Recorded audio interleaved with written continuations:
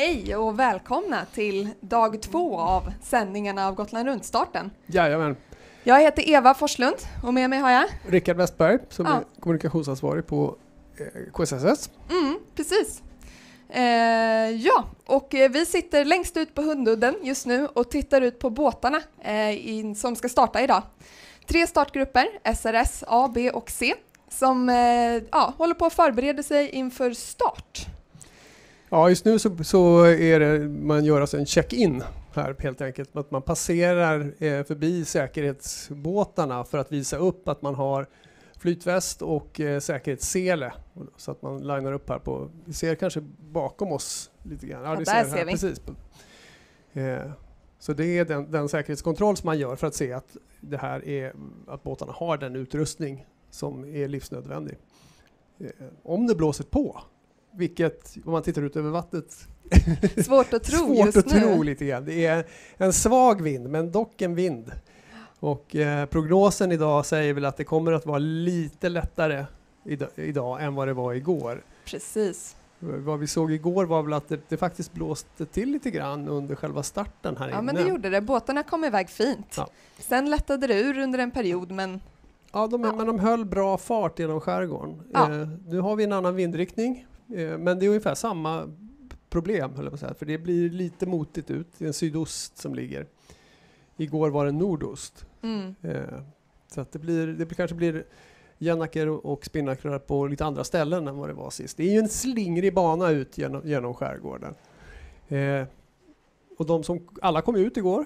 alla kom ut Ja, eh, och ligger någonstans på havet just nu. ja. Vad säger vi Rickard, hur har det gått för båtarna som startade Ja, igår? det, är- det är väl lite som vi förväntade att eh, V70 I Love Poland har faktiskt rundat Hoburgen, men när vi tittade på, på Track Track senast så stod det att de gör 0,0 knop, så de har rundat upp vad ska vi säga, på, på västsidan av Gotland och där är det då lite lä eftersom vinden är ostlig. Så att de är nog lite nervösa tror jag. Ja, det tror jag absolut. Och Så- de andra båtarna närmar sig. De närmar sig och de, de har ju möjlighet att, ja här ser vi den, precis. Här kan vi också se att det är, ska vi säga, det är ett lite utsträckt fält, men jag tror att det är många båtar som då ser sina konkurren- närmaste konkurrenter, vilket ju alltid extra spännande, speciellt när det är lättvind. Mm, jo, det är det. Då jämför man sig nog ganska mycket. Vilka, har de bättre vind, de som ligger lite längre ifrån oss, åt något Precis. håll? Det är ju det klassiska gummibandet, Ja. eller? Precis, det är ju det. Den, en åker iväg och sen så kommer nästa åker efter och så går man före. Och sen Ja. är det väl också att man, inga onödiga rörelser i båten, sitta still och det är varmt. Mm, mycket vatten får vi hoppas att de häller i sig så att de Absolut. orkar hela dagen Ja, också, annars och- är det en trött besättning. Ja, hålla Och då fokus. blir det jobbigt. Ja, att hålla fokus är ju jättetufft. Så att eh, det är väl vad det här gänget också är, är, kommer att råka ut för. Att de måste hantera både värmen och eh, de svaga vindarna med, med bra vätska och bra humör. Mm. Att Det gör det mycket. är svårt. Ja. Så ska man hålla fokus ut ur stan hela vägen och sen ut på havet. Och på havet. Och på havet. Ja, precis, där behöver man fokus. Ja, vad, har vi att förvänta oss idag då på, på första starten? Vi har ett väldigt brett fält kan man ju säga. Det har vi absolut och det är ju superspännande ja, eh, att vi kan tävla på det sättet. det är Eh, verkligen unikt för vår sport att vi har den största båten här ute är 100 fot, alltså den är 30 meter lång, Ja. väger 62 ton. ja. Och den minsta tror jag jag såg här som är väl åtta, åt, nästan, eller knappt 9 meter lång och väger kanske 2 ton. Ja. Så det är skillnad. Man tävlar på samma, på samma villkor och det, det är det som är eh, idén kan man väl säga bakom SRS. Alltså eh, Svenskt respitsystem tror jag att det står Exakt. för. Exakt. Det är alltså en, en, en handikappregel där man mäter, vad ska vi kalla det för, de fartgivande faktorerna på båtarna. Segelyta, längd, vikt. Eh, och sen så kommer man fram till ett, ett, ett tal som gör att man kan jämföra båtarna. Mm. Eh, och då kan man alltså tävla mellan de här sto- jättestora båtarna och de små. Nä- Näst störst är ju en, en eh, oceanracer. Mm. Precis. Volvo Ocean Race 70 som också seglar SRS idag. Vi har ju en som, den som leder, eller ligger först ska vi säga, är, är ju också en Volvo, Volvo eller alltså en V70 från Volvo Ocean Race. Precis, I Love Poland. I Love den Poland. som har parkerat strax Ja, före de Visby. precis. Så att, eh, det ska bli spännande att se hur de, hur de två då mäter sig. De kommer ju ha segla i ganska olika vindar såklart, men Mm. det är ändå rätt kul att se jämförelsen. Mm, så är det. Och vi har ju en klass som kört, eh, kör en något annan bana. Det är klassikbåtarna Precis. eh, som åker ner och rundar Visby och som vi kan se på Track Track här så har Gaia, den som seglar i motsatt riktning jämfört med de andra båtarna, Gaia har varit nere och rundat och vänt eh, och är på väg upp längs eh, Gotlands kurs, eh, kust norrut tillbaka till Sandhamn. Eh, så ser vi också ser- Bakant, ja. Beatrice Aurore, är det Britt-Marie som ligger där bakom Bakant kanske? Ja, det är det. Man kan se igenom det lite grann. Ithaca, Ballad, Josefin och sen har vi väl ytterligare en båt som ska ligga lite norr om Josefin också. Ja, just det. Det är väl eh, den här, det är en lite mindre båt va, som, är, som är bara 10 meter Ja. jämfört med de här skärgårdarna. Och det är väl, ja Gaia är ju jätte, en, också en 100 fots båt så Mm. den är ju jättestor. Det ser, det ser ju faktiskt ut som hon ligger och kryssar upp längs kusten där. Mm. Och kanske så gör man det för att fånga alltså effekter av, av vind från land helt enkelt. Så det, är, det är nog svagt. Mm, precis, och det är ju lite klurigt där när man ska köra nära kusten eh, runt Gotland och framförallt nu när de, ja, som båtarna här som, som ligger som i lä eh, från land. Eh, då gäller det att tänka till hur man ska, hur man ska segla för Absolut. att fortsätta hålla fart i båten. Ja. Och som sagt, ju, de, de, har, de är ju lite olika de här båtarna men det, ja, det, är, det är spännande att det är så tätt faktiskt. Framförallt de mellan då Bakant, Britt-Marie och Beatrice Aurore som är man skulle kunna säga att de är, de är ganska jämförbara i sto, både i storlek och, och eh, performance eller vad man Mm. det för. Och det såg vi ju hela dagen igår också på väg ut genom Stockholm. De låg ju och, och Ja. fightades Ja, hela vägen ut. och vissa av de här båtarna har ju fightats sedan 1920 ungefär, när, när de byggdes. Så, så det är fantastiskt att, det är, att de håller, håller i och håller ut och håller sina båtar igång. Mm. Det, det måste man ge dem. Men som sagt, de seglar ju då Classic och det är en kortare bana och vi vänt, hoppas väl att de kommer in kanske under natten skulle jag tro, i, i natt redan. Och eh, det intressanta är väl att se om det är Gaia eller VO70 som kommer först. Mm, det blir Faktiskt, Om spännande. det är I Love Polen eller Gaia som, som blir först i mål. Men eh, ja, vi får se. Det håller på ett tag till det här, det här racet. Det gör ju det. Eh, och vi kommer sitta här idag Ja. och prata, följa båtarna ut. Eh, första start går här klockan 11. SRS A Ja. som startar. Ja, så då startar de, de största först. De största först. Ja. Vad säger vi om den startgruppen, Rickard? Ja, alltså det, ju, det, blir ju lite trixigt för dem eftersom det, de stora båtarna har ju en fördel av att kunna nå upp lite högre. Med, så att det, det, oavsett SRS-talet så kommer ju de att kunna fånga, den här, i den här lätta vinden så kan de få lite mera ostörd vind. Mm. Så det kan ju vara så att de stora båtarna har en fördel. Sen är det ju kryss, vilket ju gör att de stora båtarna har lite jobbigare att ta sig runt Mm. på banan. Att de måste ju slå och slå och slå. I den lätta vinden. Och 62 ton ska ju runt i en sväng. Så Ja. det, det är klart att det frestar på. Och misstagen, det, det tar ju också tid att få fart på de här tunga båtarna. Så att, eh, på gott och ont. Ja. Alltså man har ju mycket att, glida på emellan men man har också mycket som håller emot. Mm. Kan vi säga att eh, misstagen kostar lite mer idag när det är så lätta vindar? Så är det ju. Så är det ju alltid i lättvind. Att det, och det, dessutom så är just det här, det psykologiska spelet blir Mm. jätteviktigt. Alltså hur, hur, man kan täcka någon annan eller just att förstå att nu gick de väldigt bra där borta och ska vi gå åt det hållet eller ska vi försöka gå på en egen väg eller hur- man gör. Så Mm. taktiken blir ju mera nervkittlande skulle jag säga. Det, det är alltid ett, ett psykologiskt spel Mm. också. Segling är en psykologisk sport faktiskt.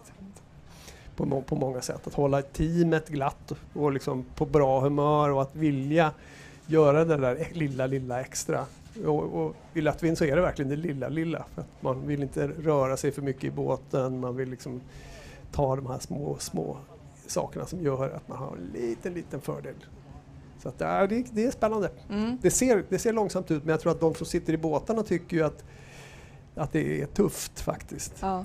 På ett annat sätt än när det är stor sjöövning och så. Men här är det, ja, här gäller det att hålla fokuset. Ja, och det är ju det fina med det här racet att det är ju som två olika kappseglingar i en. Ja. Först är det den här djungelbanan ut. Eh, man ska snirkla sig mellan öarna som tar ja, hela dagen i stort sett. För att sen komma ut och förbereda sig för havskappsegling. Ja. Och här tror jag också att det, det finns ju fördelar. Vissa båtar är ju från, från trakten och har seglat den här vägen ut, ut i Sandhamn tusentals gånger kanske. Vissa ligger på andra ställen och har kanske inte riktigt samma lokalkännedom om var det blåser och var, hur vindarna vrider och vilka, vilka öar som är, man ska gå nära och vilka man inte ska göra det. Mm. Så att eh, oavsett, det är ju inte strömt eller så, men det finns ändå vindvrid som, som ligger. Så att, eh, ja, det, det, det blir också spännande att se tycker Ja. jag, om det, är- om det är KSSS-båtar eller Stockholmsbåtar som har fördel jämfört med de som har kommit upp från Oxelösund eller Ja. Finland eller Tyskland som vi har några stycken också. Att det blir spännande då. Det blir det verkligen. Ja, och här har vi ju den här, vår största startande Vår största båt. startande. Southern Wind 100. Londin heter båten. Eh, och det är ju ett, majestätiskt fartyg. Vad sa jag? 62,3 ton. Mm. Det är, eh, byggde i Sydafrika.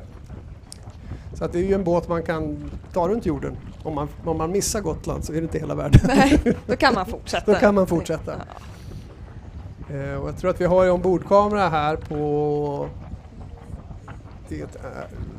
Vem är vi på? Det ser, det ser ut som det är en... Uh, MUM 36. Vi pratade om seglarmode här innan, innan sändningen. Och eh, det typiska exemplet är väl just... Eh, idag är det väl lite för långt för eh, shorts och långkalsonger men annars är väl det liksom det, st- det stående. Men nu, det som gäller i år tror jag är de, de, den här solhatten. Vi ser den här, på den här besättningen så har man ju verkligen gått all in på den. ja, men det är en trend. Ja, precis.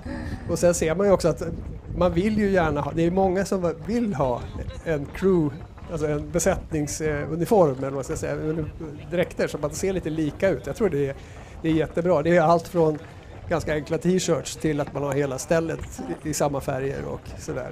Så det, är också, det, det är ett sätt att hålla ihop teamet. Absolut, skapa lagkänsla, Yes. tillhörighet. Och det, det är viktigt. Här är vi, där ser vi fler solhattar och det är, de här verkar ju ha, ta det ganska lugnt. Det är Trixie som startar väl i, jag tror de startar i grupp C va? Jaha, Ja, kan ta och kolla upp ta och kolla upp det. Precis, och som vi ser då så har vi, några av båtarna har eh, kameror riggade på. Eh, akterpulpet här. Eh, sen så har vi också eh, reportrar ute på vattnet eh, som kommer att ta oss närmre kappseglingen under dagen eh, och starterna.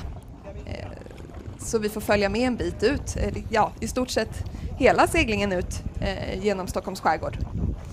Det är vi glada för Absolut, eh, att vi får se. precis. Eh, och Trixie kommer ju, är väl också ett, en av de som kanske inte seglar i de, de här vattnen. De kommer från, från Tyresö båtklubb. Eh, det är en X322 eh, med eh, Anders Ekholm som, eh, som person in charge som det står i våra listor. Och besättningen är då stora delar av familjen Ekholm kan man gissa. Det är Emil Ekholm och det är Emma Ekholm. Eh, och det är också då eh, Jan Fogelberg och Per-Erik Bilberg som är ombord. Eh, och Tor Ytterberg också. Så det här kanske är lite, lite av en generationsbåt Mm. kan vi tro. Mm. Nu, Nu vi ser vi också, här kan ni faktiskt se vårt lilla hus där vi sitter vid, längst ut på Hundudden på KSSS och kryssarklubbens eh, hamn på Hundudden. Och nu passerar, det ser inte ni, men nu, nu passerar också SL-båten igenom startfältet. Ja, ju- precis. Vi har ju lite yrkestrafik och, och fritidsbåtar också att ta hänsyn till på vägen ut. Eh, igår hade, mötte vi en Cinderella-färja eh, i Oxdjupet. Just det, du får vi se hur, hur det blir i år då. Ja, Eller idag menar jag. ja. Eh, vi har ju som sagt, vi har reportrar ute på, på, på vattnet och jag tror att vi har Anders Bengtsson som är träningsansvarig på KSSS på vardagarna och idag flygande båtreporter, eller flytande båtreporter. Hör du oss Anders? Jag hör er. Eh, hej och eh, vilken härlig söndag. Lite lättare men ändå eh, otroligt fint. Och jag har eh, placerat mig just nu och börjat följa och titta. Eh, en av våra V70-båtar som ska starta idag som heter The Bottle som är eh, före detta Green Dragon som seglar Volvo Ocean Race. Eh, tittar lite grann på vad, vad som händer ombord just nu och det verkar ganska lugnt ändå. Man, man håller på att förbereda olika segel för man är nog inte helt hundra på vad som kommer upp i sunden. Men eh, det verkar, eh, som man säger, calm and collected ombord och eh, det handlar ju som igår, komma av linjen i rent och eh, inga skador för att senare ta sig ut på vattnet. Ja, Ehm, precis. Jag, kan, jag kan bara fylla i där Anders lite grann att eh, Green Dragon kom ju femma i 2014-2015 i Volvo Ocean Så Race. var det? Ja. bra. Och, och den, Härligt. ja, den, den var väl också, där, eh, under racet så var det väl lite så att den här, jag tror att det var en av de absolut sista båtarna in i racet. Så att de hade lite problem i början med eh, olika saker därför att båten inte var riktigt genomtestad. Men det kan man väl hoppas att den är det nu. Eh, då kan jag också nämna då att Mirpuri Foundation är en portugisisk stiftelse som jobbar med, med miljöfrågor som är, är skapad då av en, en portugisisk eh, affärsman som heter Paulo Mirpuri. Eh, så det, det handlar både om havet och, och eh, ta hand om eh, liksom, utrotade djur, eller så här, inte, inte utrotade men att stoppa utrotningen av djur och sådär. Så att det, det är liksom ett, ett eh, socialt eh, ansvarstagande som, som han sätter i den här båten och, och använder det som ett skyltfönster, vilket inte är helt ovanligt idag. Ursäkta Anders, nu avbröt jag dig med lite nördfakta. Men Ja, ja, nej, men sånt är roligt. Sånt tycker jag är jättekul och det är härligt att höra. Eh, jag har faktiskt varit ute eh, och tittat lite grann här på morgonen vad som händer och det är ju väldigt lätt och vi har en prognos som, som förespråkar lätt vind men vi kan ju hoppas på att vi får se lite mer sjöbris precis som igår. Igår trodde vi det skulle vara lätt men sjöbrisen tryckte in och vi fick bra tryck hela vägen ut. Det var väl de sista på slutet som hamnade lite i ett hål vid Sandhamn när eh, det blev lite punktering på slutet. Eh, men idag så tror jag en av nycklarna speciellt för samtliga båtar det är ren och skär att kunna hålla fart. Alltså inte ligga och luffa varandra, inte ligga för nära linjen utan man måste komma en bit bak så man, så man, så man bygger upp fart i båten och försöka träffa den här startlinjen som ligger mellan två röda bojar och däremellan att träffa den med fart för att komma iväg och försöka bibehålla den farten. Det kommer att vara A och O för att få en bra start idag, eh, som jag ser det. det, är ju, det är ju trots allt eh, 350 distansminuter men ändå så är starten är ju ett viktig, en viktig del även i en så lång segling, eller hur? Ja men framförallt är det ju, är det ju väldigt viktigt psykologiskt. Man vill ju komma iväg eh, på ett bra sätt. Man vill få en bra start eh, och komma ut i ren vind. För att ska man börja jobba sig igenom redan från början ett antal eh, båtar, om man är en lite större båt och ska segla igenom lite min, segla förbi lite mindre båtar, de skapar ju ändå turbulens. Och det blir rörigt. Eh, och det, är, det, det känns som seglare känns det i kroppen. Att jag vill inte vara här eh, bakom eh, de här båtarna. Jag vill förbi så jag får ostörd och ren vind. Eh, och det, och det sitter, det sitter eh, i ryggraden på var seglare här ute kan jag lova. Så att eh, man kommer att vara taggad i starten. Man kommer att försöka komma iväg på ett bra sätt. Eh, och sen så kanske man börjar segla och lugna ner sig lite grann och börja leta vind på vägen upp genom eh, strömmen här. Mm. Absolut. Va, va, vad säger du Anders då om, om strömmarna? Vart ska man gå om du tittar ut mot starten här? Vad tror du är fördelaktigt? Ehm, Just nu så har vi lite tunneleffekt innan men, men att komma, du kommer inte komma så långt för, och- för styrbordsbog innan du träffar land. Så det kommer bli ett väldigt tidigt slag för att komma, komma eh, vidare uppåt. Och det är ju lite det som kommer att styra vad som händer. Eh, om, vi, om vi tar ett par minuter senare efter starten så kommer man nog kunna börja eh, slå sig upp eh, och börja stagvända. Och då hade jag nog... Eh, det handlar väldigt mycket om att titta upp. Var är vindkårarna idag? Eh, och titta långt upp i banan. De ram, man ser dem väldigt tydligt, väldigt långt och så försöka placera sin båt så att den träffar, träffar eh, en. Och sen så när man har fått den byn så ska man börja, så har man ju redan tittat efter andra byar så försöker man jaga nästa. Den tror jag är nyckeln upp här. Sen när vi kommer upp i strömmen så skulle jag inte bli förvånad om jag ser, om jag ser lite mer vind eh, längs med Lidingölandet och längs med Värmdölandet eh, upp mot Vaxholm. Mm. Precis, och vi kan väl prata lite om hur banan ut genom Stockholm går. Jag vet inte om vi har någon nära bild, annars får vi väl bara prata om den. Men starten går ju då alltså mellan Fjäderholmarna och Lidingölandet. Sen ska man följa Lidingö bort mot Värmdölandet som Anders var inne på, Nacka, Värmdö, eh, genom Oxdjupet. Precis, vi kan titta högst upp där, upp genom Oxdjupet som brukar vara en sån här klassisk passage, en trång passage, eh, kan vara lite stökigt med vindar. Eh, sen så ska man upp och, och runda ner mot eh, Saxarfjärden. Eh, då, där öppnar det upp lite grann. Ja. det, det kan vara ofta lite, och i den här vinden så kanske man har en sträckbog ner där i bästa fall. mm. Får hoppas det för, för lugnets skull. Ja. För det kommer nog vara ganska stressade besättningar eh, som har tagit sig igenom passagen, passagen genom Ox, Oxdjupet och Ja. norrut. Och även alltså, när man kommer nästa steg vid Vindeström så Ja. är det ju Lite samma, samma sak där. ja, höga öar som en liten gate liksom. Mm, precis. Eh, och sen ut på kan Kanholmsfjärden, eh, runda eh, Korsö, eh, Eknö och sen Korsö för att sen ta sig ut till Almagrundet, det ser vi ju tydligt, eh, tydligt här på kartan. Och så ner och köra medsols, eh, runda Hoburgs grund, runda Visby och den kan också vara lite klurig, Visbyrundningen. Eh, det kan vara så att det totaldör där och man Mm. parkerar i Visby och Blir tvungen att lyssna på Almedalen ja, från, från, från Visby. Det, det, kan ju, det kan också vara nervkrävande tror jag. Ja, det tror jag absolut. Det tär mycket. Mm. Eh, så får man hoppas på av egen erfarenhet så man brukar inte vara så glad om man har parkerat i Visby. Vi får väl ibland, det, det är väl saker som vissa seglare inte vill att vi ska ha på, på Gotland runt och det är bland annat en Visbyrundning. Mm.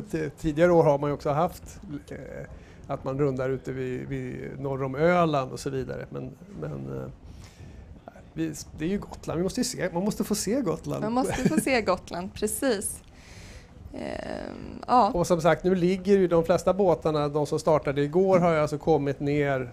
De, de snabbaste har redan rundat och de, de näst snabbaste är ju på östra sidan från egentligen Fårö och neråt. mm, Så att vi kan väl förvänta oss att någon gång i natt så är de här båtarna eh, på östra sidan av Gotland. Om, om vinden står sig så här. mm. Eh, Då är det ju sträckbog ner Ja, eh, och det är ju tacksamt. ja. Eh, Så det, och nu är man väl också laddad för, för dagens segling. Vi har eh, besökt, innan, innan de stack ut här så träffade vi Take-Off. Så att jag tänker att vi lyssnar på, på vad de säger om förväntningarna. Då har vi tagit ombord på en av de större båtarna till imorgon. Vem är du och vad är vi på för båt? Jag heter Jörgen Wennberg och du är på en båt som heter Take-Off och modellen är en Grand Soleil 54. Och har du varit med på Gotland runt innan? Ja, några stycken. 37 gången blir det nu. Och vilka seglar du med i år? Jag seglar bland annat med min fru för första gången. Det ska bli jättekul. Vi har ju åkt runt jorden tillsammans så vi kan varandra. Och med ett gäng kompisar. Är det den här båten åkt runt jorden eller är det någon annan båt? Nej, den hette Take-Off den andra också men det var en Elan 410. Och eh, vi sa åker vi en gång till så ska vi ha mer stuvutrymme. Och det har vi fått. Och hur lång tid tar det att segla runt jorden? Ja, vi är med i ett arrangemang som tar i princip 22 månader. Och sen ska man hem och då är det bara 5 500 sjömil kvar från Karibien till Stockholm. Så det är lite tetigt men det funkar. Hur såg rutten ut? Hur seglar man runt jorden? Ja, man följer med, vi seglar med World Ark och det är ju en skadesegling egentligen. Och det är en säkerhets, ett säkerhetsupplägg som är väldigt, väldigt komfortabelt. Och det är bra också av den anledningen att när du kommer in i olika hamnar och ska checka in Galapagos eller andra öar så hjälper de till med incheckning och hela incheckningsproceduren och det är ett jädra pyssel. Panamakanalen, då har vi en fix tid. Vi behöver inte ligga och vänta när det är vår tur. Vi vet när vi ska gå. Och det finns också säkerhet och alla andra bekvämligheter egentligen och eh, evenemang. Vilket gör resan bra. Sen har vi ju egen segeltid emellan de här långa hoppen. Och det är faktiskt ett riktigt kanonupplägg. Och så är det med vid 95 procent av tiden. Och om man nu sitter där hemma och drömmer om att få segla runt jorden, hur går man tillväga? Vad tar man första stegen? En, en båt är bra. Men man kan ju hoppa eh, på som eh, crewmember också. Det finns, vi träffade många som hade hoppat på familjer som ville segla men ville ha extra hjälp. Och det fungerar. Vi tar extra hjälp i huvudsak utav kompisar och vänner. Och nu ska ni då bara runt Gotland. Hur snabbt tror du att ni tar er runt? Det ser inte ut att det ska blåsa så jävla mycket och det kan, vi ska flytta på 18 ton så att eh, det kommer nog att ta tid. Men någon, någon gång tisdag eftermiddag kanske. Får vi väl hoppas. Och vad är roligast med Gotland runt? Du har ju gjort om det här ett par gånger vid det här laget. Ja, men jag tycker att komma hit och se alla gamla seglarkompisar som fortfarande kör och är med och racear. Och det, är, det är en stor familj på något sätt och det är en del av ens liv faktiskt. Stort tack för att du ställde upp och lycka till imorgon. Det ska bli kul.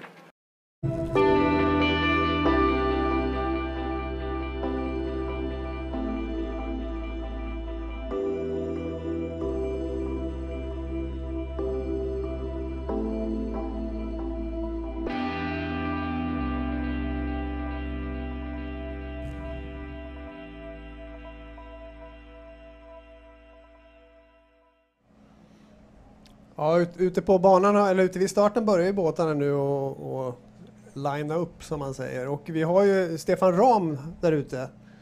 Vad ser du Stefan just nu? Ja, det är precis som du säger att båtarna börjar eh, cirkulera efter en hel del timing till startlinjen så har de nu lagt upp sig för att ta den sista minuten här alldeles strax. Eh, och eh, jag tycker definitivt att det är bättre tryck på vänstersidan av banan. Eh, på vänstersidan av banan här uppe på Lidingö-sidan så får vi lite grann effekten att vinden kommer ut från land.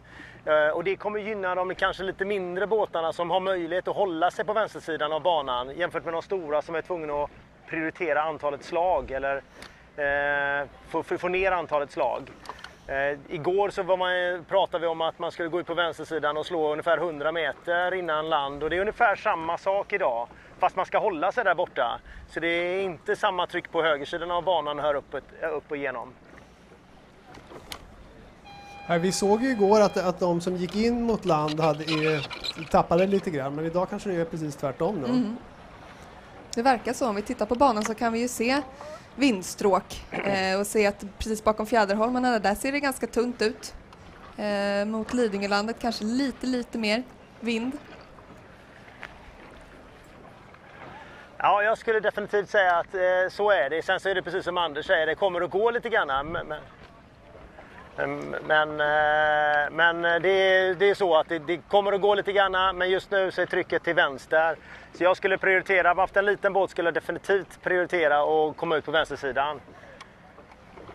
Mm, och kanske försöka hålla sig borta från de större båtarna. Eh, försöka få så fri vind som möjligt. Det kanske inte är så lätt eh, just nu. Men risken är ju att man inte får någon fart. De är väldigt, väldigt stora.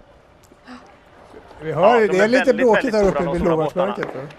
Där gick, Där gick starten, starten. precis. Och det blev trångt här. Oj, oj, oj. Det Mm, det kan bli farligt när det blir Oh. trångt i den här vinden. Det kan väl också bli en effekt att de som kommer bakifrån har lite högre fart faktiskt. För man, man har lyckats ta fart och så Ja. ligger de där framme och bromsar lite grann för att de inte vill tjuvstarta.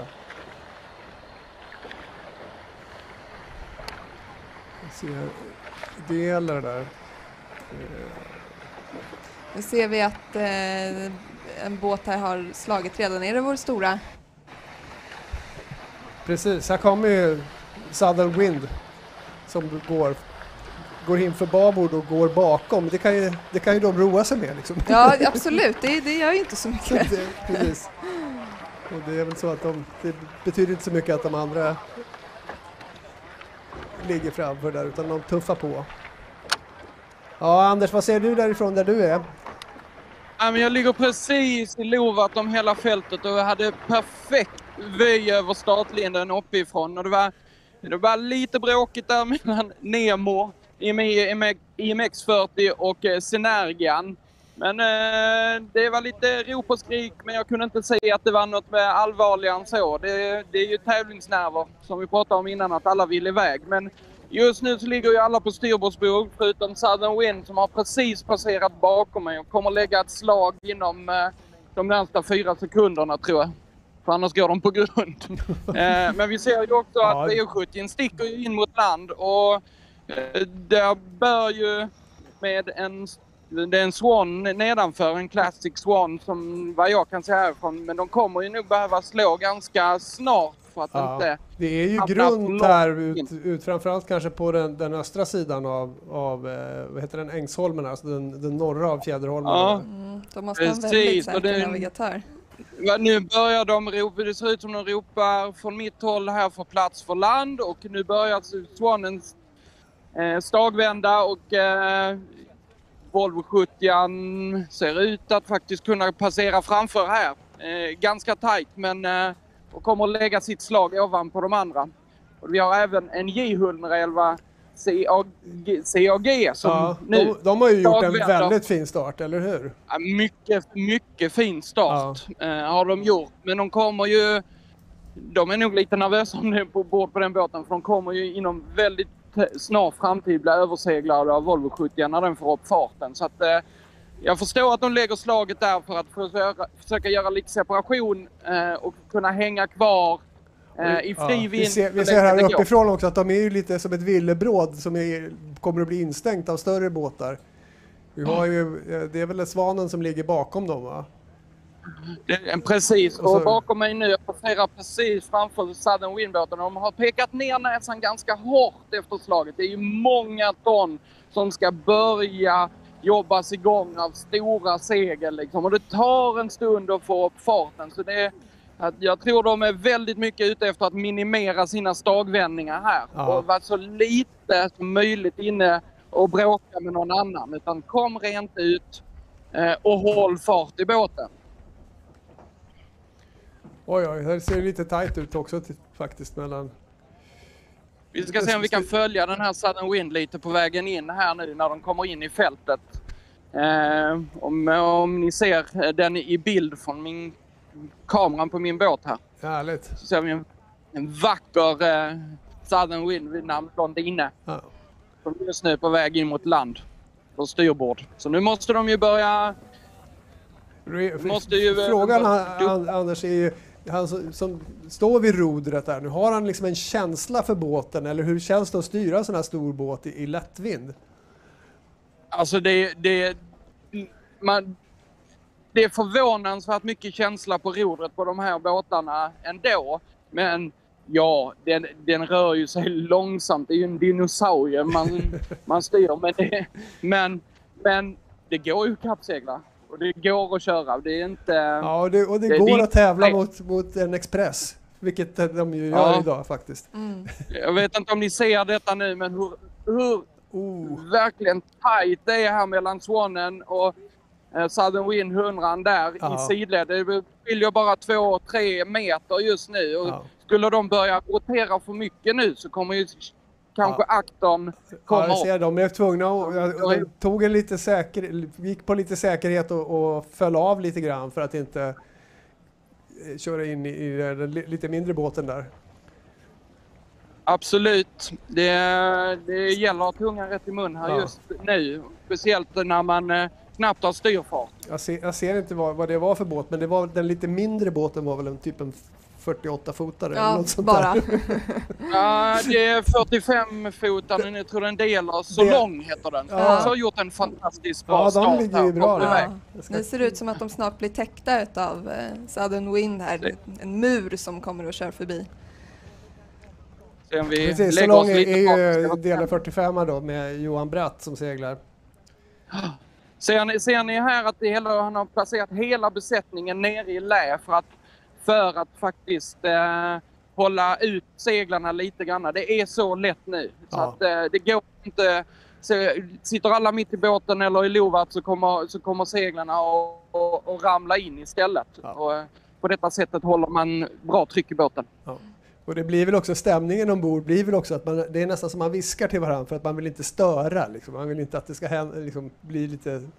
Man, man ser ju på killarna också hur de, hur de, de går väldigt försiktigt. Ja, det är, man får smyga på tå Ja, på precis, båten Precis, det är som om man i det här hade läget. en bebis sovande i ruffen ungefär. Ja.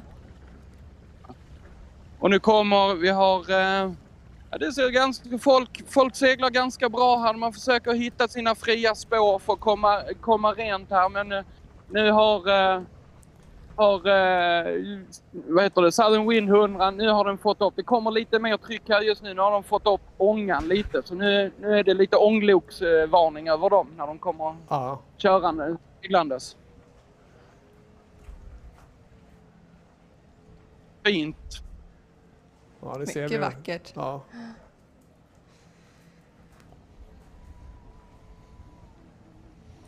Och är det, är det... 106, hur var det då? Mm, de har fart där. Kommer i lovart om den andra båten. Den kommer nog inte få så mycket vind snart.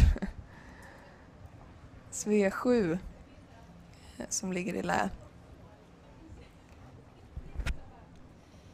Ri- Risken här är ju, det är risken när man ligger så nära här nu det är att om, om eh, ska vi säga här, delen nu blir helt täckt och så ställer den sig rakt upp, då finns det ju faktiskt risk för att det, deras rigg slår, slår ihop med lovartsbåten och det vill man ju inte. Så att här gäller det att vara på tårna. Ja. Mm. Men de håller ändå än så länge väldigt fin fart. Det, det är väl en liten bit kvar innan de får den här riktiga bak Ja, den borde komma någon gång nu, Ja. men eh, nu är vi... Nu är de förbi och jag tror att de kommer ganska snart lägga ett slag så fort eh, eh, Lovartsbåten har passerat. För sen är det full turbulens bakom. Är det, är det Stefan som vi ligger mitt i det här getingboet nu med fyra båtar? Ja, vi har ju haft, eh, dels har vi haft en svan, eh, eller en tygela. Eh, en eh, stor båt som har legat på vänstersidan och haft jätteproblem att komma över. Den har hela tiden mötts av mindre båtar för styrbords halsar och den har flera gånger lovat upp och det har varit lite skrik och skrän här borta på vänstersidan. Nu har den äntligen i alla fall fått spår över på högersidan. Men här har vi ett litet getingbo med fyra likvärdiga båtar som då slickar vänsterlandet här för att häm- hämta den lilla vinden som är. Och jag skulle vilja påstå att det är här som den bästa vinden är. Så att nu har de fått sitt spår här. Så trots att de är lite täckta så vill de verkligen ut hela vägen här ut på vänstersidan Ja. för att fånga den lilla vinden som är. Mycket bra seglat och de har liksom kommit i, en, eh, i ett bra läge här nu. Det blir lite situationer också. Eller, nej, de slår innan så att det under, slår under den. Ja, vi hade en tysk, en tysk eh, 111 förut, en J111 som, eh, som skrek rätt friskt på, på den här stora båten, den stora marinblå båten. Och det, där var det lite, det var inte så god stämning där kan man säga. Nej. Men eh, det är, vad, vad, ska man göra, när- vad ska man göra när man har en så stor båt? Det hade, jag, han åkte mest omkring och försökte krocka med folk eh, i sin eh, J111. Så att tyskarna får nog träna på den här typen av segling med öar och skär. Ja, det, det är liksom för, förmodligen ovant och kanske en smula nervöst också att ge sig ut just bland öar och skär när man kommer från lite mer öppna vatten. Det tror jag definitivt Ja. att det är. Och nu ser vi väl att, att eh, Southern Wind har, har passerat VO70. Den kommer fram här precis. Och till och med så att VO70 får, får eh, falla av lite grann va? och gå ner, går bakom. John? Ja, Nej men eh, det stämmer, nu faller, nu faller The Bottle eh, bakom Southern Wind. Men, men om, om, vi ser om kameramannen här kan vända sig eh, upp mot Lovart istället. För det finns en J111 CAG som har faktiskt seglat väldigt bra ut eh, här och håller stången för de här två båtarna som är gigantiskt stora. Mm. Då har vi eh, CAG som seglar helt fantastiskt bra och Mm. ligger fortfarande före de här båtarna på vägen, på vägen upp. Det, det måste jag säga, det är, lite, det är väldigt imponerande. Ja, Men de seglar ju och start, seglat sin segling, seglar i skiften på vägen upp på ett helt annat sätt än, eh, och behöver inte ta hänsyn kanske till storleken på båt, hur man planerar och placerar båten. Utan Ja. de har kunnat segla sin segling. Men Ja, eh, det är verkligen snyggt. Ja, det är Anders Frisk från Vigbyholms båtklubb. Eller Vigbyholms segelsällskap, förlåt. Eh, Det är nog viktigt att säga Vigbyholms segelsällskap. Eh, som, som har gjort ett fantastiskt, har ju seglat jättebra måste man ju säga. Det han har ju liksom skapat sig en egen spelplan jämfört med de andra båtarna som, som nu kommer att drabbas mer av, av vind från de, just de här stora. Så att det, är, det, det får man säga var, var smart.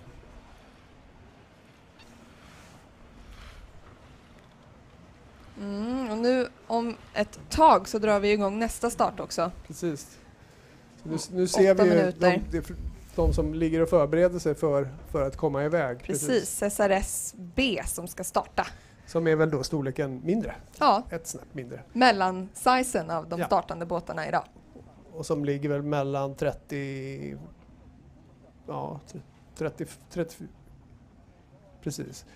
Eh, ja, någonstans mellan, mellan 30, ja de är inte, inga 40 fotare men säg 38 kanske Mm. de största och 34 den Mm. minsta, tror jag. Och eh, här finns ju också en liten kamp i kampen med, med ett antal MUM 36 er Ja, det är ju roligt att det är flera båtar i som eh, likadana båtar. Som, eh, då blir det ju såklart en intern konkurrens dem emellan.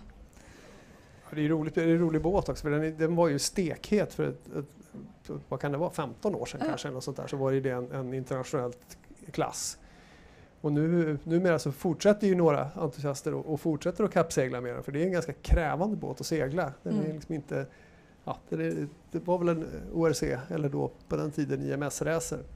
Så att vi kan väl lyssna på vad besättningen på en MUM 36 tänker inför dagen. Då har vi tagit oss hit till bryggan och en till båt här. Eh, en MUM 36 var det va? Ja, från 93 eller ja, 94. Det, det är lite oklart, men eh, en 90-talsracer. Och vem är du? Eh, Gustav Friberg heter jag. Jag är 32 år gammal. Ja, född 88. Och eh, jag kör fördäck eh, på den här båten som heter eh, BOG Explorer 2. Eh, så vi är nio boys här, fyra delägare. Det är jag, Sebbe och sen är det Måns och Alex och fixar lite grejer. Så att, ja, jävligt roligt. Och som det ryktas om det så har ni haft en del meck att göra. Kan du berätta lite mer? här? Hur har uppladdningen varit? Ja, vi hade, vårt förstag eh, gick för eh, typ tre veckor sedan. Och eh, då bröt riggen av på mitten. Så att vi har haft lite körigt sista tiden kan man säga. Men vi hade lite tur för att längre in på bryggan ligger en likadan båt. Och han hade en extra mast som vi köpte av honom. Och det är en entypsbåt. Så att eh, det är bara plug and play. Men det var ändå att vi skulle liksom flytta över vissa grejer, lite block. Eh, spridarna hade lite olika infästning och, och sen skulle vi fixa ett nytt förslag då såklart. Så att eh, vi eh, eh, seglade faktiskt med båten första gången igår då, eh, som var eh, fredag. Eh, så att, men det, det funkar allting och nu gjorde vi lite eh, tuna in liksom eh, backstag, checkstay, häckstag, eh, kolla lite med förstagsspänning och lite så jämförde med den här båten längre in här och så vi, vi tror vi har fått det ga- ganska okej då. Det verkar bli lätt vind på racet. Så att eh, vi får se. Det är bra för oss för vi har lätt båt. Suveränt! Har du seglat Gotland innan någonting? Eh, vi körde X99 eh, 2017-2018 och sen köpte vi den här båten som typ ett vrak nere på eh, västkusten 20, våren 2019. Så vi körde eh, Gotland runt eh, med den här båten första gången då 2019. Det var då det var jäkligt blåsigt. och sen förra året då blev det ju tyvärr inställt. Och sen eh, jäkligt taggade såklart eh, för i år, såklart. Har du något bra tips för hur blir man riktigt bra på att segla Gotland runt? Alltså den här båten, det viktigaste för oss är att hänga ut på railen. Eh, så att eh, vi har varit lite dålig sådär disciplin. Eh, vi har haft lite problem med sjösjuka och sådär, speciellt 2019 och det är ganska kräkigt. så att då är det inte alltid lätt att få upp folk på rätt sida och det är någon som ligger i, eh, nere i sover i lä kanske och sådär. Men så ska det såklart inte vara. Men eh, vi ska ha mer raildisciplin i år så tror vi vi kommer eh, tjäna in en hel del på det. Så att det, det är speciellt viktigt på, har jag hört, på de här båtarna. Men eh, Ja, det skulle vara det då. Sen eh, någon bra käk liksom. Men det är inte jag ansvarig för. Vi håller på att packa ombord i här nu. Det är vatten och ut med, ut med spriten och in med... Det var lite party igår så att eh, spriten ska ut och sen in med eh, eh, de bra grejerna. Så att, eh, ja, men jävligt kul. Det är perfekt väder det här då. Men eh, vi får se om det blir regn eller? Ja, jag har bara kollat vindarna, det, det alla gör det. Men, men det kanske blir regn. Mackan sa det skulle bli regn. Ja, det skulle regna hela vägen. Ja, jag vet inte. Det lär ni ju märka under resans gång Ja, det lär vi märka. Det lär vi märka. Vi vill ta med regnkläder. Sitta i poncho. Ja. Stort lycka till imorgon! Ja, tack så mycket. Vad roligt. Ja.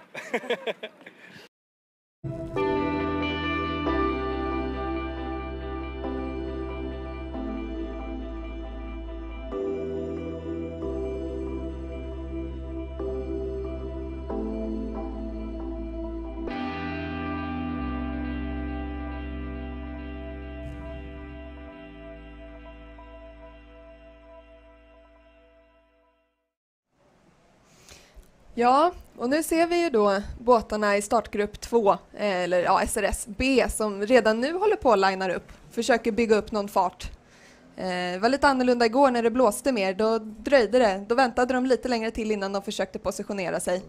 Men nu gäller det som tidigare sagt att verkligen bygga upp, bygga upp en fart eh, i Precis. båten. Och vi ser nu faktiskt bägge MUM 36 i bild, den gula och den grå. Mm. Och den gula är då Shogun, den som, de som hade en mast över. Det Ja.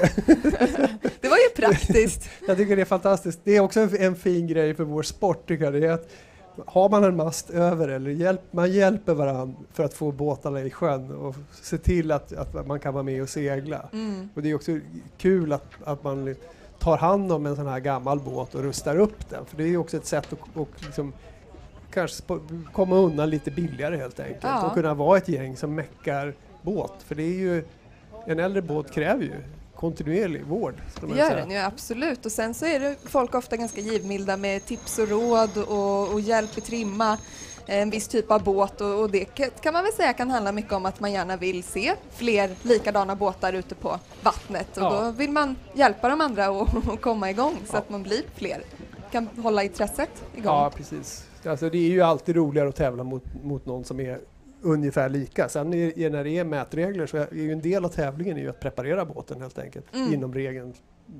Så mycket man kan inom en regel. Så att, eh, ja, det är härligt. Och det är väl ganska betecknande för SRS också att det är här, här är skruvar man på grejerna och tar hand om sina båtar. För de är, många av dem är ju faktiskt lite äldre. Mm. Det är de. Och Anders, det är bara att, ja vad ska vi säga, klana upp Nej sig. men, eh, ja nu, bör, nu börjar det närma sig det sista minuten. Jag ser eh, seglingsledare eh, Kristina Wiktander Broman med fast hand stå här uppe och ha stenkoll på flybridgen på startfartyget. Och det är ganska kul. Du, du pratar, pratar om MUM 36orna. Nu ja, det ser jag där är fyra stycken MUM 36or här uppe i Lo- Lovart nu och sen så har vi en eh, eh, längst ner i lä så ser jag en eh, FAR 30 som eh, siktar på att starta eh, på läsidan. Men eh, generellt just nu så är på hela fältet är det nu försöker man hålla fart i båten. Det är ingen som styr för mycket och man försöker verkligen bibehålla den och bygga den där lilla, lilla farten för att komma iväg. Det är tungan rätt i mun Ja. här nu.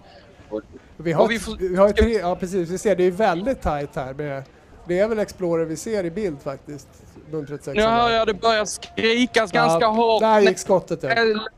Läflaggan, de börjar luft få komma upp om man vill komma iväg. Men eh, förvånansvärt stor ut, att man har spridit ut sig över hela linjen och det tyder ju på att man värdesätter att faktiskt ha ett rent spår och fri vind ur linjen eh, för att få, få fri vind hellre än att köra taktiska grejer mot andra båtar. Och precis på sidan om man passerar eh, Coyote, Shogun och Goose 2. Tre Precis. stycken MUM 36 ihop. Och de, eh, där Shogun drog det kortaste strået ska man väl säga i den starten. ja. Coyote ser ut att gå iväg ganska fint där från den bildvinkel vi har nu. Ja, den, eh, hon, eh, och de trummar på med både Goose 2 och Coyote har ut att faktiskt eh, ganska bra speed. Men jag ser inte Sve 91950 också en MUM 36. Jag ser inte namnet på den. Han verkar också lite längre ner i lä ha, ha bra speed tillsammans med en Akona va? Så vi ska nog följa det här lite uppåt eh, så jag återkommer. Ja. ja, det har blivit ju väldigt tätt där och det är ju alltid nervöst när det är så här lätta vindar och båtar. Man liksom både seglar ju och driver och det är inte så att man kan lägga om rodret och bara köra åt ett annat håll. Hur direkt. som helst nej. Nej absolut inte. Nu, det är klurigt. Det är kluriga förhållanden och det är som sagt det gäller att ha ungen rätt i mun. Och jag undrar om, inte, om det inte har lättat ur ytterligare faktiskt. Det ser, det ser faktiskt ut som att det är Jo. lite mindre vind nu än vad det var på den första Mm. starten. För att de kan vi se lite längre bort mot, eh, mot Nackahållet där att det, är, det, det rör på sig där borta även om det inte går fort. Och det kan vi ju se också på... Stefan vi på kommentar. Har vi Ja. Stefan med oss? Jajamensan, jag håller med dig Rickard om att just eh, precis där ni befinner er och när ni tittar lite grann upp i banan så är det ett område med mycket lättare vind. Vinden har gått lite vänster så att uppe i gattet mellan Lidingö och Värmdösidan där är det bra tryck men den är vänstervriden. Så att just bakom Lidingö i startområdet så har det varit en, en, ett område nu som kommer ner till er med väldigt lite vind. Men det kommer en ny puff här uppe där jag befinner mig och eh, det kommer bli en kort period där det är väldigt, väldigt lätt. Men sen kommer vinden komma och den kommer komma först in i land, i Lidingölandet. Så att hålla vänster här skulle jag säga för de båtarna om vi kunde nå dem på något sätt. Ja, det är kanske lika bra att vi inte gör det för det, det vore ju schysst. Nej, men vi ser väl också att det är, det är ju några som, som eh, tror jag har väl fått, eller som, som kanske då går på den sista, sista puffen. Ja, vi ser Shogun här till exempel, den gula, och Ella First som, eh, som ligger och de har ju fortfarande vind. De som ligger upp mot Lidingölandet, de, de, har lite min, de har lite mindre, men det kanske är så att det ändå kommer att betala sig att de kommer att få den här vind, den lilla puffen som kommer i nästa skede så att säga. Att de kommer att få den först och kan ta sig, ta sig in till ja, gattet mellan då Värmdö och, och ner mot Skuresundet där. Eh, Så, ja, det Det är är, ju så när det är så lite vind som det är, som, så lite vind som det är nu så, så gäller det att ha vind så man kan ha styrfart på båten först och främst. Så att, eh, man får nog segla på det man har och eh, sen så ändå positionera sig så att man får nästa vindbyte på ett bra sätt. Den fyller på ganska bra över hela eh, området mellan Fjäderholmarna och Lidingö så man behöver nog inte vara Även om man ligger still en stund så kommer man nog att få fart så småningom. Ja. Men den, den börjar eh, från vänster och fyller ut mot höger. Och det, det ser man ju, det är väldigt naturligt eftersom vinden är då mycket, mycket mer eh, vänstervriden uppe i gattet här uppe. Ja, det är just det. kryss hela vägen mellan Värmdö och Lidingö. ja, det, går, det följer vattnet liksom helt enkelt. Exakt. Ja, Stefan. Och Ja. vi har ju pratat lite om det nu. Eh, Man vill ju få fri vind när det är så himla lätta vindar, men hur gör man egentligen när man ska trimma båten? När det är så otroligt lätt jämfört med ja, men starten igår när det blåste lite mer. Va, vad tänker man på? Ja, man tänker ju framförallt att man inte ska trim- trimma för hårt utan hellre mjukt, mjukt trim så att säga. Löst trim så att, och att man lägger båten på en kurs så att den verkligen accelererar. Och för, eh, för många så är det det här med accelerationen, den känner man nästan inte för det är så lite acceleration.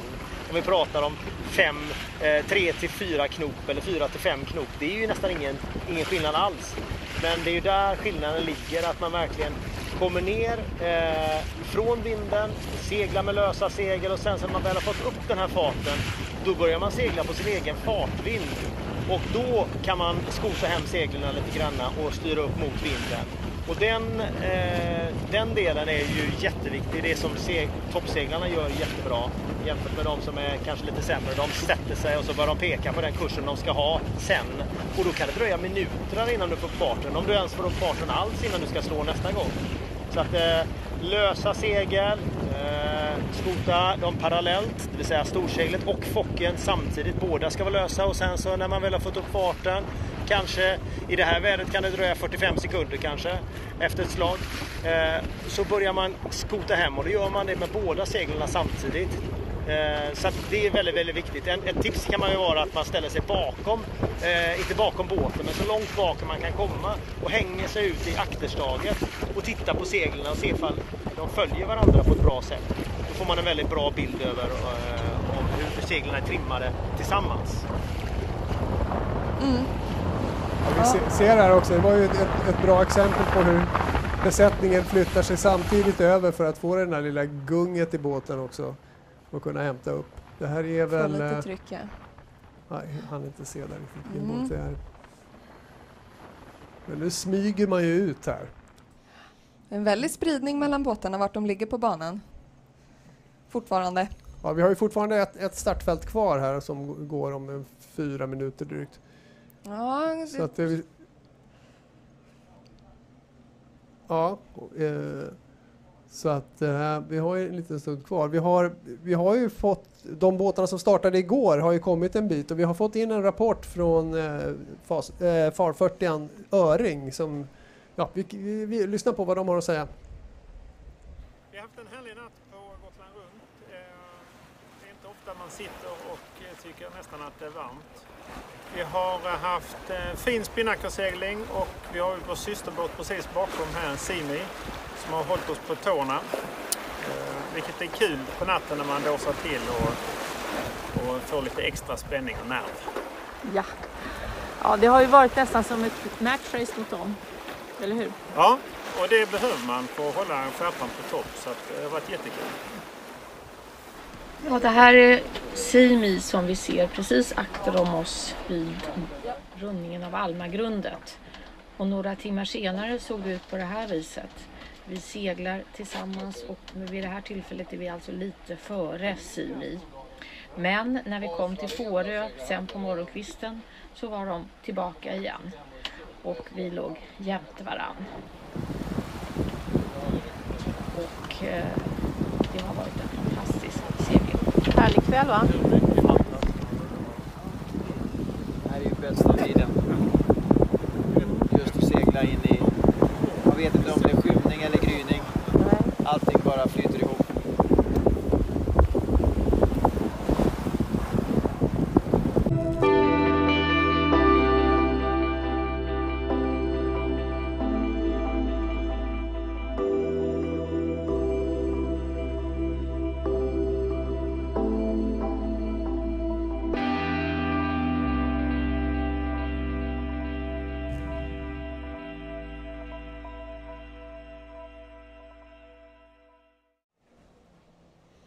Ja, nu ser vi ju hur de mindre båtarna börjar att närma sig startlinjen. Eh, och det är inte mycket vind kvar när de, de lite större har nästan tagit allt. Ja, precis. De det tog det med känns sig lite grann vinden som de tog med sig vinden faktiskt, Ja. de stora båtarna och, och drog vidare. Ja. Och nu är det alltså den minsta, de minsta båtarna, SRS C, som gör sig redo för start. Ja, och på, och på Trixie börjar man hissa segel, det är väl på tiden. Ja. Vi har ja, det är en minut kvar va? Ja, eller starten, det är väl 11.40 starten är. Ja, det är förlåt, då, är det, då ligger vi de har lite, de 11 har lite minuter. tid på sig. Eh, Vi har med oss eh, Anders ute på vattnet. Anders, vad händer?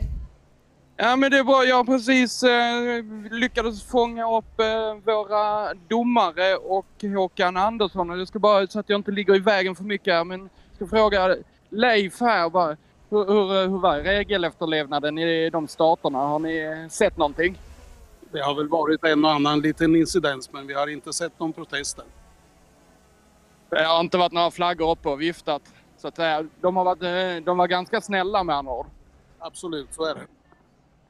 Hå- Håkan, hur känns det här? Jag tycker det är så galet bra alltihop. Ja, verkligen. Stormtrivs Anders. Ja, det ser så ut. Du har ett stort leende i hela ansiktet. Så att det, och det är alltid härligt att se. Vi ska bara titta oss omkring så att vi inte lägger oss i vägen. Vad händer nu? Nu händer, alltså nu, båtarna som startade igår, de har ju redan första i runda Hovbörjan. Jättemånga på utsidan av eh, Gotland på väg ner. Eh, vi har ju satt igång ute i Sandhamn nu de, igår redan, de som följer säkerheten dygnet runt och regattaexpedition. Och så väntar vi första båt morgon kväll, eller ikväll förlåt. Och sedan ramlar det på hela nu och eftersom vi startar under två dagar så blir det ett ständigt flöde fram till onsdag ska jag tippa på.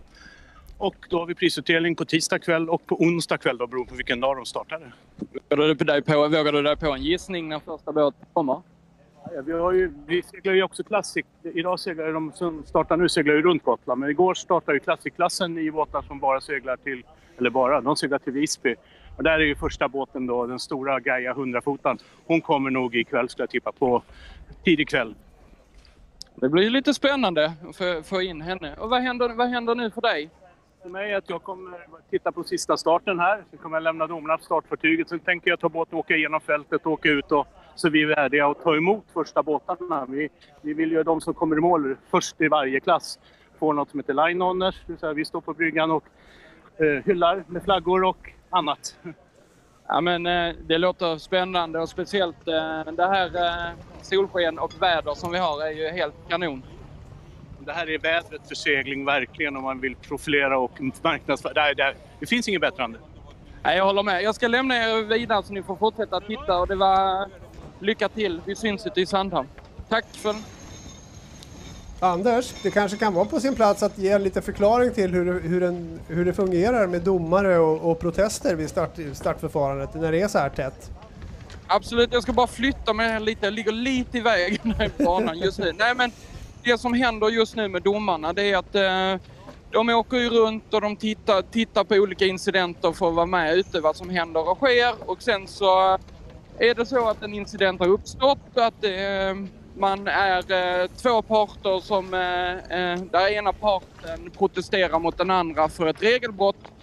Då eh, får man, eh, när man kommer i mål sen, så eh, får, man hålla en protestförhandling eh, mellan de olika parterna och eh, därför då eh, sitter där en, eh, en, en jury med ett antal domare i och eh, bedömer utifrån det regelverket som finns inom segling vem som har gjort rätt och fel. Och är det någon som har gjort fel, ja, då är risken att man blir diskad eh, för regelbrott eller tidstillägg.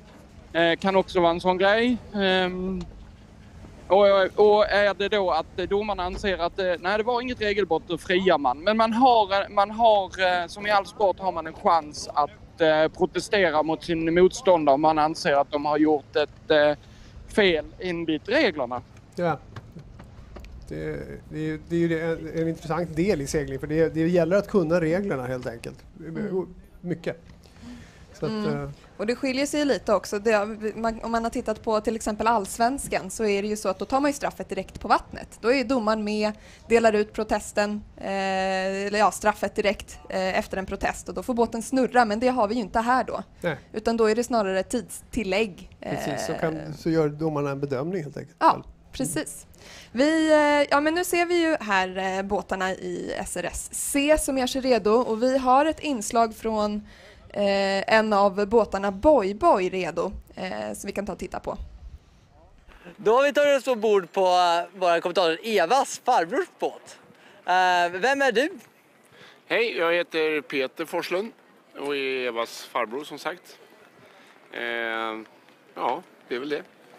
Och vad är vi på för båt? Vi är på en båt som heter Boy Boy som är en Scampi som är designad på 70-talet. Eller 69 egentligen. Eh, så där, är vi ombord nu och ska försöka försvara våra färger. Och som jag har förstått det så den här båten är något av en veteran. Hur länge har den här båten varit med i Gotland runt? Ja, min pappa då köpte den här båten 81 och sen har den varit med alla Gotland runt utom två sen dess. Och hur många tror du att du har varit på, eh, på båten av de här alla racen? Ja, när pappa köpte båten var jag ju lite för ung så det var ju ett par tre år där som jag inte var med och sen så ett par tre år som jag inte var med sen så det är resterande år helt enkelt. Och om du har gjort så många, vad är bästa tipset? Hur trivs man bäst ute på, runt Gotland? Ja, det finns ju två skeden. Det ena är ju att man har en båt, ett verktyg som man seglar och det har vi, det är Boy Boy. Och jag kan det här verktyget så det, det är ju en bra förutsättning. Det andra är ju att det är en segling och då kan man sitt verktyg så kan man ta huvudet upp ur sitt brunn och titta på vad som händer. Det skulle jag säga är det viktigaste. Vad äter man ombord på ett så här långt race? Ja, vi har alltid haft traditionen att min mamma lagade mat när jag var liten till, till, till den här besättningen och eh, nu har vi fortsatt. Så nu är det mina döttrar faktiskt som lagar mat och det, det är ganska goda middagar så vi tycker det är lite viktigt att det är bra mat ombord, inte något hemköpt liksom. Och det blir ganska mycket sjögång där ute i vissa år. Hur undviker du att bli sjösjuk? Eh, I mitt fall så är kanske inte det ett problem numera. Jag var sjösjuk mycket när jag var ung men eh, det har försvunnit med övning. Och det verkar som att jag har en otroligt sjöstark besättning så att vi har inte upplevt sjösjuka i någon större mängd. I år ser det ut att vara lite lättare vindar. Hur tror du det passar båten? Ja, det, det var en bra fråga. Jag tror att eh, det är inte lätta vinden eller hårda vinden som avgör utan det är snarare när eller det kommer. Så att för oss som en liten båt så vill ju vi ha hård vind på slutet så att det går fortare för oss på slutet in när de andra redan är i mål. Vi vill inte ha ett sista bleke på slutet där vi stannar på, eller på havet medan alla andra har gått i mål. Så att det är så jag ser på punkten. Och när tror du nu då att du ska komma till Sandhamn? Nej, men vi har väl förhoppningar med väderprognosen som den är att eh, blåser det det de säger mellan 5 och 7 meter så då ska vi nog vara i mål på onsdag. Kanske hinna till prisutdelningen. Och så har jag förstått att här nere i båten så har ni då alltså plaketter från alla dessa år. Ja, det brukar vara lite roligt. Vi har besiktningsmän som ska besiktiga normalt inför Gotland runt hur, hur om båten är kit för, för att segla ett Gotland runt. Och så, så kommer de eh, först ombord och sen så gör de en uppfattning att nej, men det, det ser väl okej ut och sådär. Så har de åsikter och så kommer de ner i, sittbro- eller i, i ruffen och så, så ser de alla plaketter och så säger de ja, nej, men vi kanske var klara här. Tack så jättemycket och stort lycka till imorgon. Tack så mycket.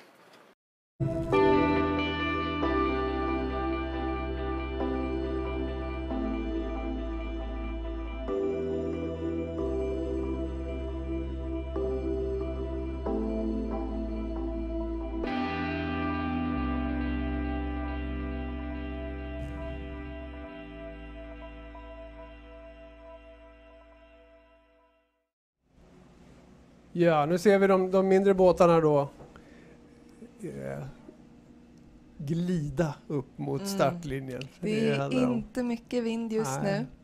Ser här hur besättningen är, ja, Ja, det- står och letar och försöker jobba fart förmodligen. Förmodligen, och, och också försöka se på vattnet var det finns de här vindstråken som, som kommer. Mm. Ser att vi har en, en person som står längst fram också. Det är en del eh, mötande som ser. Det är ju, det är, de ligger ju som i en klunga och då är det bra att ha folk på olika delar av båtarna som kan hålla utkik efter andra båtar så att det inte uppstår några onödiga situationer. Det är några modiga som ligger faktiskt på babordsbog inne i getingboet här. Mm. De får väl vara extra eh, uppmärksamma. Och kanske tänker sig att kunna gå bakom fältet lite grann och, och ta sig ut på, på den vägen. Det kan ju faktiskt löna sig att, att gå bakom när det är så här tätt och lätt. Mm.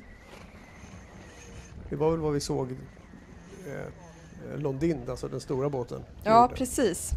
Den gick ju bakom de andra båtarna. Den har ju lite mer segel så kanske Kan lyckades ju- få kan- kan vind ju- ändå. precis, De får ju sin vind. Ja. Annars kan det vara väldigt turbulent ju såklart Ja. bak, i, bakom de här båtarna. Speciellt när de ligger så här tätt. Så är det, det är Minuten. som en vägg. Så nu börjar det att bli lite Ja. 25 sekunder och 20. Anders, är ju, var befinner du dig? Jag befinner mig precis i eh, Lovart igen och eh, har haft ögonen på Boy-Boy här som eh, satte segel eh, faktiskt när det var två minuter kvar till start så satte de upp storen. Eh, så de, eh, de var väldigt eh, chill. Men eh, det har gått väldigt mycket vänster. Tittar vi ner i här så har vi en Express som faktiskt har en riktig rövare Och och går babord. och förbi hela fältet som Det ligger är nästan parkerat. Det är musen Vilka- som röt i allra högsta grad. va? Det är den minsta båten som gör den elakaste starten. Ja, det Ja, men det är vi- vilket, rätt. ja, men det är väl helt precis. Helt Härlig rätt. inställning. Ja, verkligen. Ja. Och, inte, och alltså, på riktigt bra start dessutom. Det är ju Ja, men det fantastiskt. gäller ju att vara på tårna också. Ja. Alltså, de såg ju så som hände. Vinden gick vänster väldigt mycket. Folk sträcker inte lämärket. Och då tog de chansen. Jag ser även nere i lä så har vi någon som får runda om här. Eller eh, kommer inte riktigt av startlinjen. Som gör en titta. 360 runt nu. Eh, Men Boy Boy hamnar lite i Var, vi ser eh, Trixie som rundar, rundar märket här. Ja, det går inte Är fort. det vid är lämärket inte- eller är de uppe vid Lovart? Ja, det måste vara vid Lovartsmärket va? Ja. Som de gick på där eller, eller tvungna, går över till. Hör ni mig? Ja, då, vi hör dig hela tiden. Jag, vet- jag, jag försvann nog eh, lite här men eh, jag skulle komma till det. Jag, igår när jag kom hem eh, efter sändningen så kom min granne springandes, skampjägare som han är, och sa Åh, ni måste, ni måste heja på Boy Boy. Ja, det är, en, det är en legendarisk båt och det är, det är också ett- en legendarisk båttyp. Så att det, är, det är kul också med den att den är fortfarande med och, och den har väl ett par, den, en åtminstone tror jag, totalvinst. Ja, det tror jag Ja, men Ja. Det må- måste din farbror ha pratat om någon Ja, gång. ja absolut. absolut. Men det är tydligt, den ligger, ju- båttypen ligger ju väldigt varmt om hjärtat hos många seglare. Ja, det var, ju, ett- det var ju en revolution när den kom. 1970 var det väl som, som Peter Norlin tog fram den här för att eh, det var verkligen ett, ett paradigmskifte i hur man ritar båtar skulle jag säga. För att man, eh, tidigare så var den hetaste båten en Fingal och Fingal ser man inte så mycket nu för tiden. Nej. Den såg, såg väl ut som en, ja, en gammaldags kustkryssare. Lite klassiska linjer sådär med ett litet doghouse. Och sen kom Peter Norlin med, med liksom en helt annan tanke om hur båten skulle röra sig i vattnet och, och vi hittade en båt som också var väldigt välbalanserad. Det är väl det som är liksom känneteck- var kännetecknet för, för just Scampin, att den var välbalanserad och även, även med den här jättelika genacken, och, eller genuan som man hade på den tiden med masthead rigg. Som ju var en produkt av dåvarande mätregeln egentligen, att man, Mm. man gjorde båten på det sättet. Så Jag kommer att ta mig upp till startfartyget nu här lite så om jag kan få tag i Kristina in- nu eh, när eh, alla starterna har gått. Ja, Kristina är ju tävlingsledare som har skickat iväg dem så nu, nu kan väl hon Nu får hon bedöma. slappna av. Ja, nu kan hon Mm. slappna av och berätta kanske om hur, vad hon, vad, hur hon ser på seglingen. Jag tror att vi har vi Stefan en bit längre upp i banan kanske. Eh, absolut, och det är väl egentligen eh, uppe vid CAG som har seglat fortsatt väldigt bra. Och nu var VO70 tvungen att lägga ett slag på CAG för att nästan täcka upp den lilla, lilla båten som är med och utmanar ordentligt. Eh, vi kommer upp precis, har precis passerat Hasseludden och Gåshaga på vänster sida. Oj, ja. Och eh, nu börjar det bli svårt. Eh, det är, tittar vi framåt här så, så har vi eh, väldigt stora områden med väldigt lite vind. Så att eh, här kan det hända saker. Eh, inte bara för de stora båtarna utan även för de små båtarna. Eh, som eh, jag befinner mig bredvid Nemo nu som ligger i ett jättefint spår här på högersidan av, eh, av eh, stråket uppåt här. Och, eh, det ser bra ut. Eh, de tar in mycket på de stora båtarna och även CAG som då för första gången kanske har gjort ett mindre lyckat slag och lagt sig på vänstersidan i ban, av banmitt här. Eh, så att, eh, ja, högersidan är det just nu som gäller men det förändrar sig ganska fort när vinden kommer och går. Ja, de, har ju, de har ju i varje fall fin gång. Vi ser här nere vid, vid starten så, så är det, har man inte alls där, riktigt den här hastigheten. Det var väl också, Nemo är väl också en, det är samma båttyp va? Det är en J, J111 också. Så även där har vi väl en, en match i matchen så att säga. Ja, det är, när jag tittat på, följde CAG ett bra stund alltså. Så lättdrivet det är. Det är verkligen, eh, förlåt, det jag- driver på jag- hela tiden. ja, jag tyckte Man, att här- En sån här båtfilm, Ja. Ja. Jag behöver korrigera mig själv. Nemo är förstås en IMX 40 så det, är- den är ju lite annorlunda än, än eh, J111. Men de är ju jämförbara på många sätt. ja, helt fel hade du inte Rickard. Nej, det hän- händer sällan. Nej. Nej. Anders, men vi men, har- men jag, ja, ja, återigen, alltså, J, J111 där, den, den, den, eh, det, det syns att det går lätt. Ja, Och det kan ju bli ett vinnande koncept i det här lätta vinden. absolut. Det värmer ett, ett J-båtshjärta. Eh, jag tror att vi har Anders på startfartyget nu. Ja, jag har tagit mig till startfartyget och jag står med eh, Kristina Viktander Broman, seglingsledare och Joakim Norlén som är tävlingsansvarig på KSSS. Men jag ska börja med dig Kristina. Nu är alla starterna gjorda. Eh, hur känns det? Det känns fantastiskt bra och härligt att se så många taggade seglare och eh, ja, det har verkligen flutit på väldigt, väldigt bra. Mm. Något, eh, hur känns denna dag i förhållande till igår?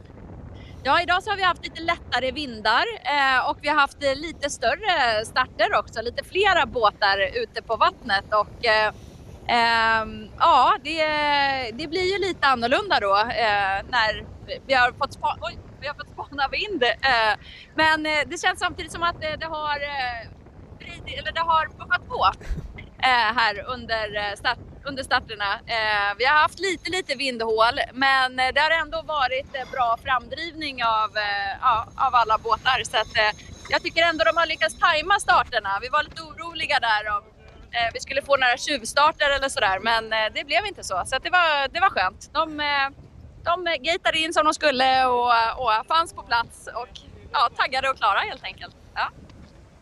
Joakim Norlén. Akrobatreporter Anders Bengtsson. Det ser vi fram emot. ja, och så har jag Joakim Jocke Norlén med mig. Första Gotland runt som eh, tävlingsansvarig på Gotland runt. Vad säger du? Ja, det har ju varit jättenervöst och eh, det är klart att det är många detaljer som ska, som ska falla på plats för att man ska få till en lyckat eh, evenemang. Men jag känner att med våra nya hamn inne i centrala Stockholm här, KSSS Djurgårdshamn, där vi kunnat samla de båtar som har velat så har vi kunnat få kontroll på läget trots den här kan man säga, lösningen ur ett coronaperspektiv. Så att, eh, jag är supernöjd so far. Jättekul, verkligen. Vad tar du med dig av den första gången nu? Ja, kontrollen, organisationen, strukturen och att man genrepar i god tid. Och det gäller ju inte bara seglarna utan det gäller ju lika mycket funktionärer och eh, organisationen i sin helhet. Vad händer nu för er? Ja, nu blir det ju raka vägen ut då för att börja förbereda eh, första båt som kommer att komma i mål här eh, framåt eh, sen kväll, natt. Men ni får väl i alla fall på vägen ut njuta lite av eh, fälten, eller hur? Ja, men det vet du. Vi kommer ju passera dem och eh, hälsa på dem, precis som vi gjorde igår upp till Oxdjupet och vi följde dem flera stycken. Det var väldigt vackert att se. Tack för det ni gör, hörni, och lycka till! Ja, det är ju häftigt det där. Det är ju en mycket större organisation än vad man kan tro kanske. Vad är det, 80 funktionärer? Det är 80 stycken funktionärer som jobbar ideellt ja. med, med Gotland runt. Eh, så det, och det är ett fantastiskt arbete som läggs ner på alla nivåer från då seglingsledning och tävlingsledning till domare, till eh, banläggare, tar hand om de här bojarna som nu ska plockas in och köras hem och det ska ordnas. Det ska vara mat till alla funktionärer, det ska vara boende för alla funktionärer när vi åker ut till Sandhamn. Eh, det är ett, också ett, ett eh, stort jobb att, att hantera resultaten eftersom mm. vi då eh, har de här handikappreglerna så ska ju alla, alla tider och allting ska beräknas. Det räcker inte med att båtarna går i mål utan det, de ska ju också ha, få en beräknad tid. Ja. Och att det, det, att det stämmer och att det klockas in rätt och att det hamnar i, i resultatlistor. Det, det är väldigt mycket mer handpåläggning egentligen än vad man tror. Eh, eller man skulle tro att det går att ha det datoriserat men det finns, det är inte det, är inte det som Microsoft lägger sina krafter på. Nej, det är det ju inte. Det är ju andra saker, absolut. Men det, är, det är häftigt och vi pratade med Håkan Andersson igår som är seglingsledare och han berättade att de börjar i september och ja. för nästa års ja. Gotland runt. Och det finns ju ett, ett, ett kärngäng så att säga som Race Management Team då som ju går igenom då man går igenom året innan, tittar vad var det som funkade, vad var det som inte funkade, hur kan vi utveckla vissa saker och, och det är ju ett, ett, det är, det är ett stort jobb det här. Mm. Och eh, på, på, just på, på, väldigt många nivåer, från säkerhet till det sportsliga. Som, hur, hur man kan göra det så sportsligt eh, som möjligt helt enkelt och så rättvist som möjligt. Så att, eh, utan, utan alla de här frivilliga krafterna så skulle det inte gå. Nej. Det skulle inte gå att genomföra ett, ett sånt här arrangemang med betald personal. Det, de, de pengarna finns inte. är svår Nej, att klara precis, av. Precis. Ja. Och trots det så är det väl det, det, blir ju ändå en, en summa som, som man lägger som, som, eh, som startande, en startavgift. Men eh, mycket av det som, som görs, görs ju ideellt. Så Ja. det, det är jättespännande och jättekul faktiskt att vi gör det.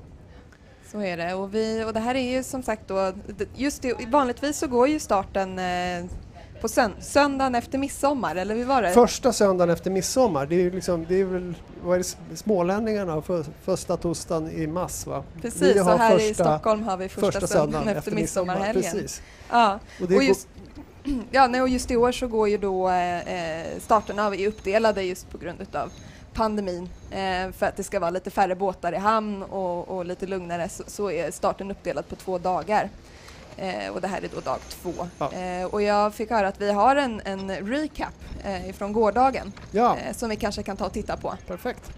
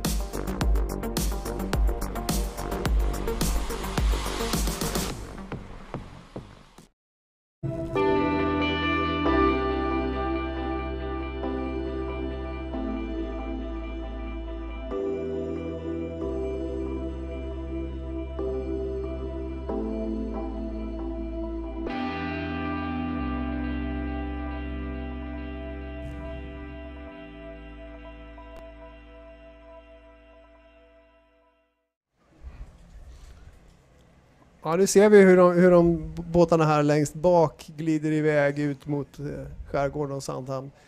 Eh, och för många så är ju nu, och de som står på startfartyget, så är ju liksom den första delen avklarad och sen så ska man förflytta sig utåt till Sandhamn och ta emot båtarna. Eh, och det är, ju, det är ju så att vi har i KSSS en, vä- en väldigt stor verksamhet. Vi är en av världens största segelklubbar. Och eh, vi har faktiskt fått, vi har ju konfirmationsläger, tre stycken varje sommar och vi har fått hälsningar från då Konfa 50 som det är, det är det 50 lägret på Långholmen som ligger lite norr om Ljusterö uppe i Furusundsleden. Och de konfirmerar sig idag och de sänder, och kommer också sändas live ifrån Roslagskulla kyrka. Men jag tror att vi har en liten hälsning från dem, gänget. Vi på KSSS konfirmandläger Konfa 50 på Långholmen vill önska alla tävlande i Gotland runt lycka till.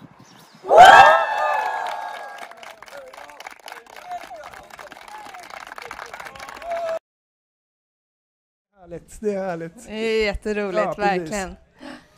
Ja, och ni, ni, det är så mycket mer verksamhet än bara kappsegling som KSSS håller på med. Det ja, men som konfaläger såg vi ju mycket barn och ungdomsverksamhet. Eh, det, det mycket hållbarhet också, eller hur? Ja. Vill du berätta lite, vad är det KSSS jobbar med eller tänker på? Ja, men vi, vi, vi, mer och mer, ja, men vi såg ett exempel här ute med, med eh, Mirpuri som då eh, har, har, tar ett initiativ för havet. I, egentligen nu utifrån tror jag, ett seglingsintresse och ett intresse för havet så, så vill man på något sätt eh, peka på de problem som vi står inför. Och eh, vi, vi befolkar ju, eller våran arena är ju havet så att det, det, det är såklart väldigt naturligt att vi vill också vara en del av det att ta, ta hand om den delen och kanske framförallt kunna öka medvetenheten om, om havet och havets situation och, och, och hur det fungerar. Så att eh, därför har vi ju då i och med, eller lite startskottet i eh, vår nya gästhamn på Djurgården har ju också varit att vi vill skapa en, en mötesplats som vi kallar för Ocean Hub eh, där vi kan då diskutera, där vi kan ha det som en central punkt i utbildning av alla. Och vi kommer också att, att utbilda, vi har ju nästan drygt 800 ungdomar varje sommar på våra olika läger. Vi har ju dels konfirmationsläger då, tre stycken och sen så har vi en rad seglarläger på Lökholmen, i Saltsjöbaden, på Ranängen och också på Klockarholmen under Djuröbron. där. Så att eh, på alla dem så vill vi också inte bara lära ut segling och, och, och kamratskap utan också att kunna lära sig lite grann mer om, om hur havet fungerar och hur vi tar hand om vår arena. Mm. Och det är ju naturligt att vi kallar det för Ocean Hub även om vi lägger det mitt i Stockholm så är det ju faktiskt möjligt att hoppa i båten här och, och segla till ett korallrev på Mm. andra sidan jorden.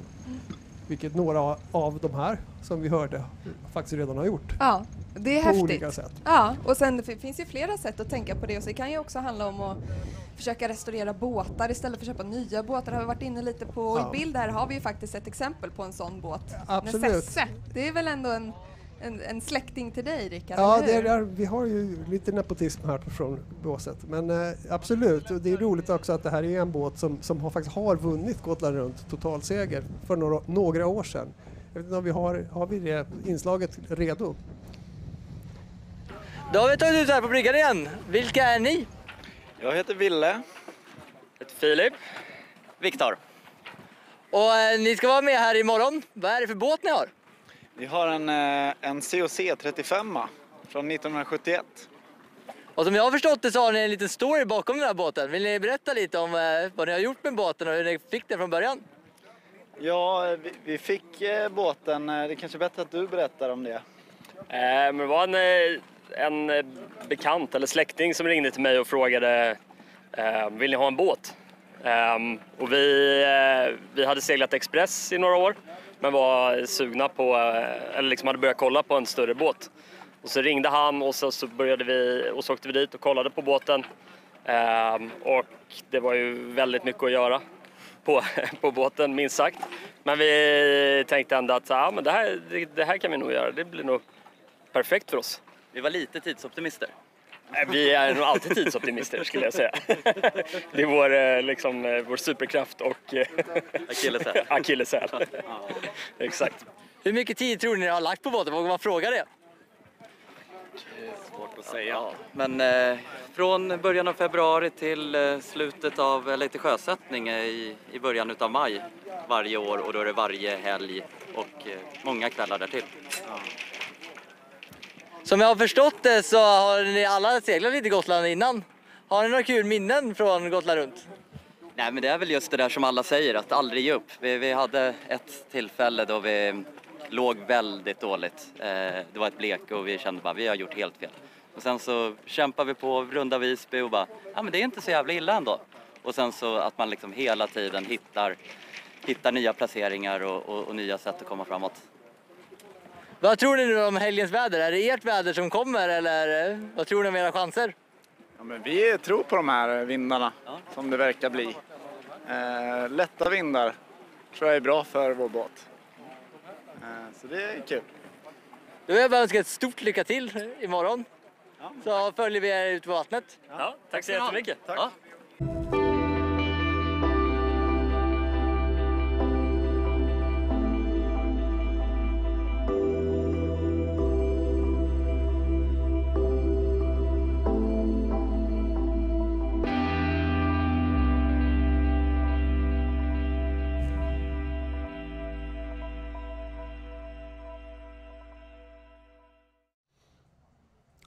här ser vi ju faktiskt när jag ser bild och de verkar ju ha fått upp farten och glider ju sakta ut här vid, eh, förbi Fjäderholmarna är det va? Så att de ligger mitt i. Anders, har vi det i, i eh, beredd där ute? Ser du dem? Jag är alltid med er. Härligt. Eh, nej, vi ligger precis samma sida om Nesses och vi är som du eh, säger, vi är strax utanför Fjäderholmen men jag behöver flytta mig lite för nu börjar det har motat lite och kommit lite tryck för de som ligger på Barbros bog så att eh, det kan vara lite grunt här inne. Eh, men eh, samtidigt så har det varit en första del här nu i sista starten där det har varit extremt lite vind. Men jag tittar upp och jag tittar upp eh, mot Värmdö och det ser ut som att eh, båtarna där uppe eh, har bättre tryck. De lutar lite mer. De har lite högre speed så att eh, jag tror att det kommer lite tryck faktiskt. Så jag ser eh, lite över land så börjar det ju bildas lite moln. Så att eh, ja, vi kan väl hoppas att vi får in lite sjöbris framåt dagen. Eh, men eh, går det att få tag i Stefan här? Vi höra lite vad som, eh, om nu pratar om väder och vind, vad som händer lite längre ut här.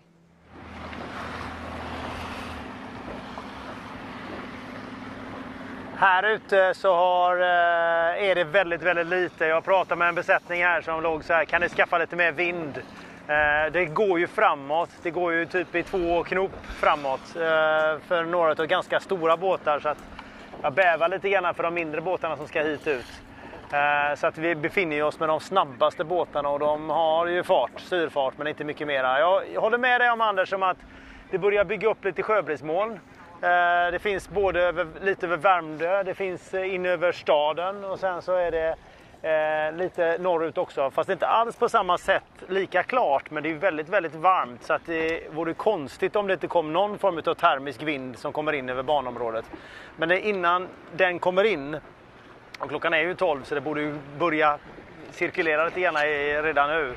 Det är ju att eh, att vi behöver den vinden ganska snart för att vi ska kunna komma ut i skärgården innan den dör igen. Så att eh, ja, det är, det är en utmaning här. Eh, vissa hamnar i bra tryck och kommer iväg på ett bra sätt eh, och kan förflytta sig flera hundra meter på det trycket medan andra parkerar helt, helt och hållet. Men det är lite växeldragning här egentligen. Eh, VO70 han gjorde ett par slag här och stod helt still och, och, och ja, parkerade egentligen en bra stund. Men ja, vi hoppas på lite sjöbrisvind här. Det behöver vi nog.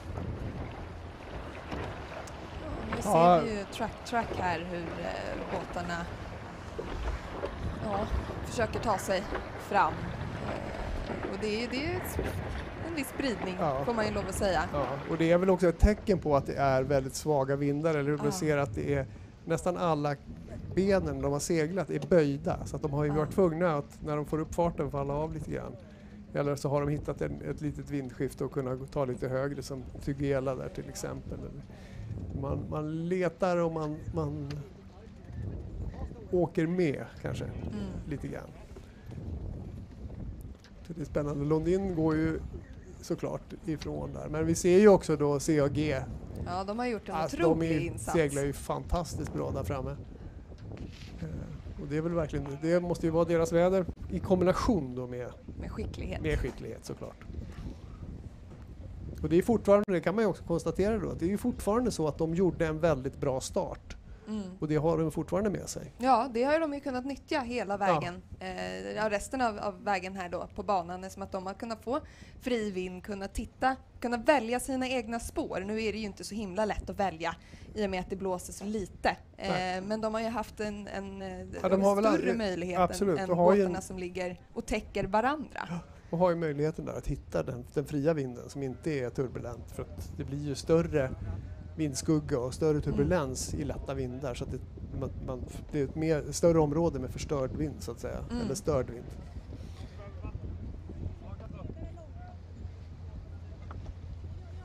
Nu, ser, nu är vi väl i trakterna av dem va?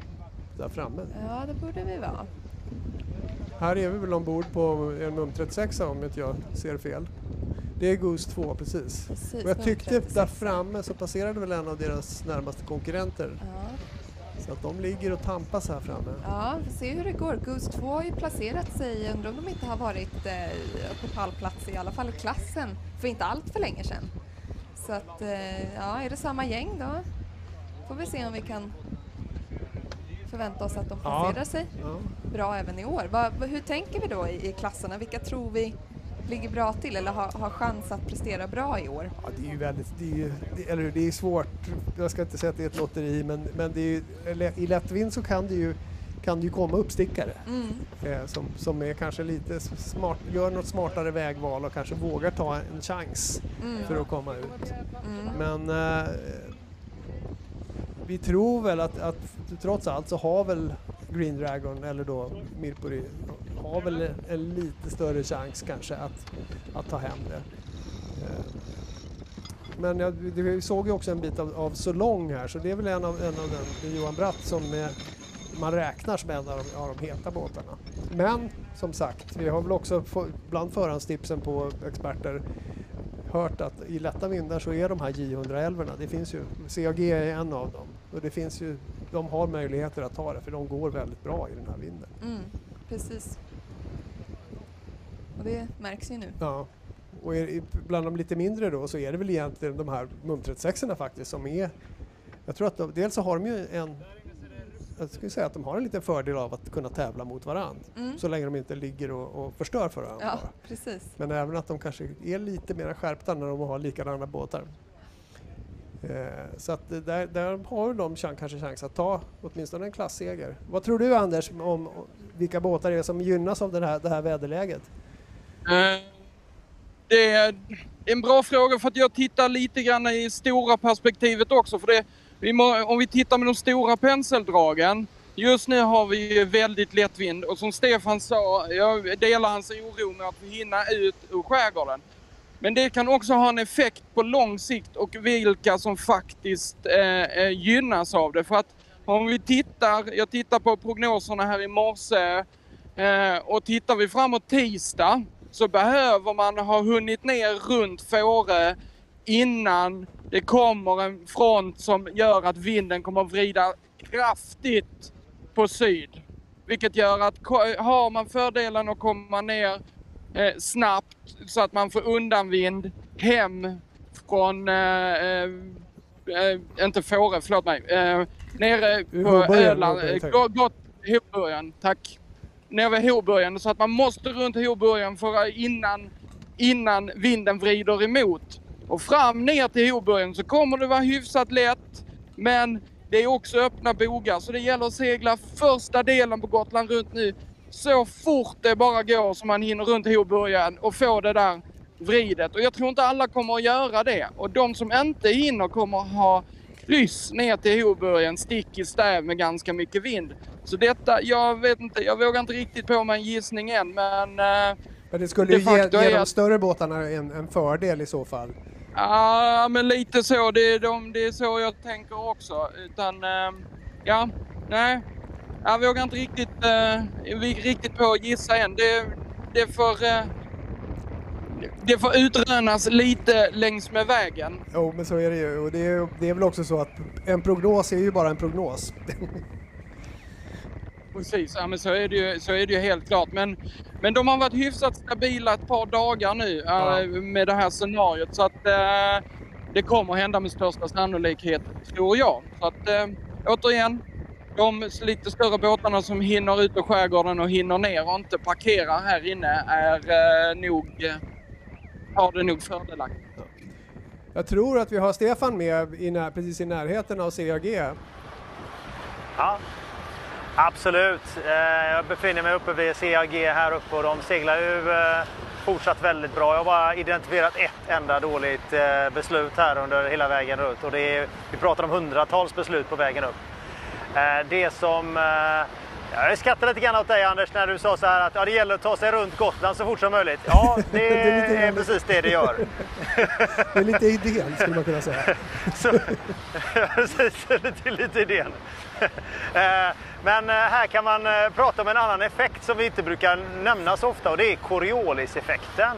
Alltså när vinden passerar över de här öarna, eh, det finns ju en hel del öar här i skärgården, så på ön så vrider ju vinden vänster.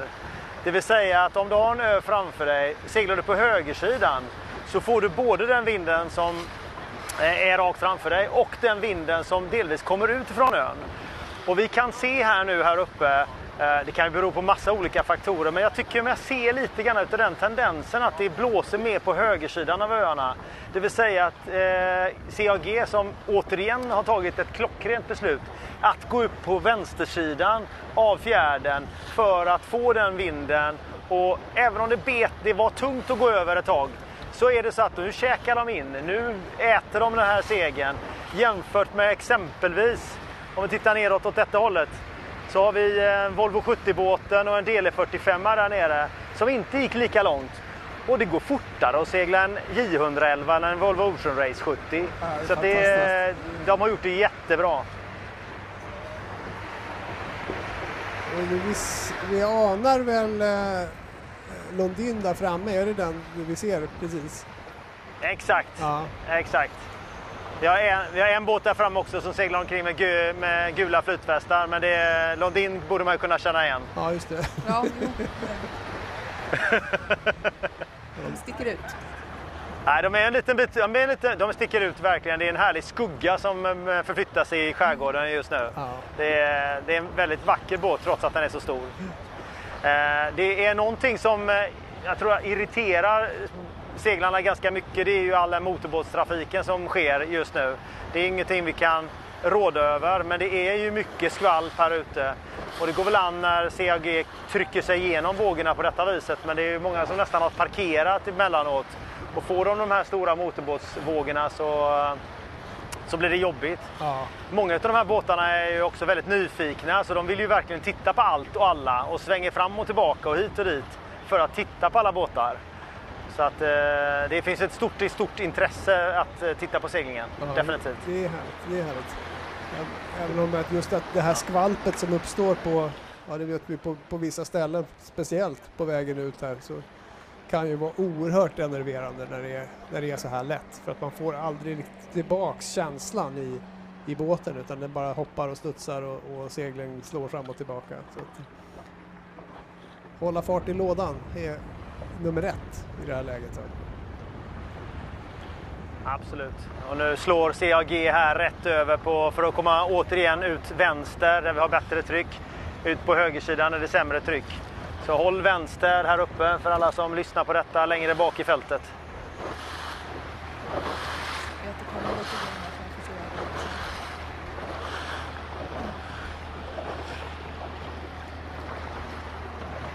Det är bra.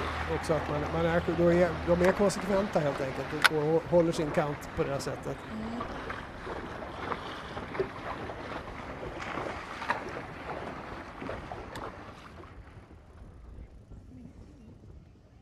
Ja. Vi kan väl, eh, vi pratade lite grann om vårt, vårt hållbarhetsarbete inom KSSS och det innefattar ju såklart också våra partners. Så, eh, Stena Recycling som vi jobbar aktivt tillsammans med som tar hand om, om avfall och avfallssortering har, eh, har vi dragit igång någonting med. Så att vi kan väl titta på ett klipp.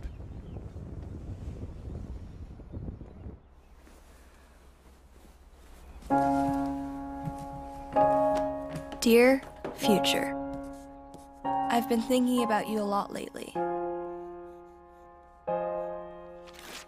You carry so many secrets, and that's what makes you so exciting. Not just the little things, like what I'm getting for my birthday, or how many mosquito bites I'll get this summer, but also about what the world will be like when I grow up. I know our resources are not infinite, and that we have to take better care of nature, of the seas, and of all creatures living on this earth. I'm thinking about all the technical solutions that allow us humans to experience life in a way that wasn't possible before. There must be a way for technology to help us to steer you, the future, in the right direction. Because I want to travel and see the world without guilt, meet people, and build strong relations. Because if we can relate to each other, then we can work together to be better together. So that one day I'll be able to live in a house that's made of sustainable material, recycling whatever products I use in a sustainable way. To have a job with sustainable working conditions. so that I can live to see my children and grandchildren grow up with the same possibilities to experience life as I have. Dear future, all I'm asking for is a sign that we are on the right path.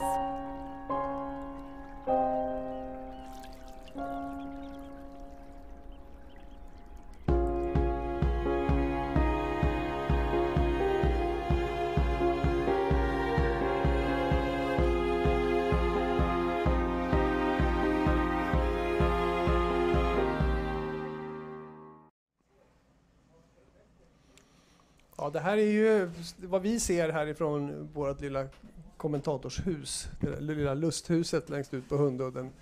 Vi hade några nyfikna här på stranden tidigare som tittade ut, men nu har väl de kanske åkt till Lidingö för att Ja, titta kanske. på, ja, på där ser man nog bättre än vad man gör från- härifrån. från Klippudden eller Gåshagen. där. Ja.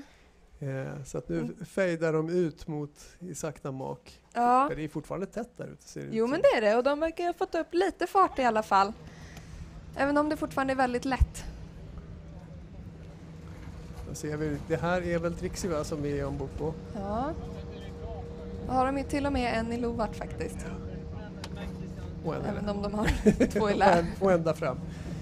Så att det är, jag gissar att man ställer upp fördäckaren på det där sättet för att kunna se vindstråken bättre och för att kunna ja, egentligen då prata taktik. Jag hör ju att de pratar taktik här och resonerar om hur de ska göra. De har väl också en båt i lä där som ligger precis Mm, det har de. och eh, Hur de ska välja att gå.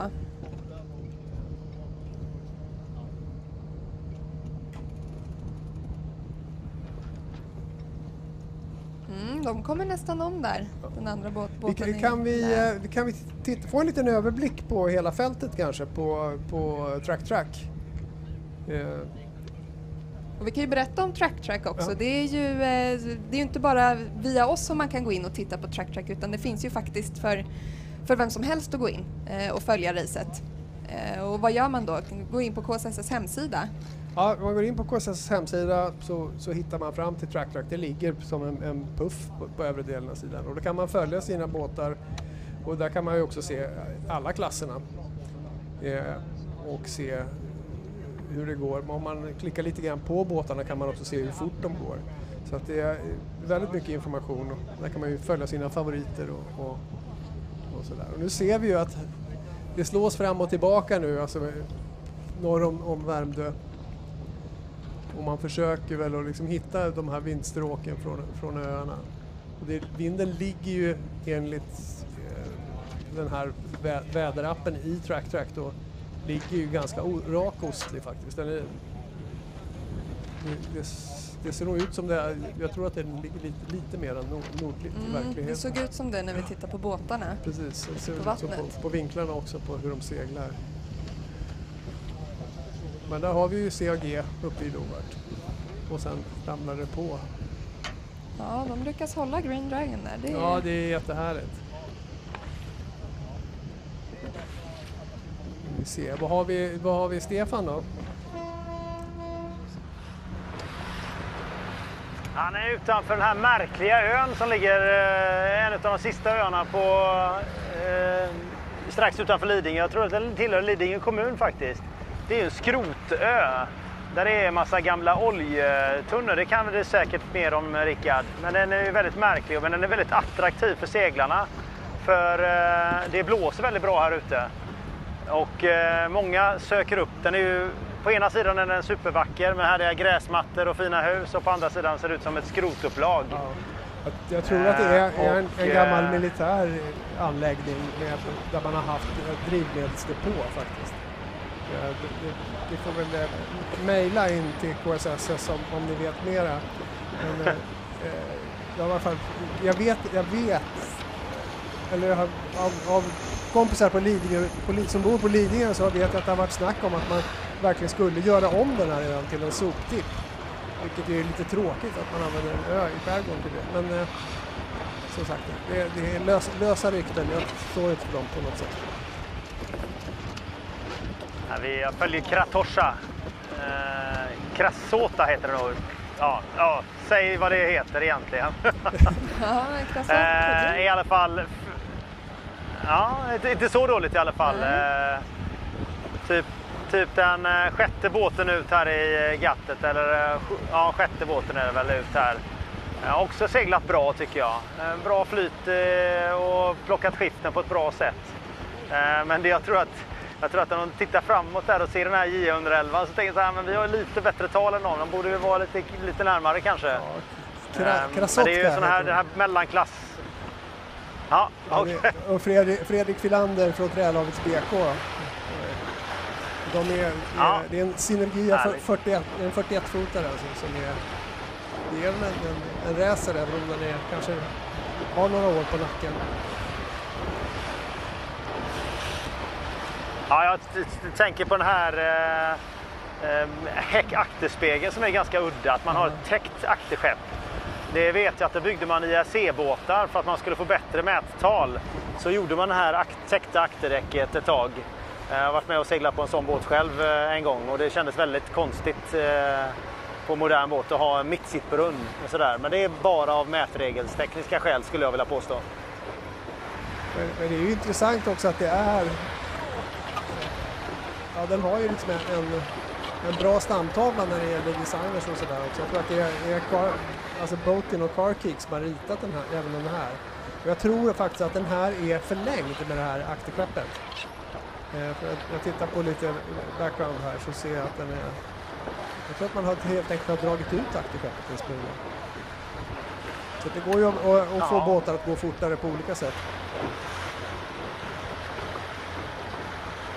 Du seglar, seglar Och så har man säkert byggt hela riggen bara för det. Och, ja. Ja, säkert. ja, härligt. Men, eh, och det är väl också en, en, en del av skärmen är väl att gamla båtar lever och får, får nytt liv genom intresserade ägare och som vill gärna vill kanske behålla sin båt. Jag tycker att jag kan få den att gå lite fortare om jag bara fixar till den lite. Eller så kanske det blir lite mer också. Ja, det är... Är det första, är det första mackan idag? Ja, smakar det bra? Ja, smak, mackan smakar alldeles utmärkt. Det kommer mackor ner från ruffen. Eh, och eh, ost, eh, mjukost är det som serveras på mackorna. På eh, lingongrova. Ja, Så en det- riktig seglingsklassiker. Seglingsklassiker. Vad, vad dricker ni idag? Vatten. Det är vatten. Ja. Härligt, bra seglat.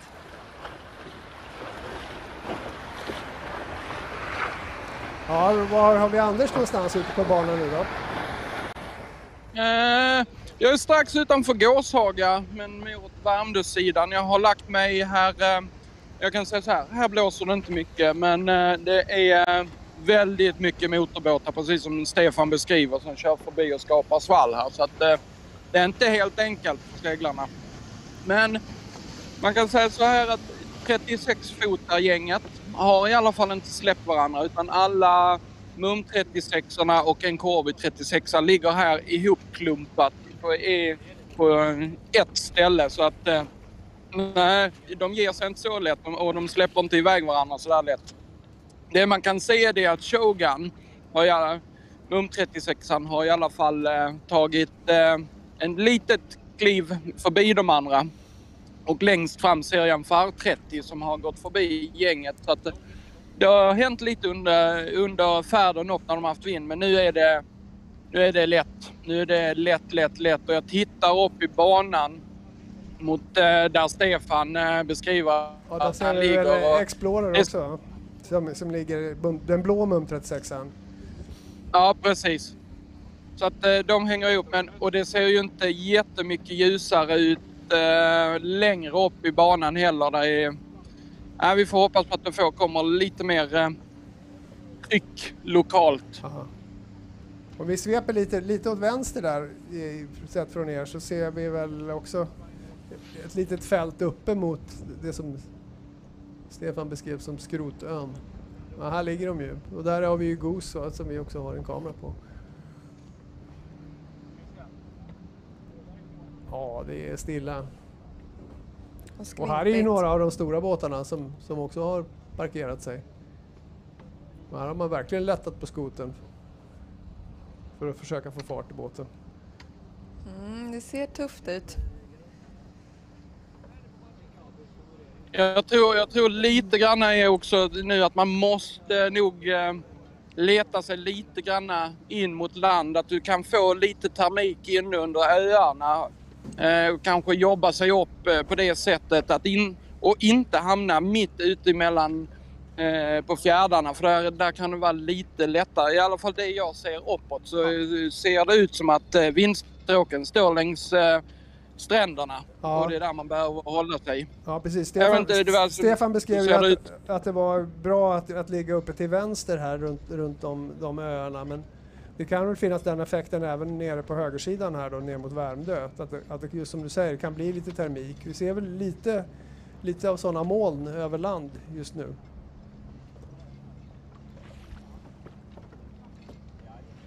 Men det är väldigt lätt. Oj, oj. Eh, Anders, nu var jag lite nyfiken. Hur, eh, hur ser det ut eh, ute på Stora havet med resten av gänget? Ja, eh. Kan man få en rapport? Vi kan väl titta, titta på en, en, eh, en track-track-bild över, över Gotland och eh, OSI. Härligt. För där, det att vi, har, vi fick ju rapporter tidigare på dagen om att Ja, det, det blåste inte så mycket där heller. Så det är väl risken att de alla upplever ungefär samma sak fast på olika ställen.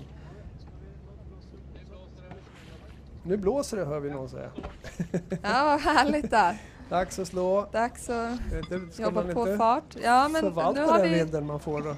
Fast de är nära land. Det, det, kameran trycker ihop, eh, trycker ihop perspektivet. Mm. Det ser ut här om vi tittar på vår egna track track som att eh, fler båtar är, är på väg nära Hoburgen. Vi har ju Varuna Six som, eh, som har rundat också tillsammans, ja, efter då I Love Poland. Eh, Zero Emission är vid Hoburgen nu, Elvis och Störtebecker är, är nära. Och sen har vi en klunga eh, längs Kan du se vad de håller för fart där nere också? Ja, nere vid Hoburgen. Vi ser här, vi trycker på Zero Emission. Eh, 6,9 knop. Så de, har, de har hyfsad gång kan man väl säga. Ja, de kommer ju framåt i alla väl, fall. ja, och det är väl någon sorts eh, halvvind de har, eller till och med lite undanvind. Ja, lite undanvind för Zero Emission. Går vi på de som fortfarande verkar ha någon typ av halvvindslör här så är det 7,6 knop Ja, hittar vi en så båt de, har här. de har nog fantastiskt fin segling där ute. Se, vi kan zooma in lite grann i bilden så ser ni precis att vi är vid rundningen. Och att I Love Poland har ju, de går ju precis vid Karlsöarna nu.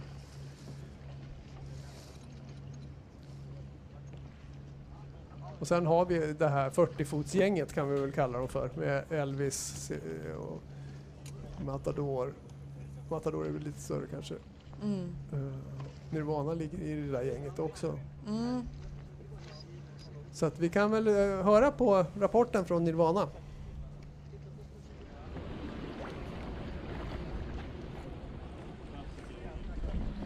Göra en liten vända till, men det är helt okej att vi är utanför boxen.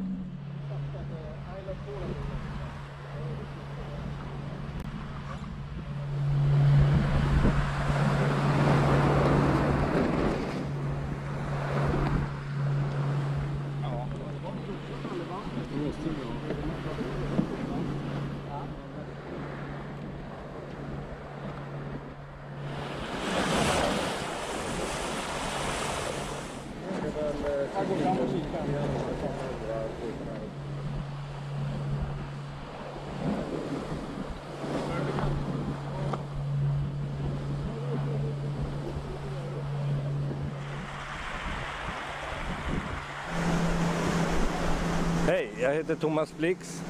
Seglar på en eh, Ice 52 som heter Nirvana. En 52-fots familjebåt.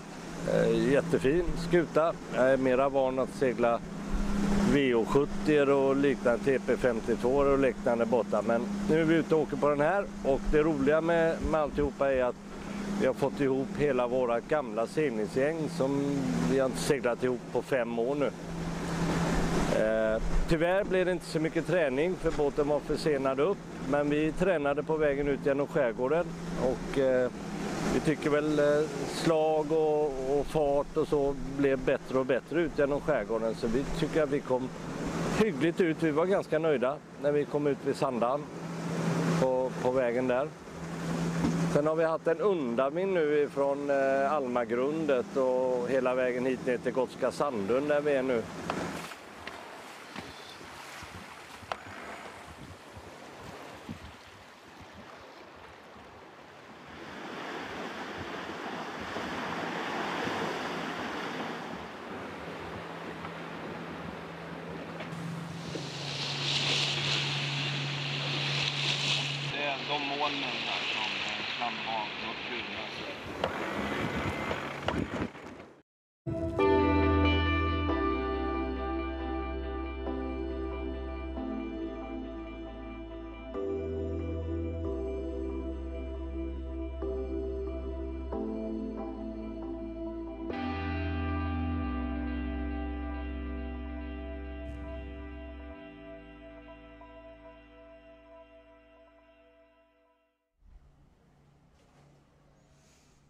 Då är vi tillbaks på Trixie tror jag att det är, ja det är det. Eh, som smyger fram fortfarande i, med Lidingö i bakgrunden där. Eh, Stefan, hur ser det ut hos dig?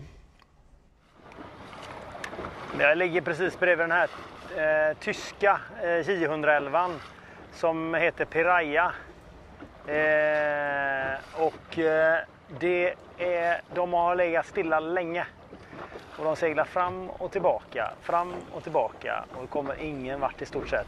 Men det som är lite lustigt här uppe det är det att jag vet inte om det går att se på den här bilden men eh, om vi finns med i bild i alla fall. Men på Värmdösidan så börjar det komma ut riktigt kraftiga byar nu. Alltså termisk vind från Värmdösidan som, som ligger och nästan du vet bunkrar upp precis som i en konvergenszon där det ligger och, och laddar på. Eh, och skulle vi kunna få den vinden att släppa så hade vi fått en bra bris och det är ju givetvis drivet utav, eh, utav termiken som är i luften. Och de här sjöbrismolnen som, inte var, som var i stort sett obefintliga förut, de har blivit större eh, på många ställen. Så att det, det finns nog en potential i alla fall om vi bara kan få det till att komma igång det här sjöbrissystemet. Att det kan komma ut lite puffar ifrån Värmdösidan och ge de här lite fart. vi Men för ju- vissa är det väldigt, väldigt frustrerande. Som för... Ja, vi ser ju här inne hos oss inne vid, vid, alltså på Lilla Värtan så ser vi faktiskt att det ligger vindstråk nu från nerifrån eh, Nacka strand som, som vi faktiskt har legat här en liten stund. Så att det, där, här har nog sjöbrisen börjat att, röra på sig lite grann. Mm, vi får hoppas att den letar sig vidare bort till, bort till er och bort till seglarna. Ja. Eh, man, kan säga att, man kan säga att eh, man har, vridit, man har vridit vinden här ute har vridit ungefär 90 grader nu för båtarna som är toppbåtarna. Den ligger 90 grader högre jämfört med, högre jämfört med förr. Den är neråt syd till helt enkelt. Exakt. Vi har också utifrån havet så har vi faktiskt en, en kan vi få en direkt rapport från Nirvana och vår ombordreporter där, Linn. Precis, och Nirvana såg vi ju nyss på Track Track. Precis. De håller på att närma sig Hoburgen.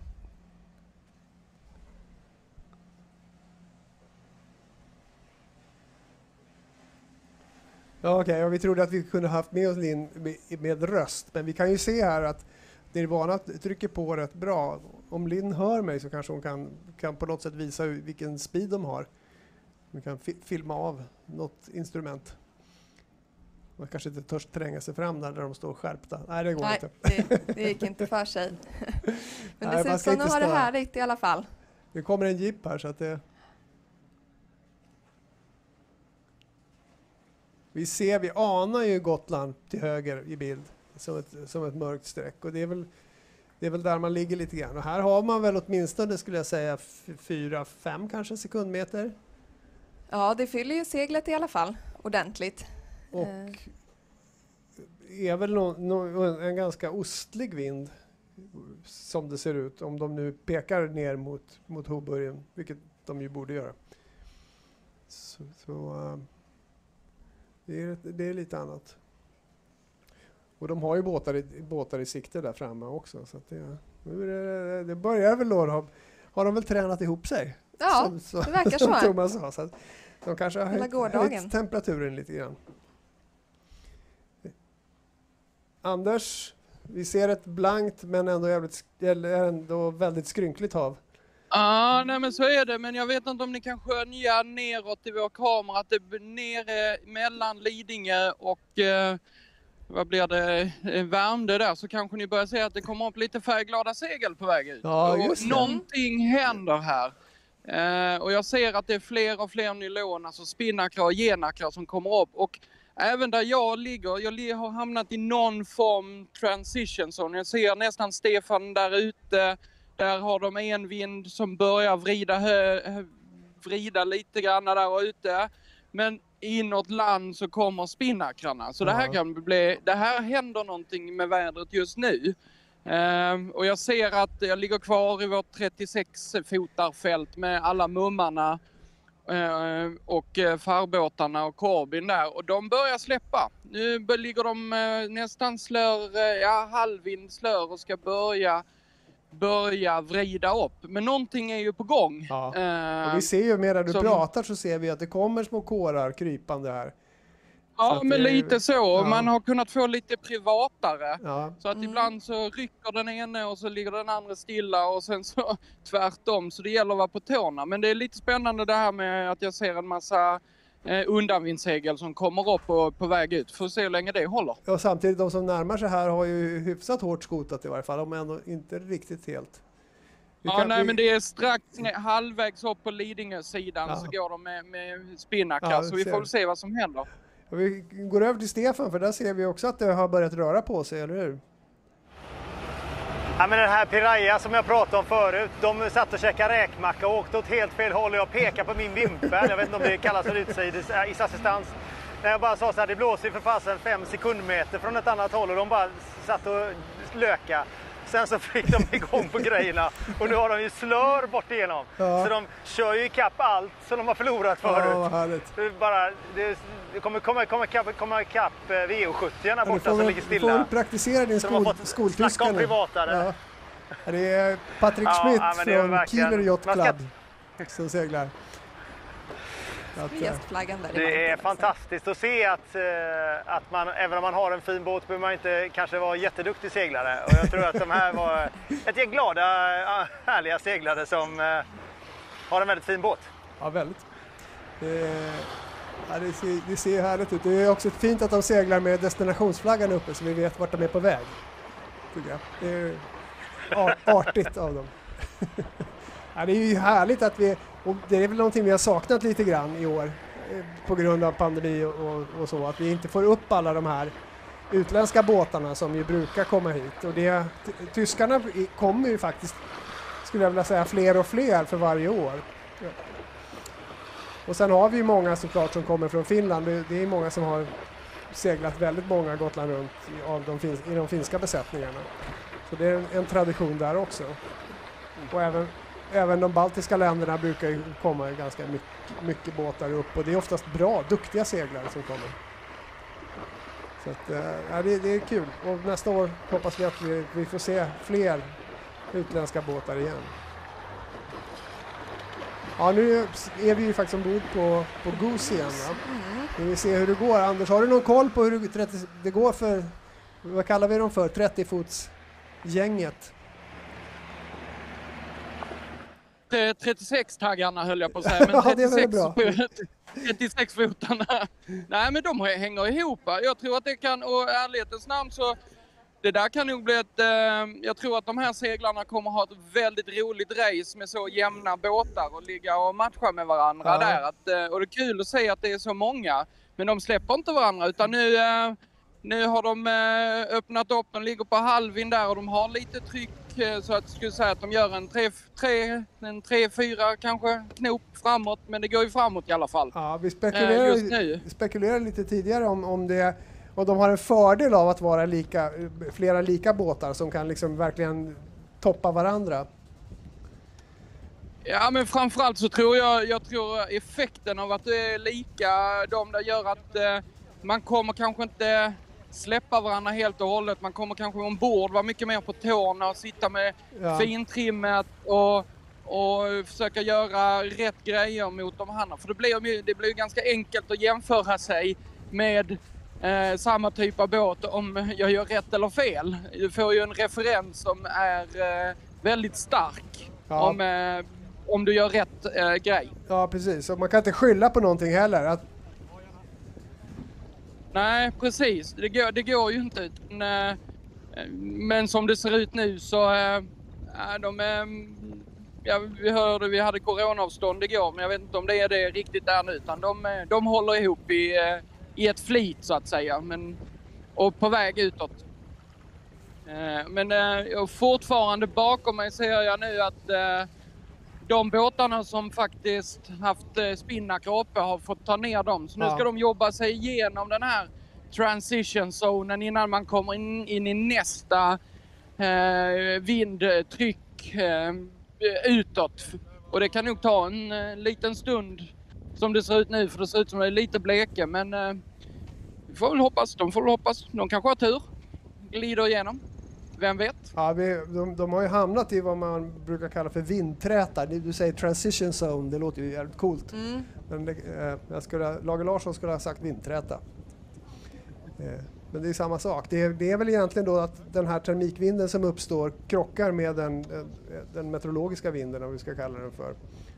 Och att det blir den här effekten då, att det, vinden kan plötsligt komma från ett, Från ett helt annat från håll. ett helt annat håll. Mm. Precis, och så tar de ut varandra lite grann. Och precis i den här mitten där de tar ut varandra så blir det ju, som man säger på seglarspråk, punka. Ja. Och innan man har kommit igenom det så, så kan eh, det vara ganska så frustrerande. Ja, och då är det ju också ett lotteri. Var, fast det är väl också så att de skickliga har en tendens att alltid vara på rätt ställe. Så att, Ja men så är det ju. Ja. Eh, Det är ju det, det är precis som du säger. Eh, Men eh, jag håller lite ögonen men jag tänkte... Jag tror att vi har i bild här, har vi, eh, har vi ju en av lite favorittippade båtarna, Mitril va? Just det. Som ju är... Ja, jag sitter och tittar på en och de, är- de har precis nu börjat få tryck bakifrån och börjar rulla på. Ja. De har legat still en ganska lång stund. Ja. Och, och vänder vi med vår kamera framåt. Vi ser om jag kan få vår kamera framåt här så, har, så börjar det luta lite grann till och med på våra 36-fotare och eh, de båtarna runt omkring. Jag vet inte om ni ser det. Eh, Shogun, den gula Shogun där framme. Eh, och där ligger Goose också. Och sen så den gråa Mum 36 nu ska säga vad den heter. Om ett, Det är väl... Ja, den gr- grå-grå ja, precis. Goose är väl den svartare va? dem. Gros är den svarta. Ja.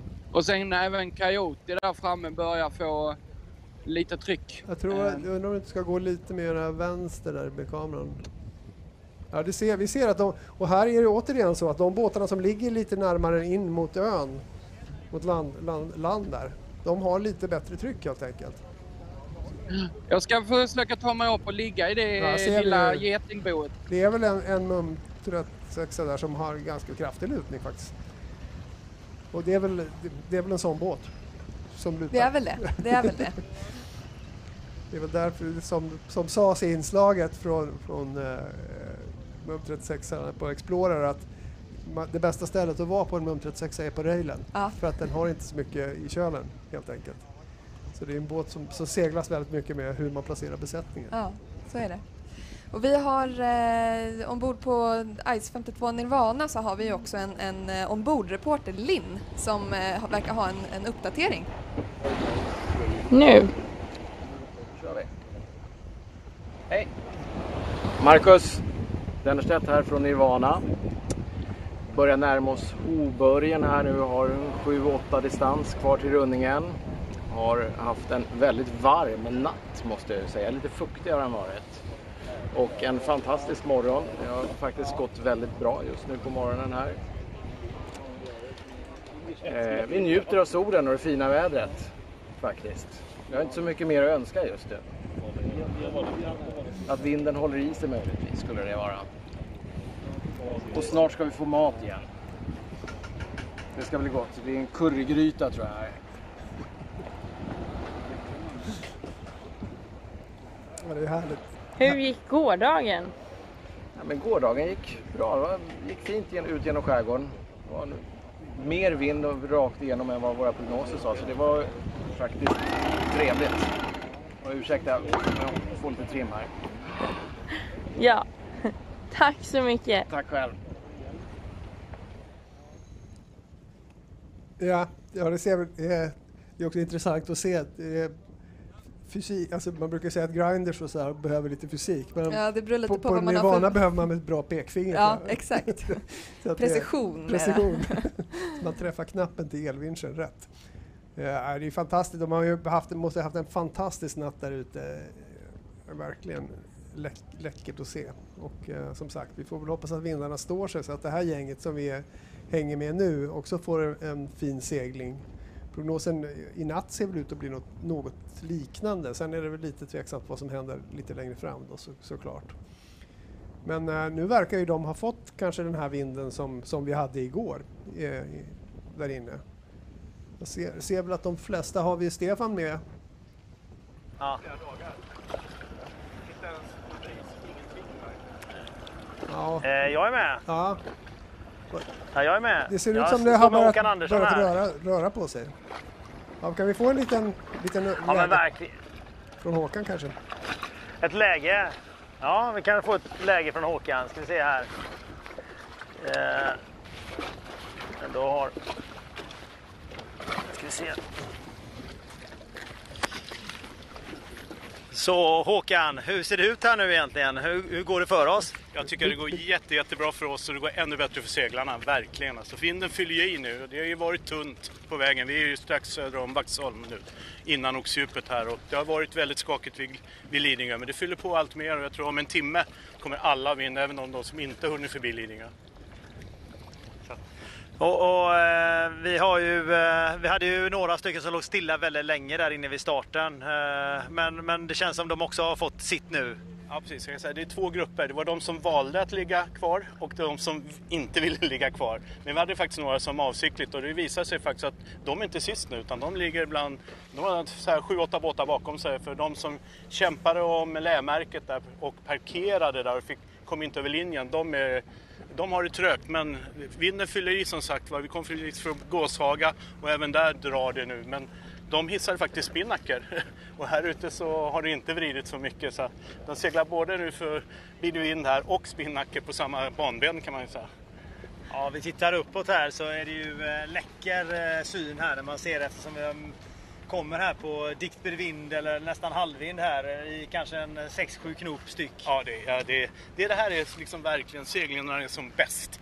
Och sen tycker jag Stefan, det bästa här är att vi kommer ju se små båtar komma här nu. Blandade med stora, en catchriggad. Vi har VO17, man ser ju den här i samma bildsekvens. Alltså det är väl Gotland Runds liksom karaktär. Ja, härligt. Tack så mycket Håkan. Det, var, eh, det känns alltid tryggt att ha dig med för att eh, man, man börjar bli lite orolig själv så tänker man så här, Håkan har alltid svar på allting och det hade du den här gången också. ja, precis. Tack Stefan. Ja, här har vi en, en bild uppifrån. Nu ska vi se, var är vi nu någonstans? Jo, eh, VO70. precis, där har vi VO70 och vi har en det är den Svanen som ligger bredvid och framför dem så ligger ju några mindre båtar. Och det är en av dem är väl då CAG va? som ligger längre fram. Det är svårt att avgöra exakt var vi är någonstans. Men här har man parkerat rejält ju. Ja, de ligger helt still där. Men Det eh, händer inte mycket. då kommer ju den här... eh, Var, vi kanske har en rapport från Anders. Var befinner du dig någonstans? Eh, Jag ligger just nu sidan om eh, Acona 38 Mapani. Jag, jag såg ett välbekant ansikte så jag var tvungen att åka fram. Det var eh, Mikael Stamming som sitter i styrelsen för Svenska Seglarförbundet. Så jag fick en kort, eh, ko- kort uppdatering att det, det har varit lite kämpigt men nu, är- nu är de på gång. Jag tror att ni kanske ser eh, om ni har min, vår kamera i bild att nu börjar det Ja. luta och nu kommer Ja, ja. trycket och de, de, eh, och nu börjar det rinna på här och de kommer, eh, de är snart i fatt för täten för att nu när jag tittar upp så ligger det parkerat. Ja, Eh, vi vad såg bilder på, på, eh, på VO70 och eh, precis.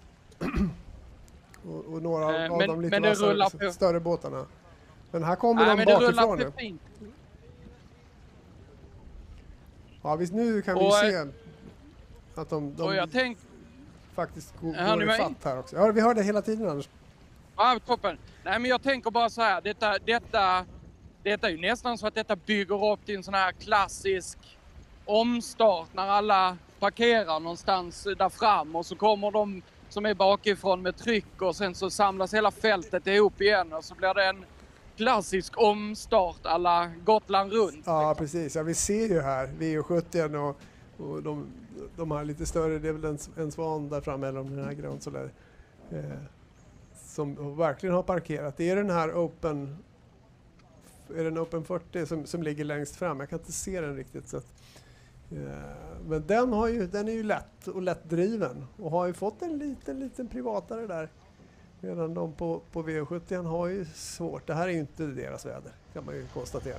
Nej, de vill väl de vill ha lite mer och de vill ha öppna bogar. och- Precis.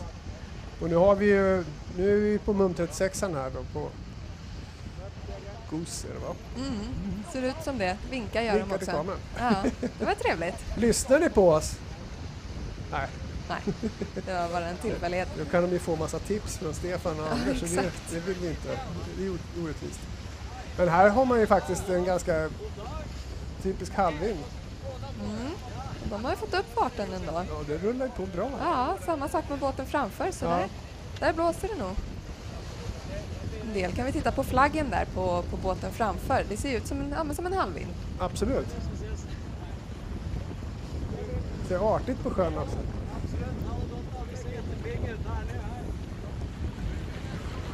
Vi ser nere i lä. Ja, men här är, det här känns ju som en, en stadig vind och även här inne vid, vid Hundudden så ser vi faktiskt att vinden verkar stabilisera sig på, Mm. på 3-4 sekundmeter kanske.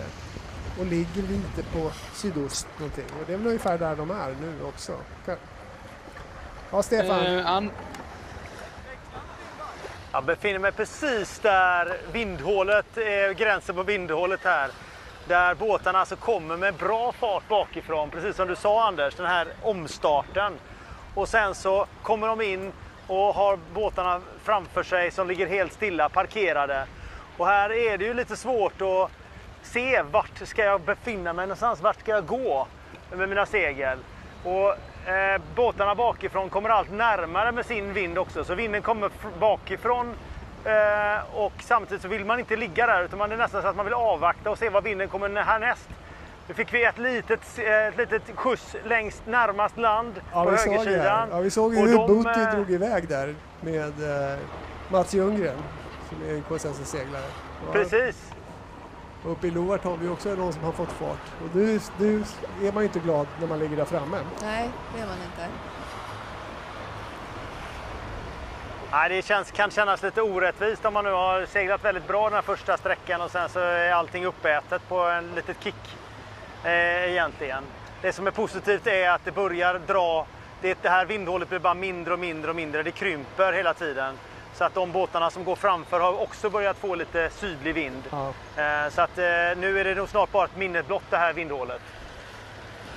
Ja, det är väl så. De som ligger i vindhålet har ju liksom inga valmöjligheter. Men kommer man bakifrån så kan man ju faktiskt fundera på var man, man kan tro att man hittar vinden lättare. Men ligger man där så är man ju verkligen en sittande anka så att säga. Mm, det är bra att vinden har kommit och tittar vi på prognosen eh, för dagen så här efter klockan ett så ska det ju faktiskt öka i alla fall till 3-4. Så det kanske är det som Och en vindriktning som är, ja, ostlig ungefär men eh, det kan ju ha ändrats. det kan ju ändras. Anders är med. Var, var befinner du dig? Nej, men jag, jag är fortfarande strax bakom 36-fotarfältet och eh, det går ganska bra. Men jag, men jag vänder mig om och tittar bakåt. Och det, man kan ju säga så här, de som kommer bakifrån ganska långt ner har bra tryck. Och det får mig att gå tillbaka till vår ursprungliga diskussion för en stund sedan. Vem är det det här vädret gynnar? Och lokalt just nu så, kan vi, så, så måste vi väl säga att det här gynnar de små båtarna. Eh, de stora klarar inte Eh, glida ifrån på det sättet som de ska. Eh, och att de eh, mindre båtarna har haft bättre tryck så jag skulle säga just nu så borde man kunna, om man tittar på en track-track resultatlista så eh, borde det vara små båtar som är uppe i topp på SRS just nu. Ja, det är väl också en, en finess som vi kan eh, hissa lite grann för, för Track Track där det finns alltså möjlighet att se preliminära resultat eh, även med handikappregeln. Ja, det se- ser, det ser bra ut tycker jag att det- vinden återkommer nu så att vi, vi får lite rörelse i, i fältet. Jag vet inte om vi kan, kan vi titta bakåt från där du står Anders med kameran så, så vi kan se. Det här är Vi ska se, jag ska se om jag kan vända båten så slipper vi svepa för hårt med kameran här. Men vi ska se om vi kan få en, eh, få en eh, bild här alldeles strax eh, bakåt i fältet. Det är bra. Vi tittar på, det är Stefan va, som vi är hos nu. Ja, det är Arcona 380. Ja, vi har en ar- ar- Tre, det är Exakt, en Utopia, Utopia. här som, ja, som har då kommit ikapp. Eh, de, det är första gröna båt här som är uppe och har kört ikapp de blåa båtarna då. Eh, som också har lagt sig i vindskuggan här nu, det här lilla vind, eh, blekebältet Ja. som, är, som är ungefär nu 350 meter brett. Sen så kommer det ny tryck igen och det är från samma håll så det är ju skönt att man slipper börja kryssa sen utan det är bara Tänk om man kunna använda motorn här eh, och glida igenom de här 350 meterna. Eller paddla eller vad fasen som helst. När jag tittar... Pumpa. Men det gäller ju verkligen för de, de båtarna som ändå glider rätt bra så är det ju liksom Använd den vinden man har i båten och sitt stilla som ljus och så glida igenom och försöka glida rakt mot nästa. För eh, Utopia framförallt, den gör ju säkert en knop fortfarande. Eh, och den glider förbi båt efter båt här på sidan. Det är Gunnar Nordfeldt från KSSS som har den där. Och, eh, eh, Anders som vi har i bild här, där kommer ju ett gäng. De här kommer ju bakifrån nu in mot... eh, Jajamän, det kommer och det är fortfarande ser några få undanvindssegel men det är en del Code Zeros och lite sådana bakom. Men det kommer, det rullar på bra. Jag ligger precis bakom Mitri, Mitril och Merlin här. En, eh, en linjett, eh, mina Merlin. Så att, och det, det är inte många meter emellan men alla är ganska öppna och det det. Oh, när börjar vi gi- girar vi här? Så, kanske... Ah, de har gått på grund. Vi har en grundstötning på Kastrada här. 94. Aj, aj, aj. De gick precis på smällde på. Det är därför de girar undan. Uh, se hur detta gick, men uh, dra Det en, eh, Det var första grundstötningen jag har sett detta Gotland runt i alla fall. Ja, det verkar som de har kommit loss va? Ja, de har kommit loss. Eh, vi lägger mig här och tittar lite men eh, vi får väl... eh, vi avvaktar och ser vad som händer. Men det var en ganska bra, bra, bra stopp. De ska vara glada att det inte blåste med. Ja, verkligen. Var precis befinner du dig nu? Eh, nu ska vi se var jag är. Eh, mellan Vaxholm och eh, Ringare. Där är, eh, där är ett grundslag där med en tunnel. Eh, det var där de gick på och då gick de ändå på en rätt sida om den. Det var lite eh, förvånande Ja, faktiskt. Och, och, och jag, vi är snart där Stefan är med ett äh, filterbälte som vi har pratat om och där parkerar båtar nu. Ja, men, Men, här, eh, vi- här har vi- man vi- ju en ganska bra fart ser det ut som. Där man väl Ja, har fått här- loss kölen. Här har vi bra fart Ja. Eh, och jag eh, är precis passerad av eh, Amanda som eh, borde vara en, en gammal entonnare om jag inte är fel på det kanske. Ja, det är det. Ska vi se om vi En, få Baltic entonnare som seglas av Ja. Karl Haglund från Oxelösunds segelsällskap. Ah, se om vi kan få in den i bild här. Eh, Oxelösund står där bak, härligt. Ja, Här kommer de. Ser väldigt fin, fint ut. De sitter och trimmar. De jobbar, de jobbar verkligen på och försöker hålla rull i båten. Eh, tittar mycket upp i seglen och för, kollar, kollar vad som händer. Både med telltales bak i, i eh, storseglarna att se att storseglet öppnar eh, tillräckligt mycket så att de har rätt eh, vingprofil på seglarna. Och, ehm, så att det, det jobbas på. Men det, det betalar ju sig också. Vi ser Ja. nu att de börjar glida i fatt. Det här är väl också en bra vind för en, en klassisk entonnare. Det är väl en 90-talsbåt det här skulle jag gissa. Jag ska se om vi kan få min kamerabild så vända sig sakta och titta bak över aktorn på oss nu. För det var... Nu har jag mycket båtar runt omkring mig kan jag säga. Eh, se här om vi får eh, svänga, svänga runt lite försiktigt här. Oj, oj, oj. Här kommer de. Och det här är ju... har man ju- En kod Ja, ni- uppe va, hann jag se. Jajamän, ni kanske, ni kanske ser eh, i aktorn på mig eh, just nu så kommer där en, en, en Baltic va? Och ja just det. Ska vi se vad som kommer här bakom. Jag ser inte riktigt nummerlapparna just nu men ni, ni kan ju skönja antalet båtar som nu ligger på en lina bakom mig på väg upp. Ja, det är en klassisk, också en klassiker, va? en Svan 51 som precis passerade 184 där. Precis, alltså, just det, det är en Svan Hultin. 51. Tack så mycket. Subaida. Ha det bra grabbar! Ah, härligt!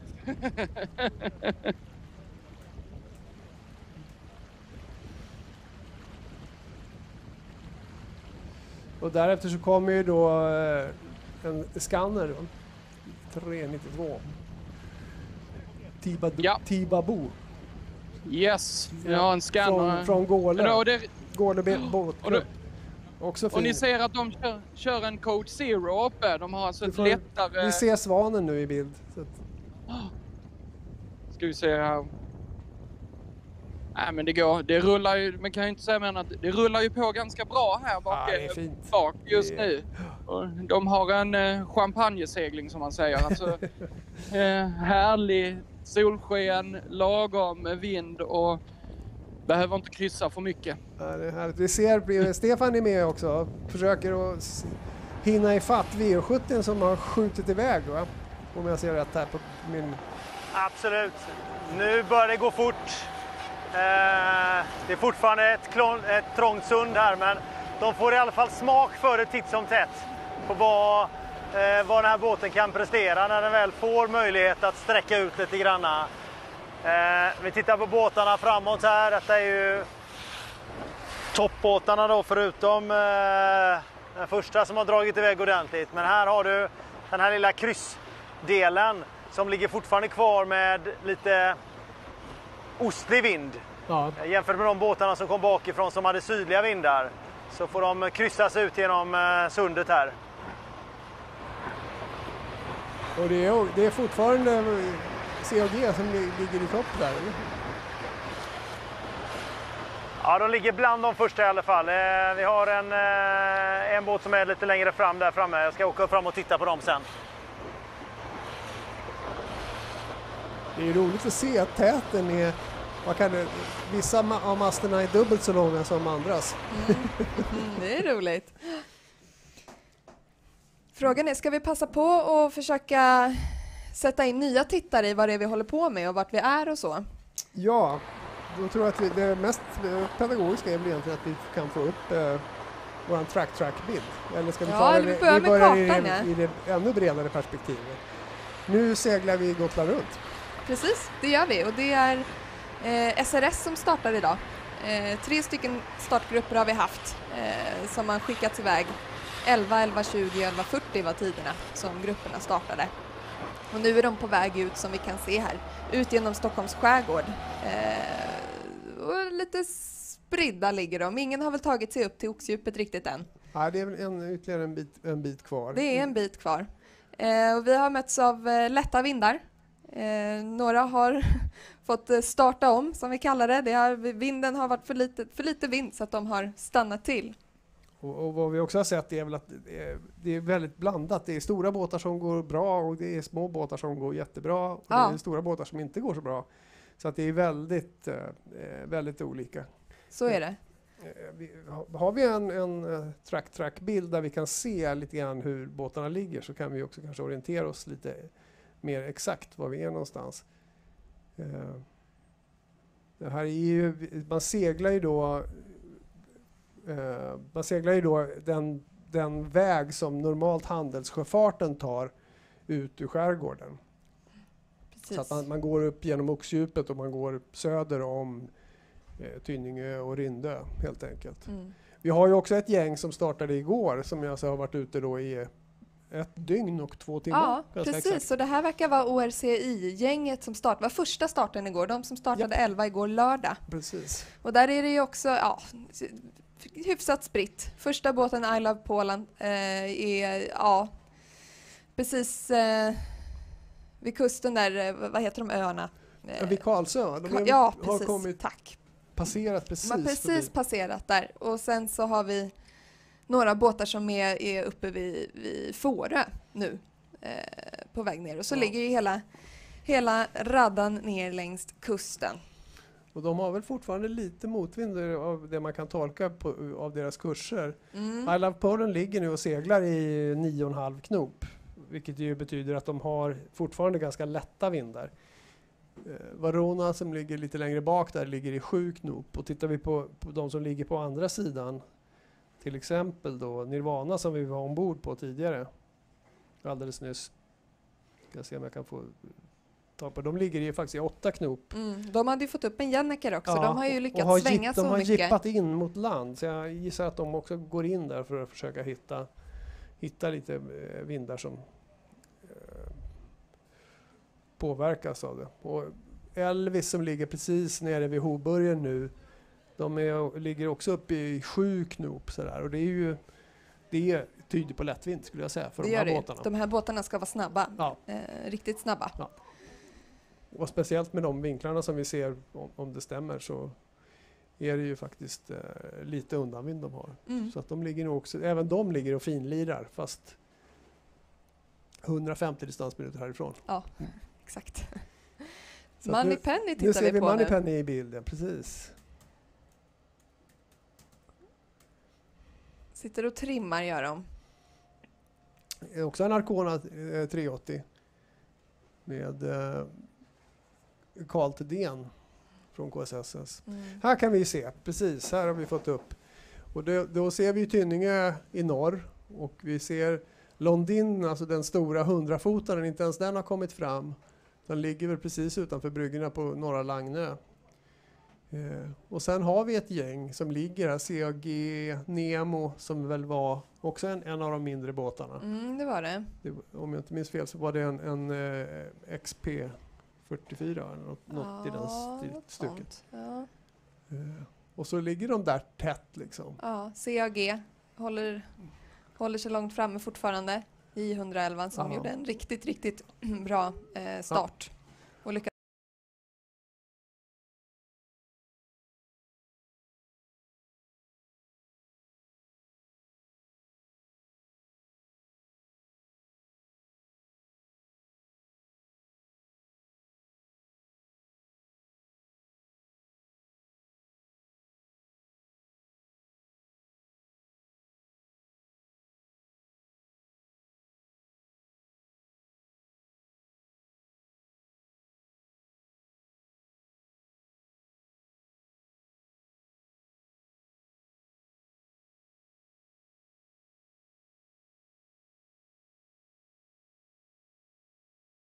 Nej, men nu har det lättat ut lite igen. Vi har tappat hela, hela båtarna där ute. Ja, nu hör jag er. ah, eh, internet har spökat lite grann för oss just nu. Men nu har vi tillbaks. Jag tror att det är Stefan va? Ja, Stefan är tillbaka Stefan är Jag- alltid tillbaka. Eh, alltid tillbaka. Det är ju lite jobbigt igenom det där hålet vid Kungarna tror jag kobbarna heter. Ja, men sen därefter så är det härlig eh, ostlig bris som kommer in här och jag snackar med den eh, holländska eh, besättningen på Nemo som är de som har en IMX40 som har stuckit iväg ifrån de övriga båtarna och fått en bra lucka bakåt på kanske en 5-6-700 meter skulle jag nästan säga. Och fått kommit ut den här brisen. Och de, var så, de var så lyckliga över att få segla den här brisen för det ser väldigt solitt nu ut just nu efteråt. Även om det då är kryss på vägen ut förbi Tynninge på vänstersidan. Så, så där kan man ju ibland känna lite grann att det här, den här vinden är på riktigt så att säga. Är det så det känns där ute nu? Ja, det känns verkligen som det är på riktigt. Problemet är att man ska svänga in en bit i skärgården igen. Hade det varit öppet hav här utanför så hade man nog varit ännu lyckligare. Nu ska man ju gå igenom Oxdjupet och, och eh, ja, sen går, går det lite, lite västerut nästan igen.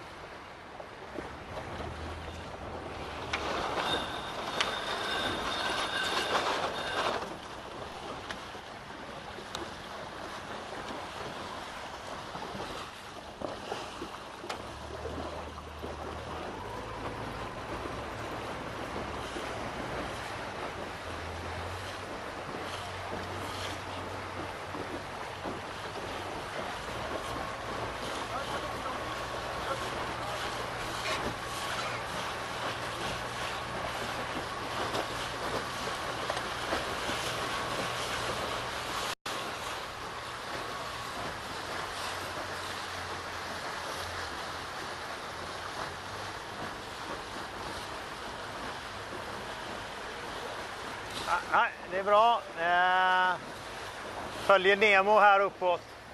Strax bakom mig så ser jag det här gänget som börjar komma in eh, efter kungarna.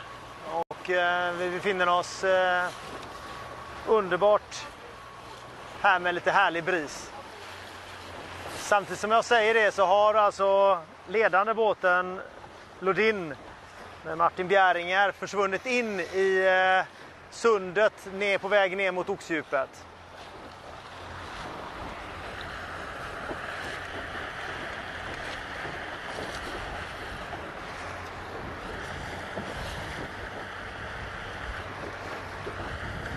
Ja, kör vi.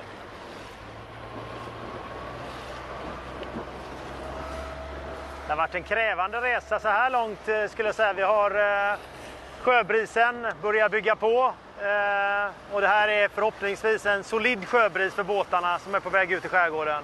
Som i alla fall håller ett antal timmar. Men det är väl inte ovanligt att sjöbrisen börjar komma in så här långt in i skärgården vid ett-tiden. Så att eh, Eh, det som kanske gjorde lite ont i magen i början där på dagen det var att, att eh, båtarna låg stilla. Och eh, nästan parkerade utanför Lidingö. Men eh, har den fyllt på på ett bra sätt.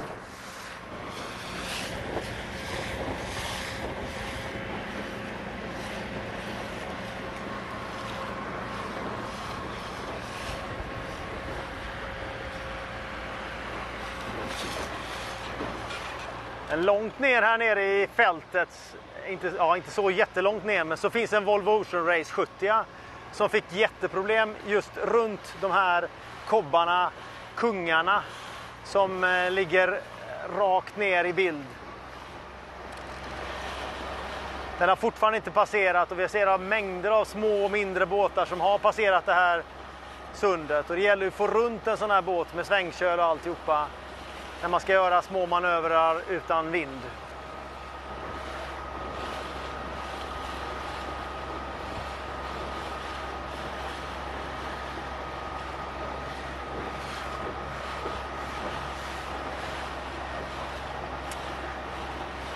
Detta alltså detta fantastiska, fantastiska bilder från eh, Gotland runt när båtarna är på väg ut genom skärgården förbi Tynningö.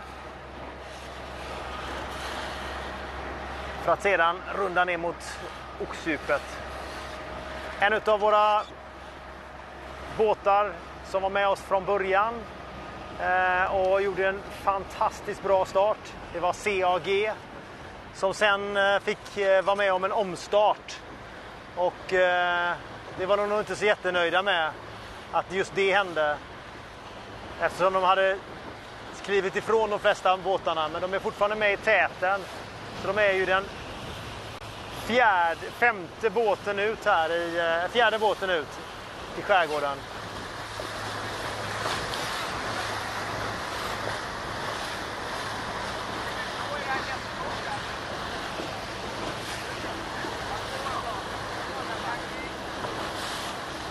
Möter ett skift här nu. Ett, högerskift. Vinden har en tendens att ticka lite grann söderut. Höger.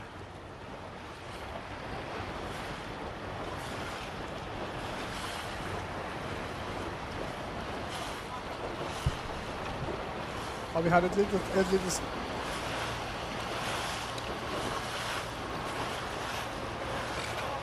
Ja, det gjorde ni. Det var vi glada för.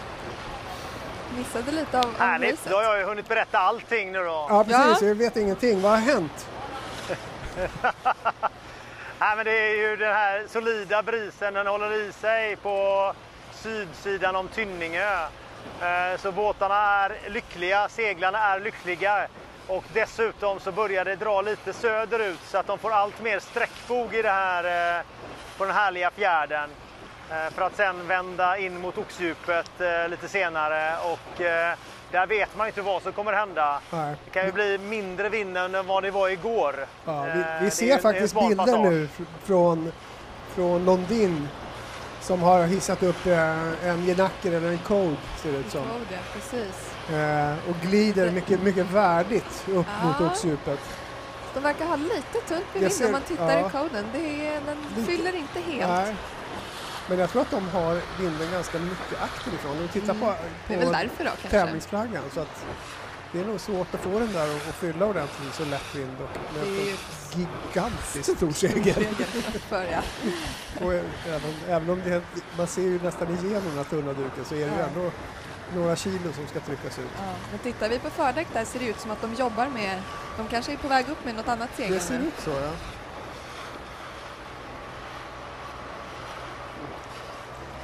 Ja, medan eh, de jobbar på där så kan, kanske vi ska ta en uppdatering från eh, Nirvana och Linn.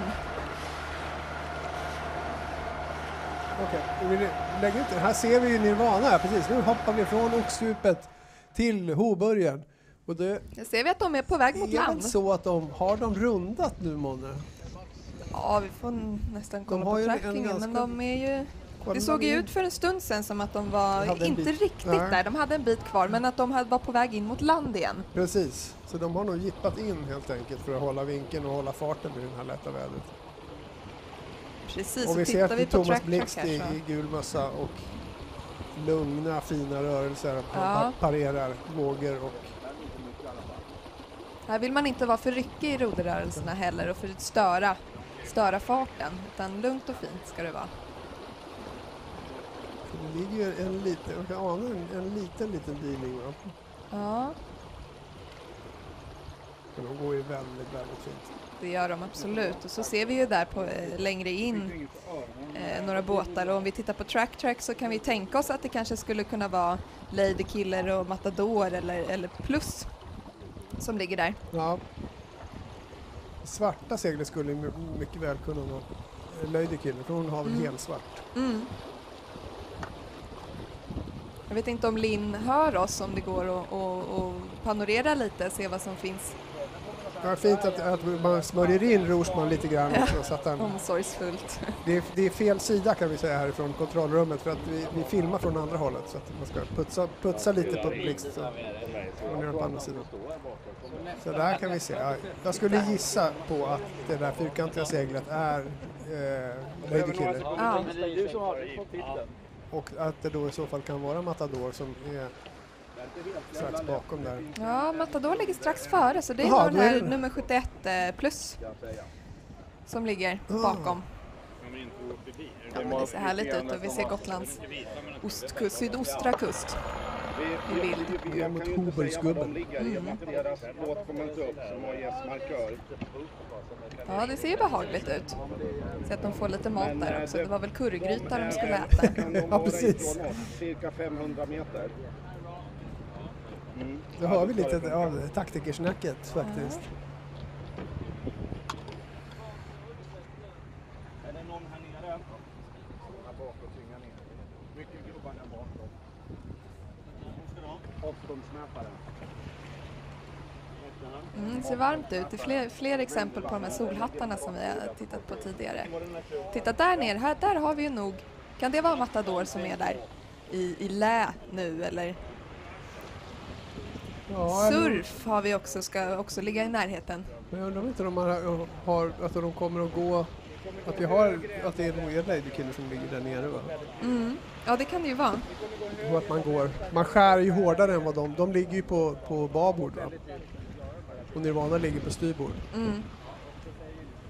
Att eh, man, man går lite olika vinklar och det är ju så med, med de här seglen att man seglar inte rakt ner med Nej, vinden. det gör man inte. Och vad, vad, om vi pratar lite om det, skillnaden mellan en järnacker och en spinnacker, vad säger du? Vad är...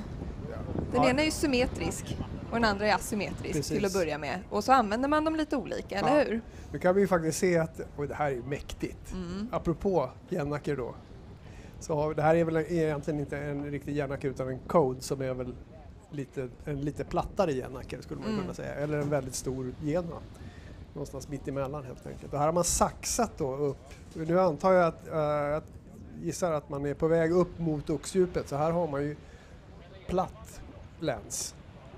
Och det är väl så man seglade förr i tiden. Då, då seglade man ner med vinden men idag så går ju båtarna lite fortare och då Då använder man den här Janacker istället för att eh, kunna hålla lite, lite högre fart helt enkelt. Precis, en, en omvänd kryss. Ja, och då ligger man ju precis och jippar Mm. ner. Och då är, gäller det ju att det går ju alltid lite fortare om man går lite högre. Mm. Men Men då kommer du ju längre från dit du ska. Ja. Det blir en längre väg att segla. Så det där är ju, det är ju en avvägning. Ja. Speed eller, eller vinkel, Precis. Och det är väl i de sammanhangen man pratar om VMG också, alltså Velocity Made Good. Och det är ju den högsta farten mot det märke man ska gå till. Mm. Och det är det man, man eftersträvar. Själv tycker jag att VMG är tråkigt. Ja, du gillar bara fart. Jag vill bara farten. Ja. Men kappseglar man så, så får man väl göra som, som eh, Lundin här, att man tar och går rakt ner mot, mot dit man ska på snabbast möjliga sätt. Right. Vi har ju, alltså vi pratade om det tidigare, om våra funktionärer och eh, att, att arrangera en tävling med, vad har vi sagt, det är 1500 deltagare på nästan 200 eller nästan 180 båtar så, så krävs det ju en stor insats och inte minst att, att se till att det sportsliga blir på rätt sätt. Och det är det som Thomas Lund gör, men det tycker vi att han kan få berätta själv. Utan frivilliga funktionärer så skulle Gotlandrundserien inte vara möjlig att genomföra. En av de här hjältarna, törs jag säga, har vi här, Thomas Lund. Vad gör du under årets segling? Eh, Jag heter Thomas Lund, jag är seglingsledare vilket innebär att jag eh, hjälper till att leverera regattan eh, till seglarna. Jag är ansvarig för själva seglingen. Så då är du inblandad i starten? Ja, i allra högsta grad. Jag befinner mig ute på startfartyget där vi är cirka 10 personer som eh, eh, kallar båtarna till start, ser till att sköta en nedräkning och ser till att få iväg dem. Är det så att de är tidiga så, eh, så är det vi som ser till att kalla tillbaks dem så att det blir en rättvis segling så att de startar om. Det här med tjuvstarter, är det tydligt eller är det svårt att avgöra? Det är oerhört svårt att avgöra. Vi kan ha 40 båtar på linjen. De täcker varandra och det är svårt. Utan det här är en så kallad gentlemanna eller gentlehenna sport. Eh, och det är väldigt mycket upp till seglarna själva att avgöra om de är över eller inte. Idag har alla så moderna instrument så de vet på metern när var de befinner sig. Eh, och då är det upp till dem själva att om vi kallar på tjuvstart, det vill säga flagga, eh, hissar en flagga som heter X-ray, så ska de återvända och göra sig eh, klara. Vad jag förstår så är det fem starter på lördagen och tre starter på söndagen, stämmer det? Och hur stora är klasserna? Vi har eh, fem starter på lördagen där vi har ORC International, vi har SRS Shorthanded, vi har SRS, vi har Classic Class och vi har SRS Double Hand Mix SM. På söndagen så har vi tre eh, starter SRS där vi kommer starta med de största båtarna först. Därför att vi tror på ett kryssben efter start och då har vi Havkaksundet där vi vill sprida ut dem lite. Och allt det här sker på frivillig basis, inklusive förberedelsetider? Ja, självklart. Vi älskar ju det här. Tack.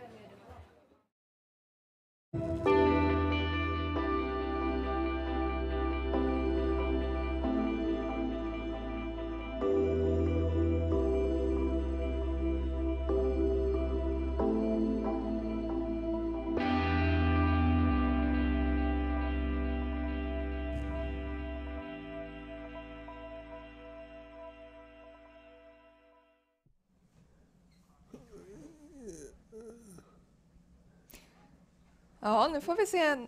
Ja, Ja, nu är nu. vi tillbaka i bild ombord. Ombord på Goose 2. Som ser ut att ha fart, eller hur? Ja, verkligen. Vi har Anders med oss också som befinner sig någonstans uppe i fältet. Var är du någonstans Anders? Nej, men eh, ja, uppe i fältet, jag skulle säga att fältet, eh, det finns inte riktigt upp och ner längre för att eh, de, de, de som har kommit bakifrån, de är ju, jag menar, jag ser nästan, jag ser V70 där framme och jag ser sista båt här bak. Så att eh, det, det, det är inte utspritt om man säger så. Just nu ligger vi vid Falsat Expressen, ni vet den där gröna som gjorde barbordstarten. Ja, vi hamnar För plötsligt på hela Nirvana här så att jag- vi... Det är någon som hänger över peket här. Ja, vi har lite dramatik Martin ute på, Rubing. på havet. Eh, jag vet inte vad de har problem med riktigt. Det, det verkar ju som det är någonting som har tjålat sig med, med eh, infästningen av genacken där. Mm. Precis. Eller är det ett skot? Nej, det kan inte vara ett skot. Det är, det är nog deras eh, linan till eh, struten, alltså Ja, till ja precis. strumpan. De, ja. Som han försöker ha, få ordning på så att de kan nå den. ja, så där kan det se ut om man är fördäckare. Ja, precis. Före fördäck. Liksom det är Före fördäck, Ännu ja. längre fram. Det var väl det som Johan Rockström pratade om igår, Ja, fördäckarna. de ska vara smidiga och modiga. Ja, precis. Nu ser vi varför. Så nu är vi tillbaka i fältet och, eh, eller nu är vi tillbaka i den första ORCI-båten.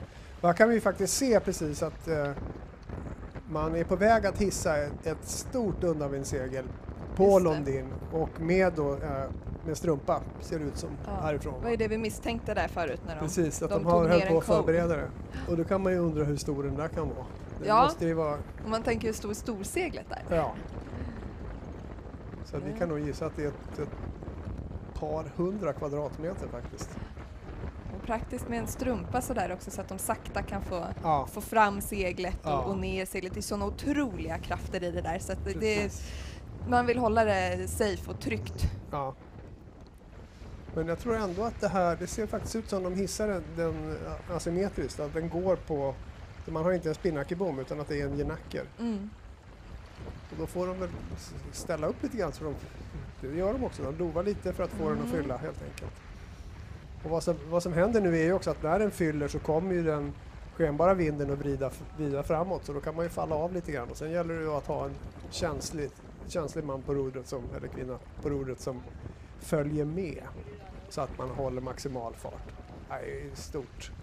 Det är mäktigt Bokstavligt det här. talat. Ja, det är bokstavligt. Det är väldigt mäktigt att se. Sån här, sån här båt ser man inte ofta glida Nej. igenom Stockholms Nej, skärgård. precis. Det är lite svårt Ja, det är svårt för dem att hålla den. Det. Ja, Man vill gärna gå lite brantare än vad de gör nu. Och så försöker man peka upp lite grann så att man får.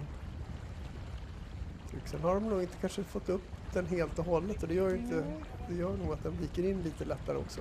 ja, framförallt det är en så himla lätt vind. Det verkar som att vi har Stefan med oss också från, eh, från vattnet. Jag befinner mig precis vid Ella First, en, eh, en av eh, två helkvinnliga besättningar. Och det ser ut som de eh, gör tummen upp så att eh, det är bara glada miner här eh, på båten. Vad är detta för båt? Eh, Ella First? det är en Beneteau First såklart. Eh, 456 heter den. Ja, såklart. Men Och de seglar, den är det- inte ny. Nej, den är inte ny den här. Den är, det måste ju vara en, kan vara 90-tal till och med faktiskt, eller tidigt 2000-tal. Men i och med att det, det är en Beneteau First då så är den ju lite mera kappsegling, lite som en lite ti- tidig performance cruiser kanske man kan säga. Fin. Och det, man jag, jag gissar att det är besättningsarbeten. Ja. Pe- Petra Tiberg som är vid, vid rodret. Och sen har vi en besättning från, de är från, seglar för Vigbyholms segelsällskap. Då kan vi dra listan på dem. Det är Annette Weman. Det är Kristin Karlsson. Det är Helene Kreutz Bolander. Louise Kallenberg. Martina Janmark. Jag att jag får med alla här. Eh, Mia Nyberg. Nina Tholén Simberg. Det är Åsa Svedenheim Så att det är ett gäng tjejer som... Vi såg dem också på, eh, på Sandhamn Open så att de är, det är en, en hyfsat seriös satsning skulle jag Mm, de har säga. värmt upp redan inför Gotland runt. Ja, och det är väl många, många som gör det, som tar Mm. Sandhamn Open som en riktigt bra generalrepetition. Och det var ju i år också extremt lätt. Så att eh, det är väl bra träning. Det ser vi också, det är ett härligt med... Annars börjar det lätta ur lite grann här. Det börjar lätta ur lite grann här faktiskt igen. Oj då. Eh, jag trodde att den här brisen var väldigt solid. Ja. Att den eh, hängde i ordentligt. Ja, vi såg bilder på Men, eh, Londin som var längre upp i, i som har börjat gå upp mot eh, Oskar Fredriksborg och Oxdjupet. Eh, så att det är väl så att eh, och där var nog inte så mycket vind. Det kanske är så att det är det beryktade Rindöspöket som spökar där uppe. Ja, vad är det för någonting där? Det är väl Rindöspöket. Alla, alla större öar i skärgården måste jag säga, har väl sitt eget spöke. Ja. Annars är det liksom ingen riktig ö. Och på Rindö så, så finns det väl lite olika teser. Det, väl, det, det sägs att det är en, en man har hört röster ute i sundet mellan då Värmdö och Rindö och folk som ropar. Och det skulle då vara någon, ett eh, ungt par som någon gång rodde ut och aldrig kom tillbaka för att det Mhm. var så mörkt. Mm. Eh, och sen har man också sett skuggan av en äldre kvinna på ön som man har mött och som har då gett ögonvittnena kalla kårar fast det har varit mitt i sommaren. Och, så. Mm. och de där historierna finns, jag kan nog gissa att det finns en på Svartsjö och det finns, det finns nog ett gäng på Möja. Där spökar säkert väldigt ofta. Ja. Och på Sandhamn har vi väl också några spöken.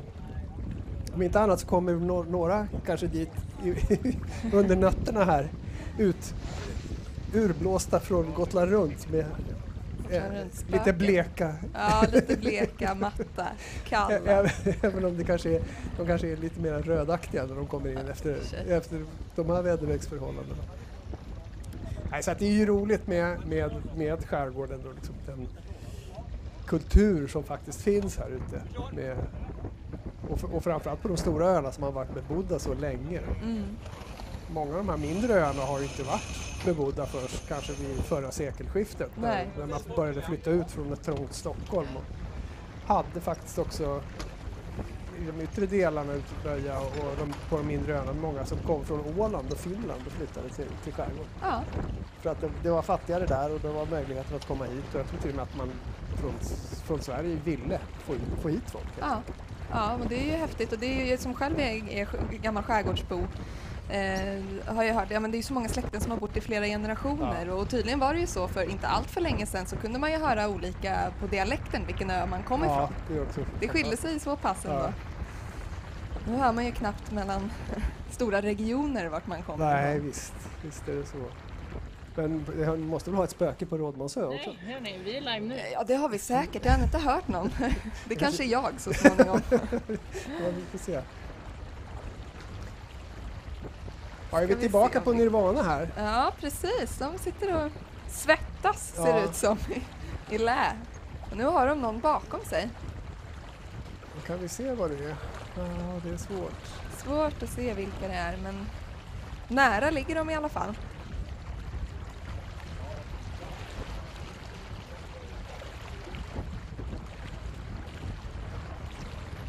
När inte kameran är igång. Har vi Anders ute på... Är det... Ute på... Aha, är det Stefan som ligger och skuggar mitril där? Ja, just det, Eh, mitril. Exakt. Jag eh, ligger här. Mitril är en av favoriterna för segern i eh, klass E och även totalsegerfavoriter skulle jag vilja säga om det, inte, om det skulle vara deras förhållande givetvis. För det måste det vara. Men det är ju, det är ju eh, när man ser en röd flagga bland alla andra flaggor, de är ju märkta med grönt, blått och, och rött. De här startgrupperna. Detta är ju en start som har gått 11.40 då, den sista starten. Och befinner sig då långt uppe i fältet eh, bland de blåa och gröna båtarna. Eh, så det syns ju att det går fort och de seglar den här båten väldigt, väldigt väl. Mycket rutinerad besättning med Rickard Isby. Precis. Just det, Gustavsbergs båtklubb var det va? Ja, från Gustavsberg är de ju. Så att det, det här måste väl nästan vara Hemmavatten. för dem. Ja, de har en väldigt fin gång, det måste man ge dem. Ja, de absolut. Absolut. Eh, hur känns det? Okej, inte mera? Ganska bra säger de här ja. ja. Ja, vi såg någon tumme Är upp ni nöjda där. med vägvalet? Ja, fast med vinden och... Ja.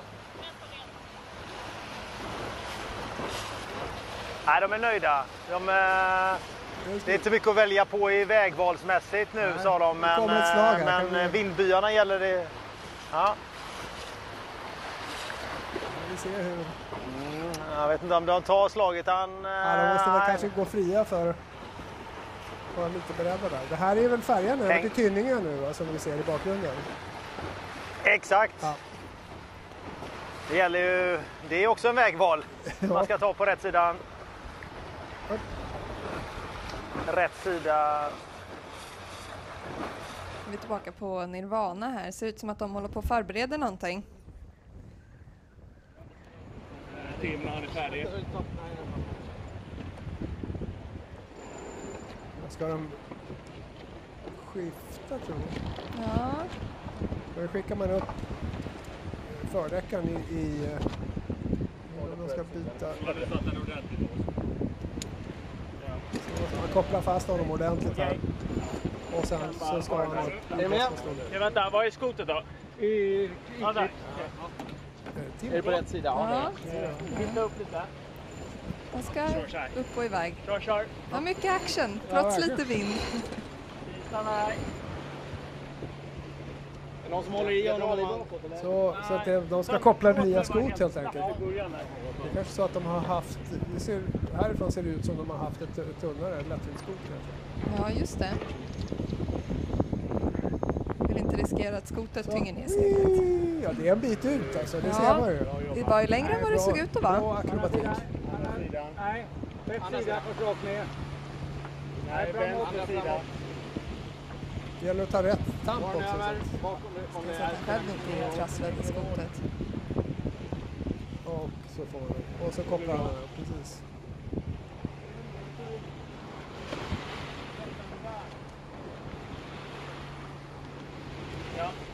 Och grön in. Grön in. Ja, över. Där! Smidigt. Ingen större dramatik. Snyggt Tim. Bra jobbat.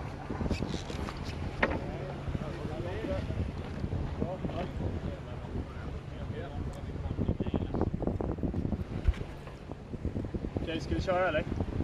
Kolla lite.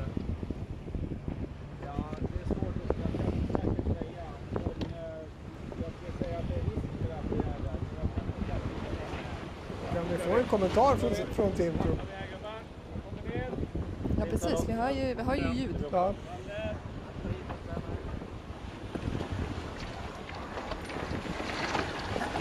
Just det, man förbereder för jippen helt enkelt. Det var Det var smart. smart. Byta.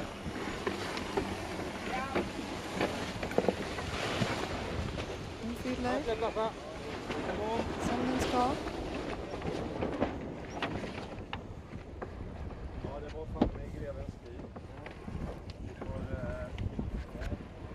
Så, och då betyder det väl att man har Varför blir det så jobbat. på väg in igen mot, Gotland. för eh, Kan det vara så att de redan är, att de är på väg in mot Hornborgen till och med? Att de ska runda? Plocka fram vår track track här. Ja, inte riktigt än ser det ut som. Men nästan. Ja, de, de kanske inte behöver göra så himla många fler manövrar De kan innan de hålla, går hålla ner så att de kommer runt på den här bogen. Eller? Ja, härligt. Snyggt. Snyggt besättningsarbete, lugnt och behärskat. den här hit på en gång. Nej, vi ska över allt hit. Ja, precis. Det var det jag tänkte. När man går ner och duschar. Ja. Det är väntar. Ja, det är- Gå ner och sover. Nu har jag Ja, gjort sitt för några timmar. Där har vi track track uppe. Precis, och då ser vi att Nirvana ligger ju precis vid rundningen av Hoburgen. Det var, ju, det var nog det vi såg, även om vi inte såg Hoburgen. Och nu har man väl börjat förbereda för att, man förbereder nog kanske för att sätta upp ett annat segel då. För att det kommer ju att bli så att man behöver lova upp mot eh, de andra. Ja, ni, ni ser ju där Varon och Six och, och I Love Poland ligger. Det är ju lite svårt att utröna vad de har för vindar. Ja, de ser inte ut att ha dragit iväg nog himla mycket. Nej, det verkar som går 40-fotsgänget, de, de håller ändå... så fort. De lyckas eh, hålla avståndet, eller ja.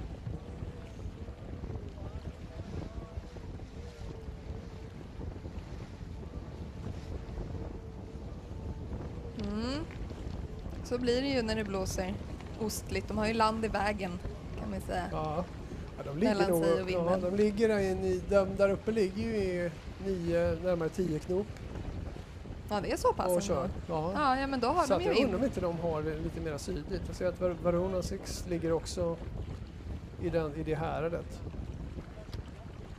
Eh, Så att det, är nog, det är nog så att vinden, som vi ser pilarna på, på kartan här, eh, det är nog en mera sydlig vind än, än vad de har, vad det ser ut. Så att därför ligger man och jippar upp längs kusten där. Ena, ena stoppar längre än den andra. Så Nu är vi tillbaka på Nirvana. de kan liksom fast, fastna på varandra så att säga. Eh, och nu så lyckas de liksom klicka ur den andra. Eh, så det var det som hände. Så nu satt den i stjärten? Ja, exakt. I, I den andra till laskan istället för i själva eh, klubben.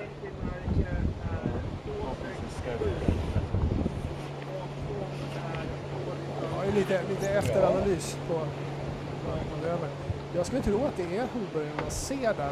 Det är ju det märket vi ser här framför. Ja, det var precis det de sa. Precis. Det märket vi ser. där. Se om vi också kan se.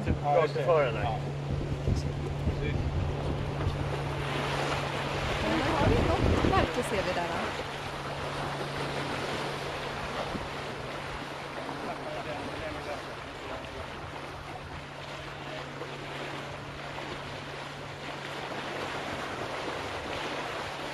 Mm. Ja, vi har ju Ja, ett, en- eller två märken där utanför Hoburgen. Precis. Två, två stycken. ska man runda båda eller är det bara ena eller hur funkar det? Man rundar väl det, det södraste av dem. Ja. För det, är, det är en utgrundning från land. Som man inte vill hålla sig- alltså, det, det är ju inte liksom, revet heter den fyren som står närmast. Sen borde man kunna se själva Hoburgens fyr som står en bit in på land.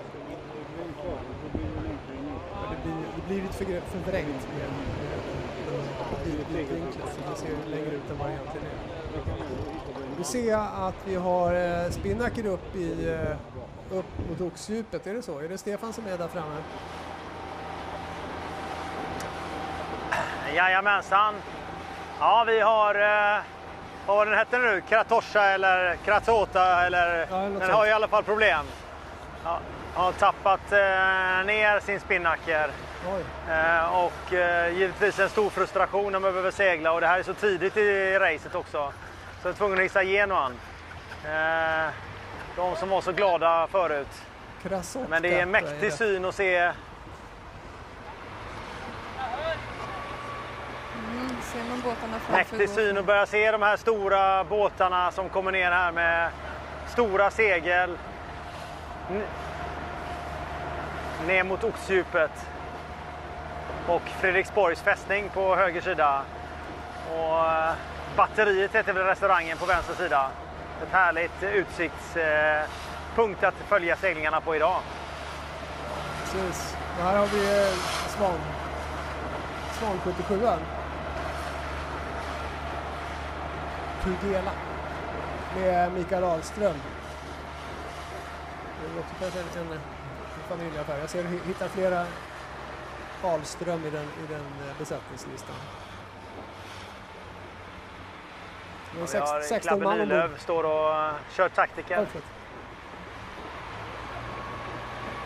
Ja, det är lite blandad eh, Eh, och det är en hel del-. Ja, lite kändisar också ombord va? Ja, de har, har Markoolio där framme. Ja, de har väl haft den här inspelningen av över Atlanten, kanske med den här båten tag, jag vet inte. Men det har varit lite eh, låg profil så det kanske är så att det, det filmas just nu, jag vet inte. Men det är väl härligt om de seglar över Atlanten och hänger på efteråt också. Ja, jag hörde att det var en väldigt, väldigt behaglig resa. Att eh, samtliga ombord ville gärna fortsätta segla. Så att jag är inte förvånad över att de flesta är här nu då. Ska vi titta på en jipp här snart? Härligt. Jag tror att samtliga människor skulle gärna vilja segla på en sån här båt. Det är ju fantastiskt, både vacker och bekväm och, och stor. Det ska vi se. Verkligen. Är man beredda med, med guiden här så, eller skrotet då på Jannacke. Det blir spännande. Det är ett par hundra kvadrat va? Ja, det är en ganska stor elnacke här. Man får nästan sätta bilden på eh, hög, högbild för att kunna se den. Är det, en sydafrikansk båt? Och flaggan är väl egentligen de sydafrikanska inga- färgerna va? Ser ut som det. Ja, precis. Kanske är ursprungligen beställd därifrån i alla fall. Precis. De är beredda och beredda och beredda. Det är väl som vanligt på en sån här Ocean Race-båt att man är färdig 10 minuter innan ungefär. Det ska hända. Ja, de, är, de, de seglar rakt, egentligen rakt upp mot rymden nu va? Exakt. Ja. Det var ju mycket nybyggda eh, lägenheter där som Ja, ligger i jättefint läge innanför piren. Och det är gamla KA1 område på gamla kasernområdet som man har byggt Ja, hus på. är... Inga kalla Då kår kommer här. det. Nu har de fått kall att det är dags. Nu kommer de. Nej, Det är många som hjälps åt att jobba för att få runt den där. Akta bommen.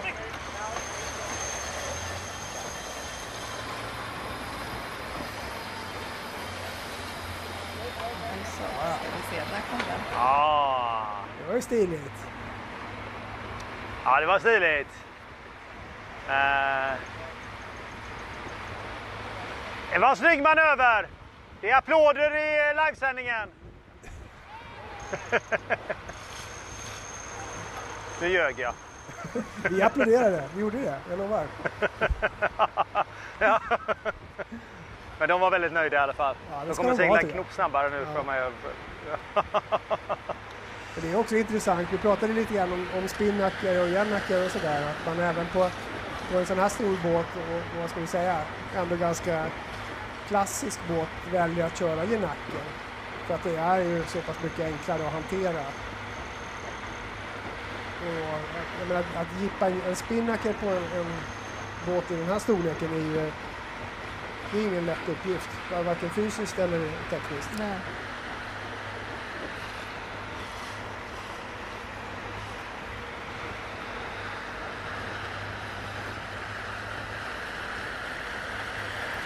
Det fyller på med... Men det har, det har kommit lite mer vind där uppe Stefan, är det så? Ja, men det är okej vind. Det är, det är inte lika mycket som igår, men eh, det är väl en eh, kanske en fyra sekundmeter, tre, tre. Ja, vi ser på bilden nu så ligger Och vi, det räcker ju för de här att flytta sig. ligger vi bland de som, som Anders kallade 36-taggarna, det vill säga nummer 36 och här är väl då, var det tricks i det här eller? Ja, precis. Ja. Och de har bra tryck, det är fint. De har en ganska öppen bok ser det ut som. Mm. Och börjar väl att närma sig upp mot, att falla av upp mot oxdjupet. Lite svårt att placera dem.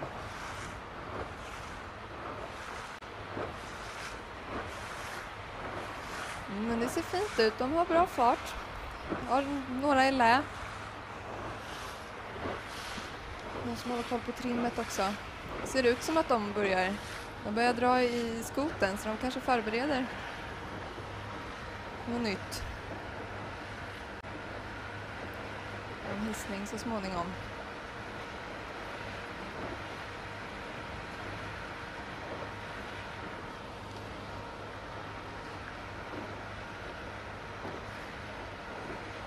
Mm, där kan vi se hur, hur, hur eh, han i lä sitter och, och börjar försöka koppla någonting.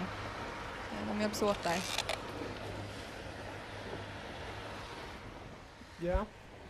Ska vi passa på och återigen titta på vad som hände, hände igår? Ja. Då hade vi flera starter faktiskt.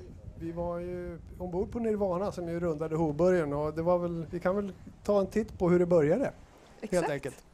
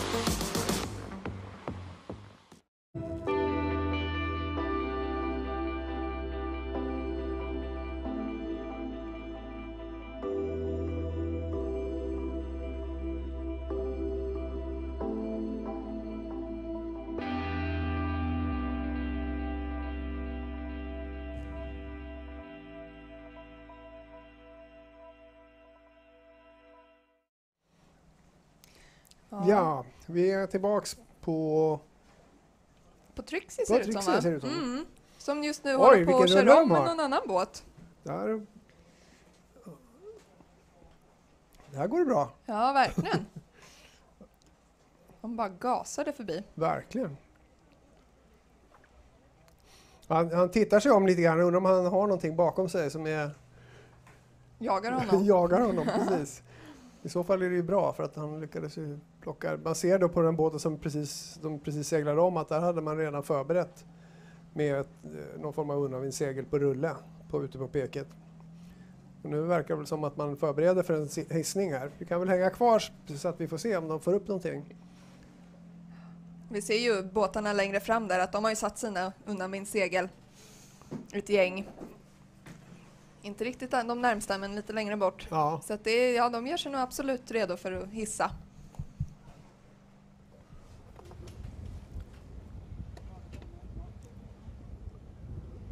Vi kan väl kan vi växla? Är det Stefan som, som ligger och skuggar CAG där framme?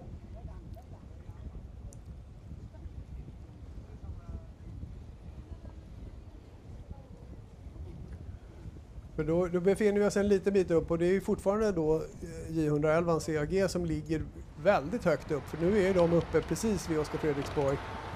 Eh, och oxdjupet och färjeläget ser vi ju där till höger.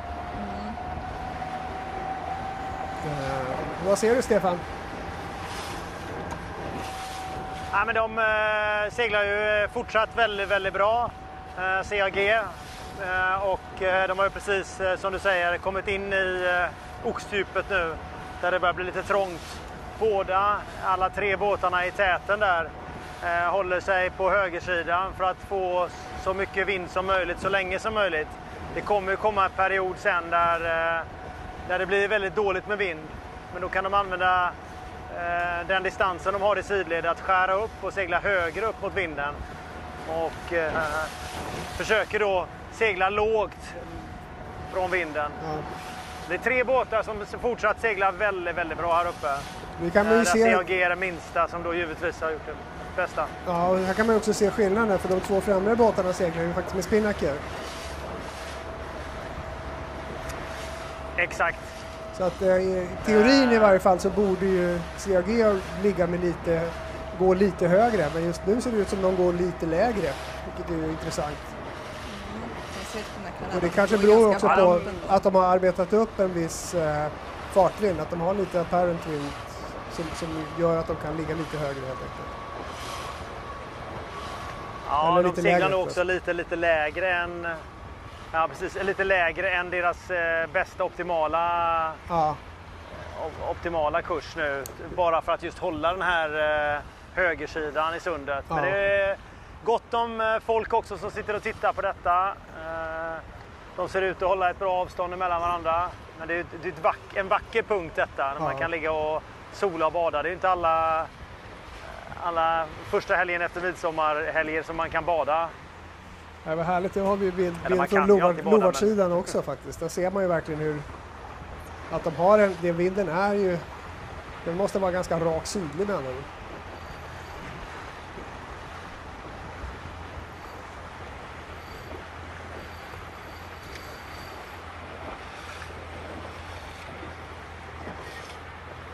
Man hör ju också på vinstarna att de trimmar hela tiden, eller hur? De jobbar med, med seglet.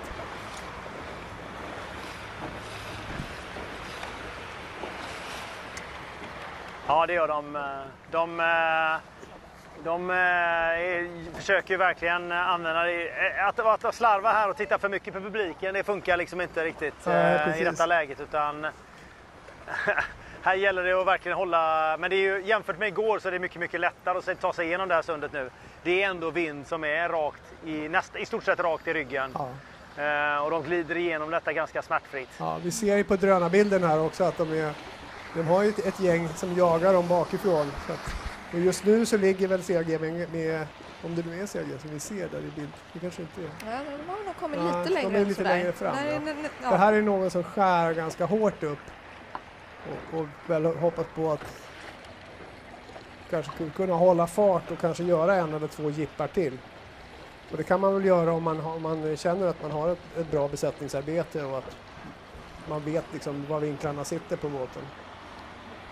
Där har vi färjan också som kommer som ett störande moment. Den ser ut att vara på väg in mot land där, mot Rindö. Ja, precis mot Rindö går den. Ja, här är en fin bild. Ja. Den här Svan 77 han går för, precis förbi gamla fästningen. Det här är ögongodis eh, Verkligen, verkligen, för verkligen. den som står och tittar på detta. Det är, det är härligt med färgerna. Jag har kommit hela vägen måste från. Sydafrika och titta. Ja. Ja. ja men det är det. Det är lite tråkigt med de här vita gennackers och så Ja. vidare. Det här är, det här är vackert. Här ser vi precis upp längs... Det är också kul att se då de, de små seglen mot den stora svanbåten. Liksom.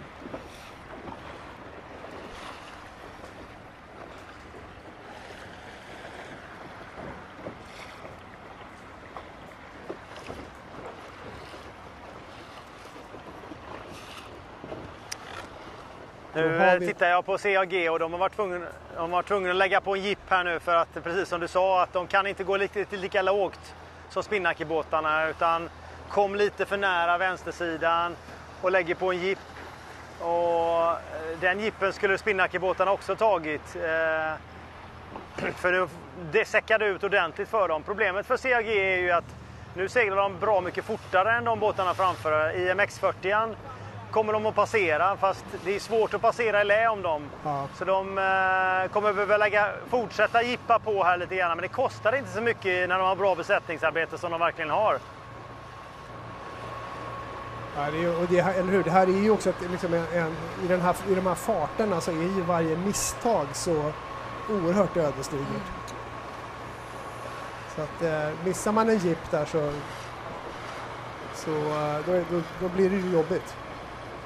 Vi ser, vi ser nu bilder från, eh, från Trixer igen va? Ja, precis. Och de har ju också fått upp ligger ju spinacken här nu. väldigt tätt här. Och det får vi väl se. Nu ser vi ju faktiskt att de, båten som ligger precis i Lovart om dem ligger faktiskt på...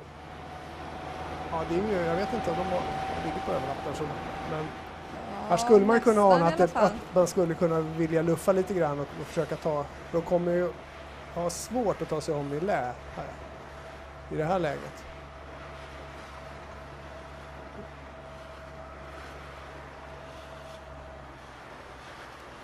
Ja, Stefan, nu är du uppe med, med CAG, precis. Precis, och Nemo här eh, la en jipp och kom in för styrbord och det blev lite... CAG jippade, jipp, gick med i jippen i början och sen så... Alltså det är en liten duell mellan de här två båtarna. Ja. Det, är, det är härligt att se, det är Ja. roligt liksom att, eh, att det händer grejer. Och det, det blir ju så här som vi tittar på Solong som är framför där, att det dö- döjade ut. Ja. CAG är direkt med, tänker inte gå in i det vindhålet utan Nej, lägger precis, jippen här lägger och då kommer de lägga den rätt på oss. Ja, så kommer de lägga den på så lång, så lång kommer inte få någon luft där bakom. Nej. Utan då kan nog CAG glida på. Och de har svårt att få, få upp sin spinnaker där efter. De gjorde väl, lägger väl en jeep där också va? Eh, precis. Ja. Och nu fyller den. Exakt. Nu fick de upp den, men det tar ju lite längre tid och med spinnakerbom och så vidare och få i ordning på grejerna. Ja. Då måste man se nu längre bak här så upp mot, mot eh, oxdjupet så går eh, V70 då, då, eller Mir, Mirkuri. De, har, de kör fortfarande en code vilket är, man måste tycka är väldigt konservativt. Mm, absolut.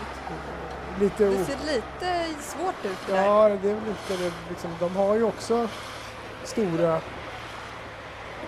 genackrar som de skulle egentligen borde... Ja, tycker att de borde hänga upp i det här läget. Kanske skulle hjälpa mer. Att här håller Just de ju inte ens jämnt med Kratoska. Ja, eller något. Vi får prata med dem när de kommer i mål om namnet på deras båt. Ja, precis. Så vi kan få det rätt.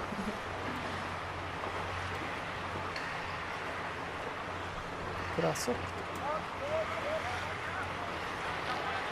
Ser vi drönaren Precis. Krasotka. Krasotka. Det var det. Det ska vi lära oss. Så att de har ju seglat ifrån en V70, det får man ju... Det kan de komma hem och berätta. Det kan man berätta för barnbarnen. Mm, absolut. Med all rätt. Och här ser vi fler segelballonger Ja, som är uppe. Vad härligt. Och vi ser ju Rinderfärjorna ner till höger så att det är hela vägen ner här så är det ju spinnakrarna som Mm. kommer. Mm. Och om det är som, som Stefan sa där så att det verkar som det dojar ur, eller det blir lite mindre vind efter sundet, efter den smalaste delen, så kommer man ju att ha eh, ko- kommer de ha stor chans att komma ifatt. Ja, lite den här gummibandseffekten Ja, som vi har pratat om. Att de seglar in. Nu ska vi se, nu står den knappt alls här på JO70 Nej, utan precis. Ja, Anders, var, var ligger du någonstans nu då? Eh, jag ligger lite längre upp. Eh, ni hörde precis ni prata om alla de här vackra spinnakrarna. Jag är precis i den eh, myllret av färgglada segel och har varit runt och pratat lite med folk och det är väldigt glada miner. Och speciellt när vinden fyllde på och höll i så har det varit väldigt positivt och folk vinkar och tjoar och gör tummen upp och grejer. Och passerar även Boy Boy här innan som just nu håller på att sätta sin spinnaker på väg ner.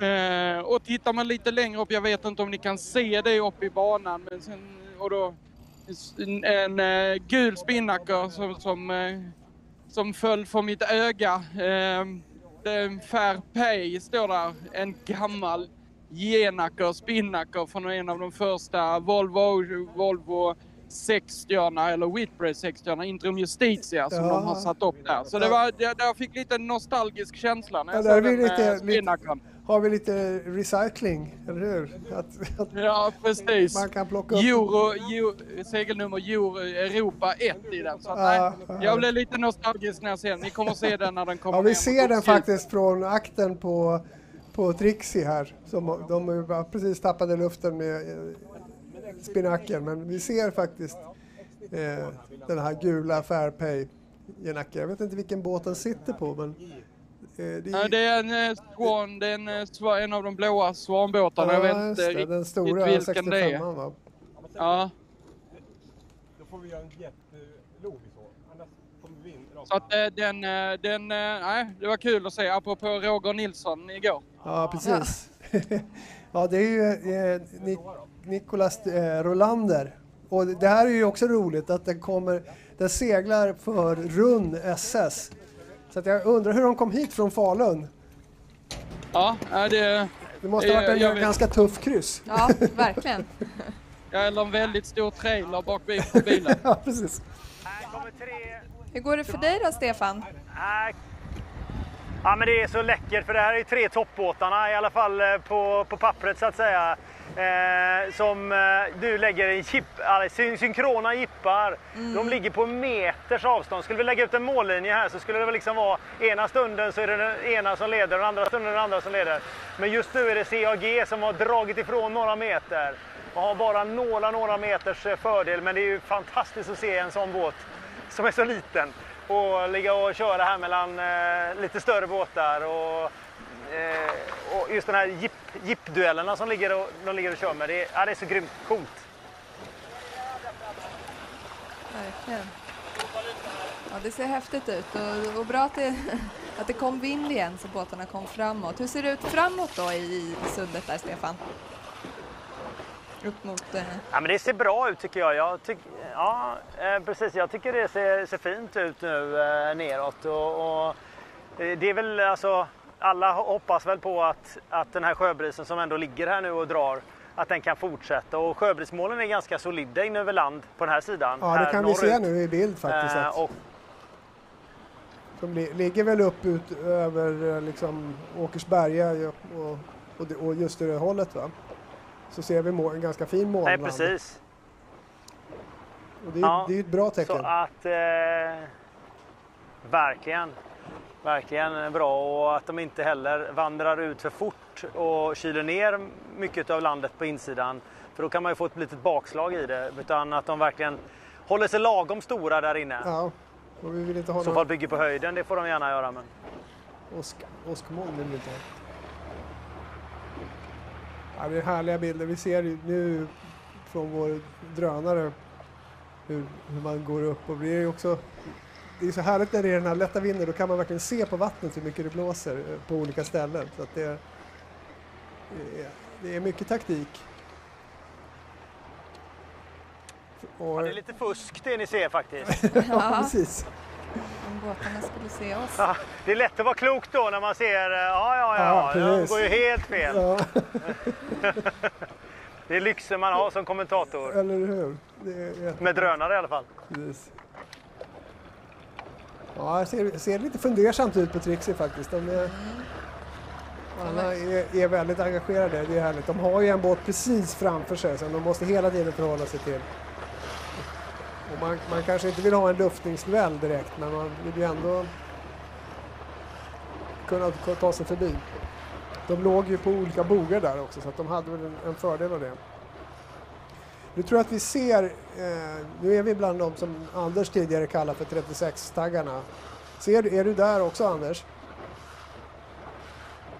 Nej, jag ligger lite längre bak tillsammans med en eh, Omega 42. Eh, där jag hittade en av eh, våra tränare på KSSS, eh, Göran Bobäck. Ja. Som eh, vi fick ett snabbt, eh, gjorde en fantastiskt fin gips, han fick lite beröm här eh, för en stund sedan. Men eh, nej, jag är lite längre upp. Men eh, hur, hur ser det ut? Eh, jag tror Stefan är där framme lite längre fram. Men vad jag ser så är de, hänger de fortfarande ihop. För jag ser Ja. Grey Goose logga i spinnakern i alla fall. Ja, absolut, de ligger praktiskt tillsammans här. Ser, vi ser Explorer och är det Grey Goose framför där?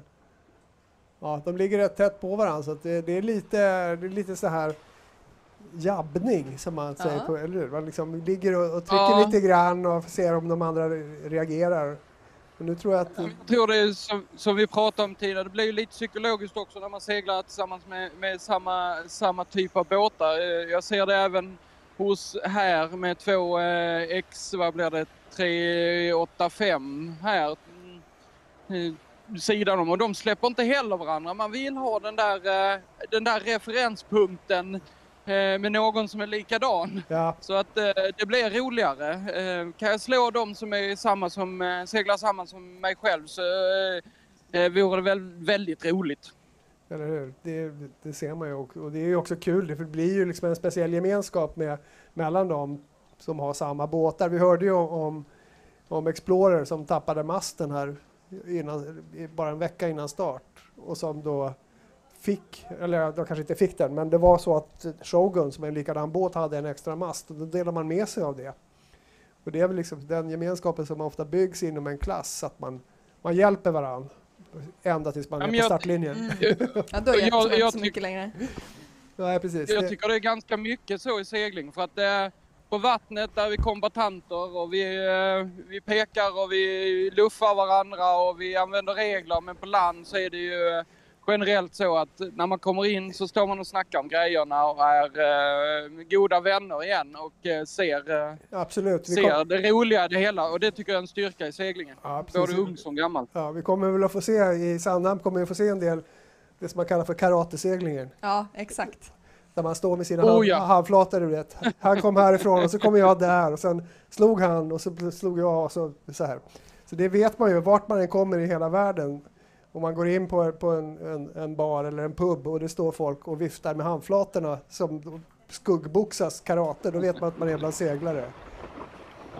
Men det är ju därför man vill komma tillbaka också. Man vill få den här, den här eh, fina gemenskapen Ja. som finns inom seglingssporten. Att man eh, kommer in och kan snacka och eh, möts upp på, på olika platser och kappseglar. Ja. Ja. ja, det, det, Ja, vi har ju två år nu att, att ta igen, två säsonger att ta igen. så det kommer att bli mycket snack här framöver. Vi har ju en... Men dub, dubbelt så kul. Absolut. Vi har Stefan med oss också. Vad ser du? Ja, det, det, här, det här är den här bilden man har av oxdjupet som man vill se den. Ja, Med härligt. ett gäng härliga spinnaker som kommer ner här. Och, och de har möjlighet att eh, sträcka ut på både styrbord och babbordsbogar. Även om vänstersidan återigen tror jag beror lite grann på den här Coriolis-effekten. Eh, att vinden är starkare på vänster sida eh, när man tittar upp mot vinden.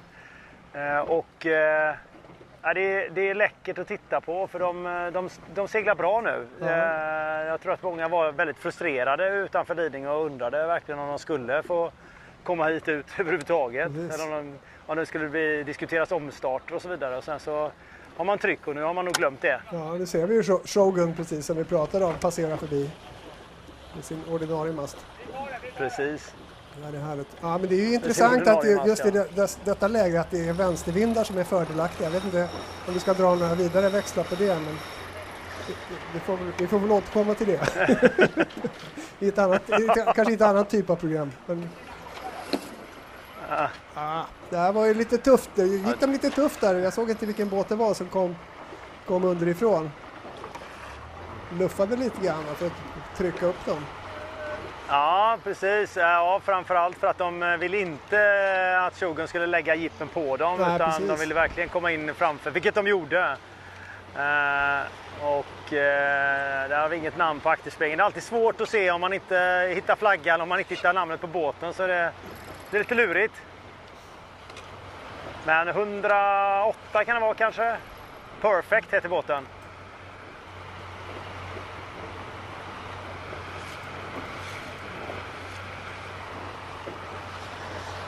Och då letar ni era Perfekt, papper antar precis. jag? Det är en X362 från Norrköping Ja, med eh, Stefan Pettersson. härligt att ha. Norrköpingborna med. Ja, ja. Perfect, den heter dessutom Perfect. Excuse. Så att det var väl det var väl det de var ute efter. Ja, men det är ju alltid lurigt när en, en båt med, som eh, Shogun försöker att väja undan. Eh, så får ju en båten med rätt till väg då, när de är mitt inne i jippen så får den ju inte manövrera mot båten som då försöker hålla undan. Eh, så, att den, eh, så att den inte hinner med. Precis. men de, man, man pushar ju vinklarna, man pushar ju lite granna. men Man är inte snäll mot varandra här kan man säga. Nej, nej. Och sen är det väl så att en, ja, har man då som, som Perfect Excuse där har en, en Janaker uppe så är det kanske lite lättare att, att gå upp och, och vara lite snabbare i lovningarna. När man inte behöver följa med med spinnakerbommen. Verkligen.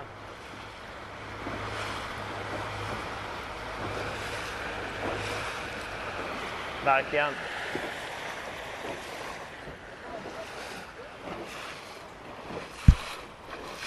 Ja, titta nu verkar det som... Nej, jo, sätter de något större... Nej, det var jag som fel.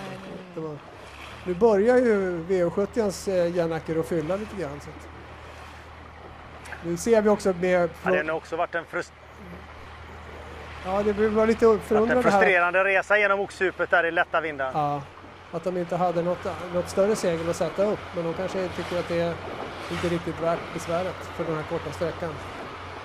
Men det kanske hade varit. Vi ser också, det är väl en, en Svan 65 som har satt ett, eh, jag vet inte vad man kallar det för, ett stagsegel på, alltså man har satt en genacker på mesanmasten. Mm, det var ju roligt. Det är ju härligt, med, det är väl också så med, med de här lite äldre båtarna att de har ju en segelgarderob som man, man, liksom, man vet inte längre vad de heter. Det är, nära, jag höll på att säga arkeologi men det här är kanske lite taskigt. Men kolla på den bilden, det är ju så fint. Vi ser Mitril som ju seglar jättebra också uppe. De är ju faktiskt i, i fatt Goose va? Ja, det är Som de. är en 30, mum 36 Mm. De har ju seglat jättefint. Ja, de går jätte, jättebra upp här. Är det Anders som, som ligger bakom Mitril där eller? En Nej. liten, liten bit. Jo, jag är precis eh, bakom där. Eh, bakom den andra. Så att eh, jag är där. Absolut. De måste ju segla väldigt bra här Mitril. Eller de, vi ser ju att de gör det. De har bra koll och jobbar bra med seglet.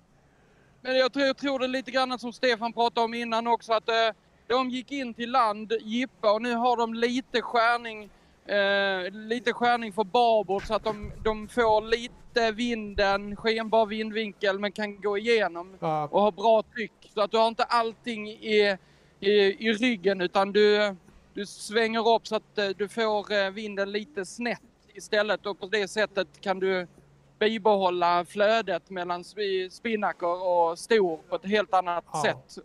Får det att lyfta. Vi ser även båtarna bakom här gör eh, ungefär likadant vid jippen vilket jag tror eh, klokt. Det är så man vill säga att det ska göras. Eh, det som händer om vi seglar rakt ner med vinden helt i ryggen och, det bör, och vinden mojnar, då seglar man ju lika fort som vinden och då blir det, då blir det liksom då finns det ingen vind för då tar krafterna ut varandra. Ja, och vi ser ju att framför dem så ligger ju då eh, den här båten. Det är en Sal Salo Salona 30, 37. Som, som är, Det stämmer nog bra. Ja, precis. Uh, jag undrar om den heter 22. Så står det i mitt, mitt protokoll alla fall. Mattias Cederholm från Strängnäs. Så att det, Ah, okej. Som ligger där. Och han har ju lite, lite han har ju liksom trumf på hand där. För han kan ju börja lova. För, att, Ja. för att hålla då Mitril bakom. Men samtidigt så kommer ju han då att gå upp i det vindområde som är lite svagare. Så att Ja, det, och när det, och när det lättar ur så kan han, så kan han lova lite och, och för att bibehålla kraften i seglet så att Ja. säga. Så att, äh, ja, jag tror det, klo- de gör det klokt nu. Nu ser vi Grey Goose, det börjar säcka igen. Akon. Titta här, nu börjar båten lova upp lite granna. De eh, vänder runt eh, spinnakern lite mer och styr lite högre mot vinden och helt plötsligt så blir det stabilitet i, eh, i eh, aerodynamiken mellan stor och spinnaker. Och de får kraft och så kan segla. ja.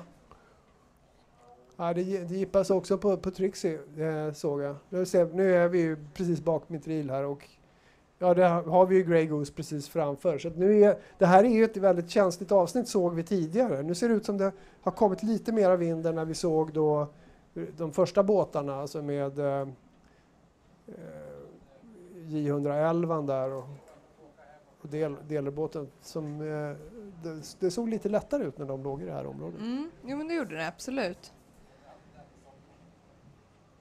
Här har lite mera kraft igenom. Ja, men det är bra för det är ganska tajt mellan båtarna. Ja. Nu, dessutom så går, färjan bryr sig inte om det här utan de, de går Det på är tidtabell. yrkestrafik, de Precis. kör på. Så att de, precis. Den som seglar för sitt bröd går före.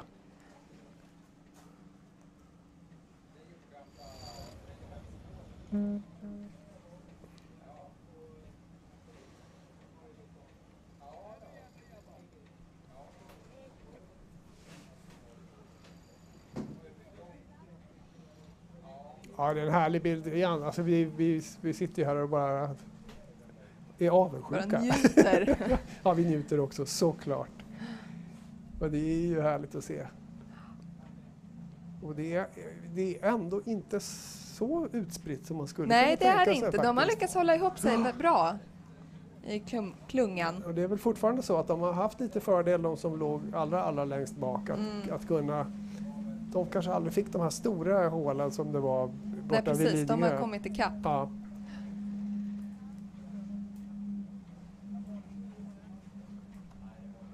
Ja, det är ju härligt, det är ju härligt med färg på seglen.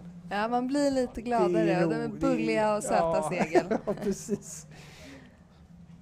Men också, det har varit lite trendigt att ha vita undavindssegel nu. Ja. Men jag tycker Ska det vara lite sportigare kanske? det är så man tycker kanske. Ja. Det är också se, man ser någon liten båt där som, han går för styrbord så att han har rätt. Som går på kryss ner genom fältet. Precis bakom det, det svarta storseglet där såg jag en. Eh, ganska mitt i bild där. Ja, där ja, titta.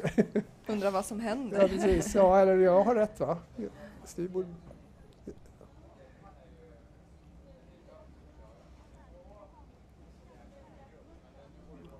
Ja Anders, Jag ligger här sidan om, eh, vad är det, en 40 39,2 fot scanner. ja Hur går det grabbar? Gör det?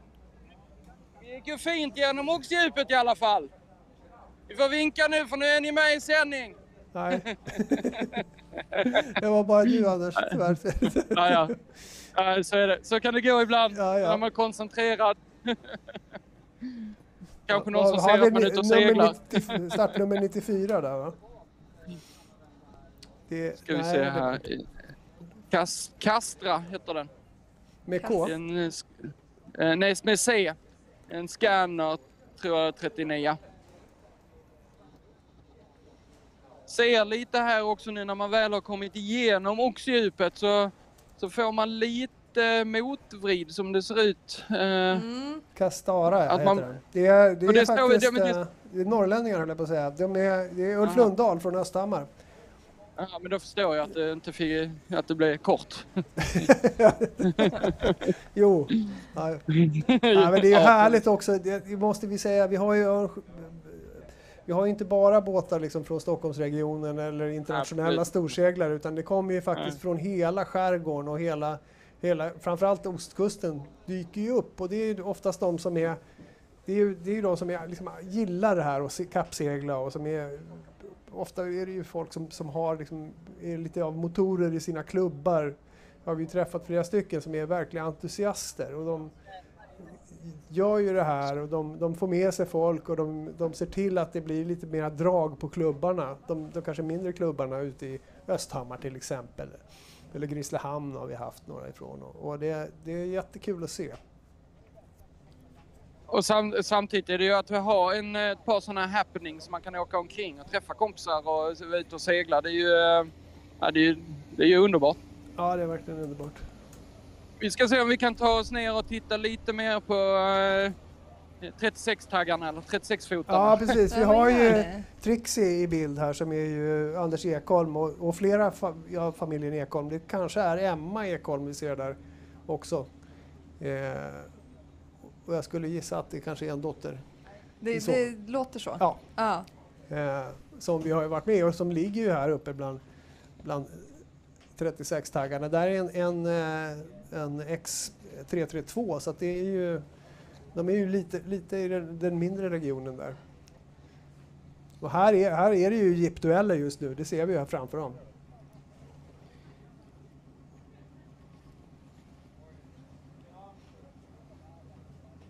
Mm, jag tror också att det är, ja, det, är, det är viktigt, liksom, just de här när det blir lite tajt och det blir lite trångt så blir de här duellerna väldigt viktiga för, för psykologin också. Att Ja, man kan att känna man att man, kan att man plocka klarar en av båt eller, Ja, plocka, eller, eller tvärtom. Att man liksom blir överseglad av någon och då, då blir det lite sämre stämning. Då. Ja, nu ser vi track track här igen. Eh, Precis. Båtarnas och vi position. har ju gänget där framme med, eh, med CAG och Nemo och, och den stora Tugela då. De har dragit ifrån lite igen. Ja, de måste ju ha fått lite mera vind där uppe. Ja, precis. Men det, det pratade vi ju om där. När man har passerat vindhålet precis efter oxdjupet så fick de ju en liten skjuts eh, igen. Så får vi se vad nästa gäng, om de också lyckas fastna i det där eller om det har försvunnit, blåst bort. Nu har vi ju ganska många som kommer. Precis. Ser vi Trixie Jippa. Lugnt och behärskat.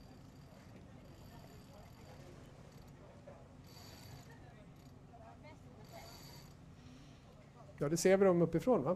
Ja, det gör vi. Precis.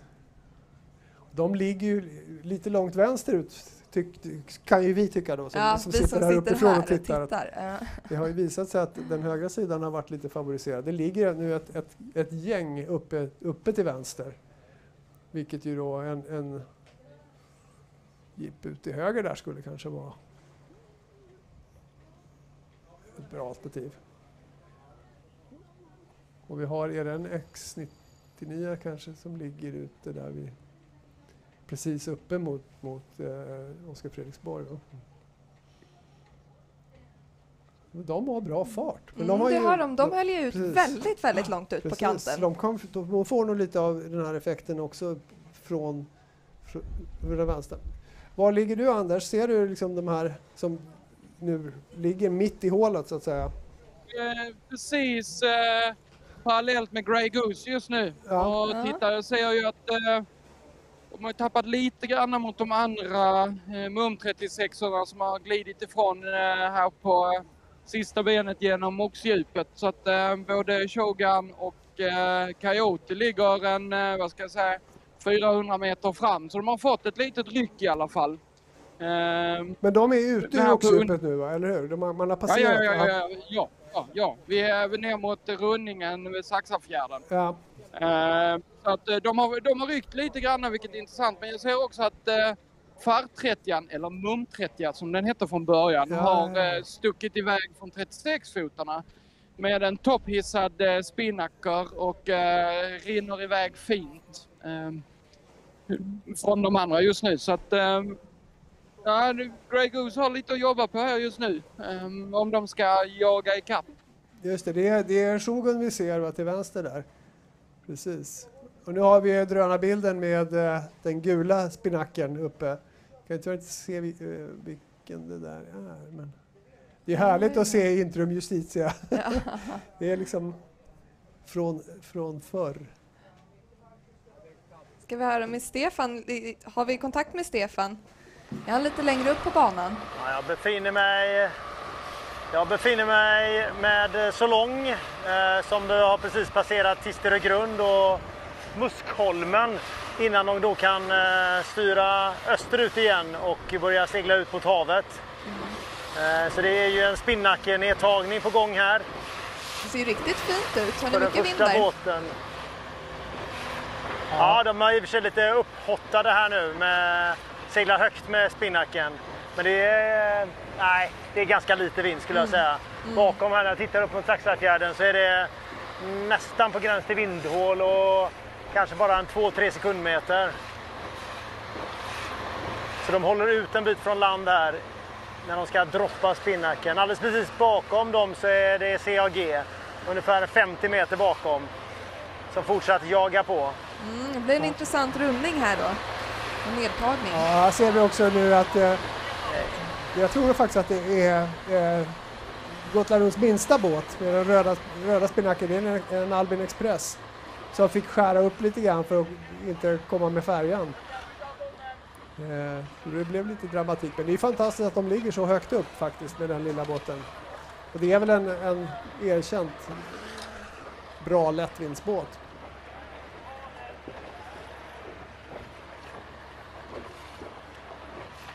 Han kommer alltså precis bakom Muskholmen där de vänder ut mot Saxafjärden. Så är det ett litet svårt eh, ställe. Det är ganska stora öar i Lovart om den här ön och det dör ut helt och hållet här.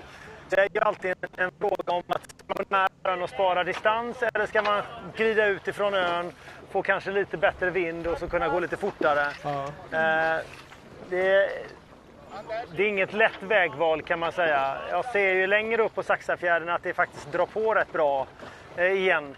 Eh, att det är flera fritidsbåtar som har, kränger över rätt bra. Så att jag tror att det, det är ett område som är på ungefär en 700-800 meter här som är ganska lätt. Mm. Sen Mycket efter kan det hända där då bygger det med på igen. Ja, ja vi fi- fick en eh, precis, Precis. Innan, innan rapport att ner, ner mot Gällnö så, så där har man sy, syd, eh, en sydost på 4 till 5 meter så att där finns, det finns lite mera vind lite längre ut helt enkelt. Ja. ja, det är väl det här som är det jobbiga, att man har seglat in i skärgården igen. Nu har vi precis passerat Vaxholm, men vi är i Ja. höjd med Vaxholm egentligen. Fastän vi har varit närmare havet ett tag. Precis. Eh, och eh, Det är väldigt många öar i ja, det vägen. ser ut att gå bra. Precis! Det är många som ligger här och gottar sig innanför det med vindstilla dagar med härliga sena luncher och Ja, mycket bad. Härligt. Det härligt. syns ju. Ja, den här bilden, vi, ser, vi ser ju en bild från vår drönare nu in över oxdjupet med, liksom, eh, söderifrån upp mot norr och det är segel som myllrar upp och det fyllrar spinnackrar hela vägen. Ja, det är vackert. Det är vackert. Och jag tror att det är uppe till vänster här i bild så ser vi, där är det väldigt tätt. Att det är nog... Mm, eh, många det- som valde det spåret. Ja. Och det är väl just de här, det här 36-gänget som, Som fightas där som uppe. fightas där uppe. Precis. Anders, hur, är det fight på gång? Ja, nej, men jag rör mig sakta upp genom fältet. Jag sitter just nu, jag har kommit upp långsides eh, Amarone, min Grand Soleil 37. Eh, där jag ser en del kända ansikte ombord. Sen tidigare eh, Gotland runt. Ja. Då hette det inte Gotland runt. Men eh, eh, de har lite det vi pratade om innan, de har ett stagsegel uppe. Ja. Som ni ser, eh, ni kan skönja mellan spinnaker och storseglet. Och det är, det är för att fånga upp det sista delen. Man vill ju, man vill ju att alla segel agerar som en vinge ihop.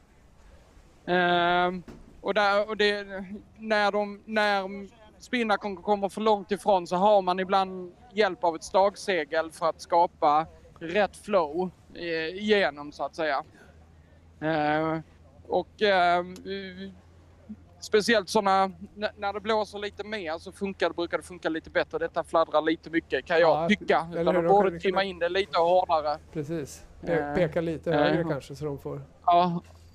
Och nu ser vi att det börjar mota men eh, där har vi ett... Eh, där har ni ett exempel på de stagseglarna som eh, man brukar använda. Precis. Eh, och det kommer säkert bli mycket mer användbart när de kommer till sjöss och kan sträcka ut lite man, mer. precis, Men, man kan eh, ha- ha lite mera utrymme att, Ja. att segla. Ja, det är Jonas Wiström som, som är kapten ombord här. Precis. Ja, som ju har haft en vä- väldigt betydande roll kan man väl säga. En eldsjäl för Gotland runt kan, kan man väl lugnt säga. Yes. Går det bra grabbar? Anders!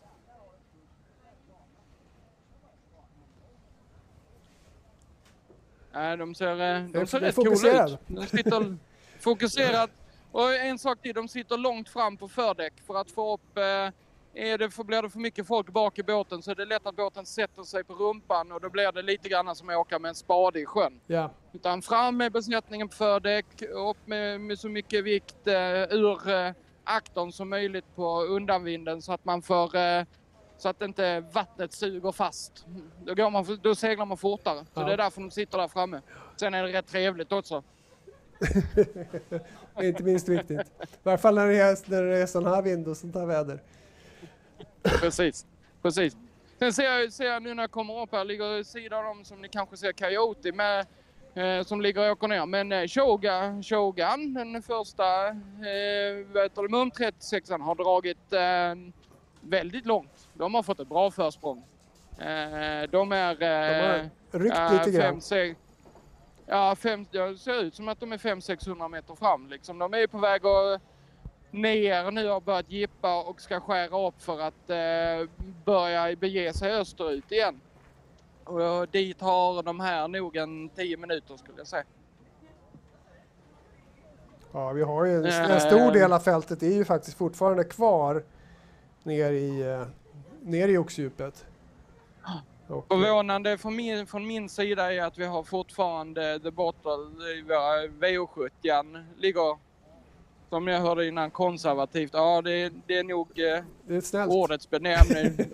det är snällt sagt ur min, eh, ur min synvinkel. De skulle varit eh, med det här med rätt segel och eh, kanske lite mer kunskap om båten. Det här skulle varit mycket, mycket snabbare idag. Ja. Jo, men det var väl också, vi, vi konstaterade att de inte gick och satte upp några, något riktigt undanvindssegel utan fortsatte med en code. Ja, nej, det har, det har inte betalt sig kan man säga för dem. eh, Utan eh, där finns lite att jobba på. De behöver eh, träna lite som man Ja. säger. De kommer att vara bra när de kommer i mål kanske. Ja, förhoppningsvis. Ja, ni ser ju hur, hur tajt det är inne i oxdjupet och eh, ska vi se, då ligger du, ja, precis, där ligger Där, ett stort fält. Så att jag Mm. menar, Anders, du kanske ska röra dig ner och se om vi hittar någon dramatik här i- lite längre bak i fältet. Ser vi Absolut, tydligt så att eh, vi kommer att vända om och gå tillbaka och kika lite. Ja. Så vi, eh, vi återkommer. Nu är det ju ganska tajt där nere till vänster. Ja, det är en, en, eh, kan man ju ana att det här är faktiskt en fight där nere.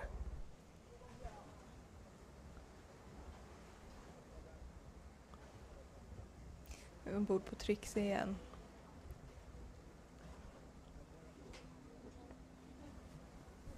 Ja,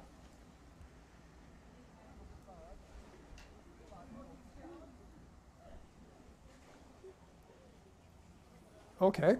Eh, ja, vi har satt här, eh, ursäkta tystnaden som man brukar säga. Det vi satt och tittade lite grann på våra, på våra track-track Eh, för att se. Men vi, vi eh, går över i ett klipp här eh, och återkommer alldeles strax.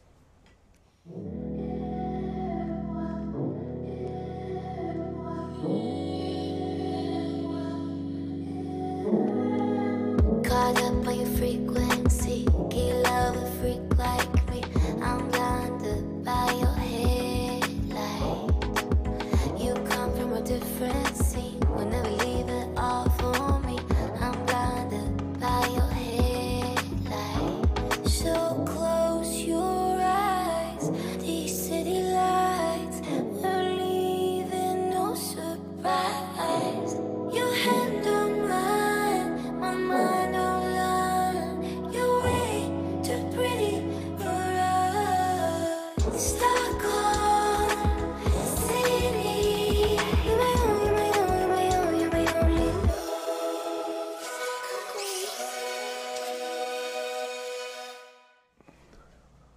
från eh, vackra Stockholmsbilder till vackra seglingsbilder och eh, det förtjänar ju att återigen nä- nämnas att Gotland runt alltså är världens största årligen återkommande havskappsegling. Och eh, ett unikt race, på, på, inte bara på det sättet utan även med den här skärgårdsseglingen som Mm. ju är eh, otroligt utmanande för de som inte är vana skärgårdsseglare. Nej men precis. Det är ju verkligen två dimensioner i kappseglingen och, och det gäller att ha koll både på, på skärgårdssegling och, och på havskappsegling. Det är ju, ja, även om först, det är väl egentligen bara första dagen som är skärgårdssegling, men det sätter ju dina förutsättningar ute på havet. Eh, hur du placerar dig eh, i och hur, hur, hur väl du tar dig igenom skärgården. Precis. Och nu eh, ser vi Trixie ta sig upp här. Nu har man, eh, kanske man har skärpt sig lite grann för man har bytt rorsman. Ja, precis. Nu är det ordning och reda. Rors, rorsperson. Eh, Så att eh, de ligger nog, de ligger rätt, tätt där uppe. Hade vi, någon, hade vi den här drönarbilden kvar så så kan man ju försöka se hur, hur vi ligger placerade på... Ah, de håller på att ladda batterierna. Men det är väl kanske också, om vi ska göra en sån melodiradioövergång, som man brukar säga, man laddar ju också batterierna när man seglar för att det gäller ju att inte trötta ut sig helt och hållet. Precis, och det där är ju en svår balans. Man vill ju pusha, pusha besättningen och båten eh, så att man kommer framåt bra, så att man placerar sig bra, men man kan inte köra slut på besättningen första dagen. Nej, precis. Då orkar man inte dag två och tre. Och speciellt när det är en sån här, jag menar det är ju väldigt, man är väldigt fokuserad i lättvinden. Och sen så vill man, kanske man, man vill liksom vara med och se. Och då är, när man kommer ut på havet och man slappnar av kanske till och med. Och, och då har man liksom förlorat lite av energin. Ja, Utan det gäller ju att, ha några som är, som är väldigt alerta när man Ja. kommer ut på havet. ja, Så att vaktsystemet, även om man inte går in i vaktsystemet, måste ju fungera så att man spar på, kraft, på vissas krafter. precis. Och det, där, det kan ju vara svårt. Om man ja, säger att det skulle blåsa lite mer till exempel, om man gärna vill ha många uppe, i, uppe på railen. Då är man ju rätt slut sen om man inte får ligga och sova ordentligt. Utan man Absolut. ska, måste hänga över mantåget och försöka sova. Absolut. Ser vi ju, det här är ju roligt också. Här ligger ju faktiskt Necesse och tampas med Svan 65 Mm. från Falun. Och tillsammans med, här har vi liksom hela spektrat av modernt till gammalt till då. Ja, det är, det är lite tajt. Ja, här har vi ju Necesse, precis. Vi ser de klarar jippen. De måste ha seglat ganska bra faktiskt, tycker jag. Ja, Där. En gammal Gotland runt-vinnare. ja.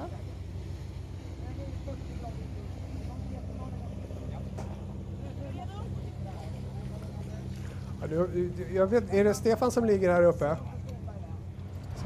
Som ligger bakom Necessa nu eller? Det är Anders. Anders?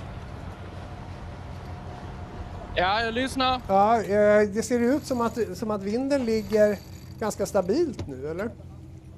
Alltså den, den, den är ganska stabil. Jag, nästan jag var nere nu, nästan alla båtar är eh, igenom oxdjupet och jag ser här bak har vi Boy Boy med en fin spinnaker så att eh, det är ganska jämnt tryck. Eh, det kan svepa lite runt eh, skären och eh, runt udda där man får parera men de ligger ju på en, eh, ja det är ju en rak, nästan rak platt läns ner så att säga.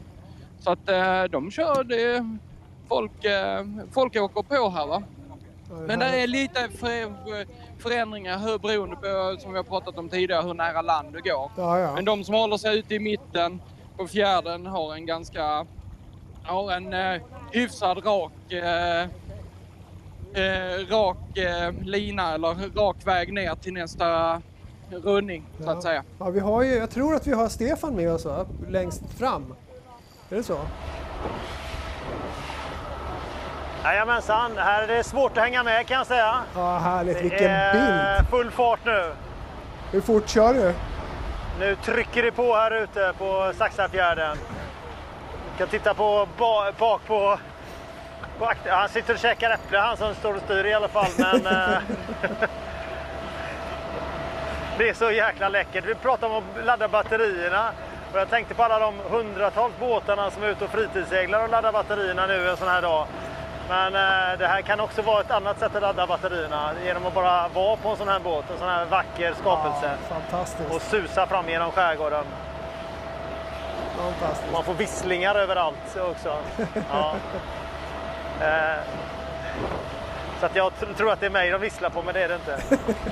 Det är bara att hålla sig nära.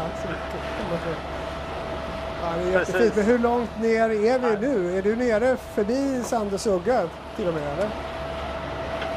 Ja, jag börjar närma mig Grinda. Jag ser Grinda ganska långt eh, nu eh, nära här.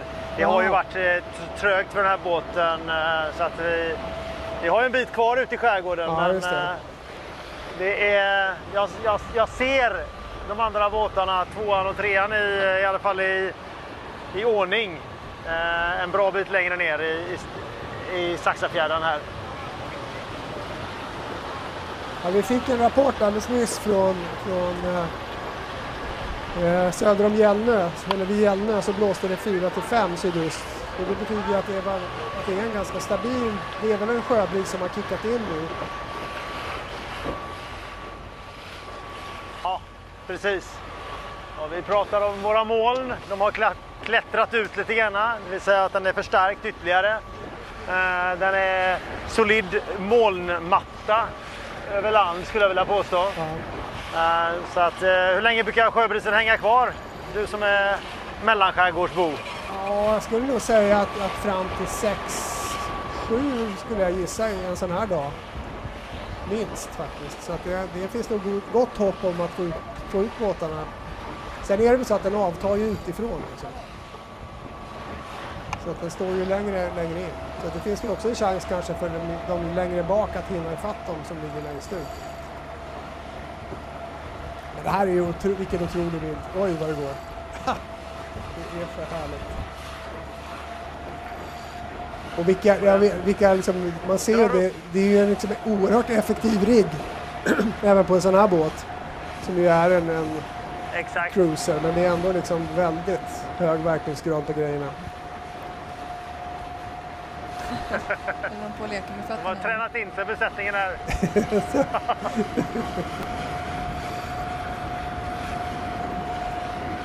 Något ska man väl träna på när man sitter där på railen. Eller hur? Det gäller ju att hålla humöret uppe tycker jag. Det där är ju roligt liksom att man har... Det blir väl alltid, alltid några små internskämt som ibland kan balla ur. Ja. Men det är alltid roligt att, att ha saken i gänget liksom. Bra för sammanhållningen. Det är väl också en del just av en, en sån här typ av segling att det är ju väldigt, det är väldigt socialt. Mm. Man ska säga. Ja, nu tar du ett slag där helt enkelt för att komma ut. Det är en liten fjärden som väl heter Grindafjärden.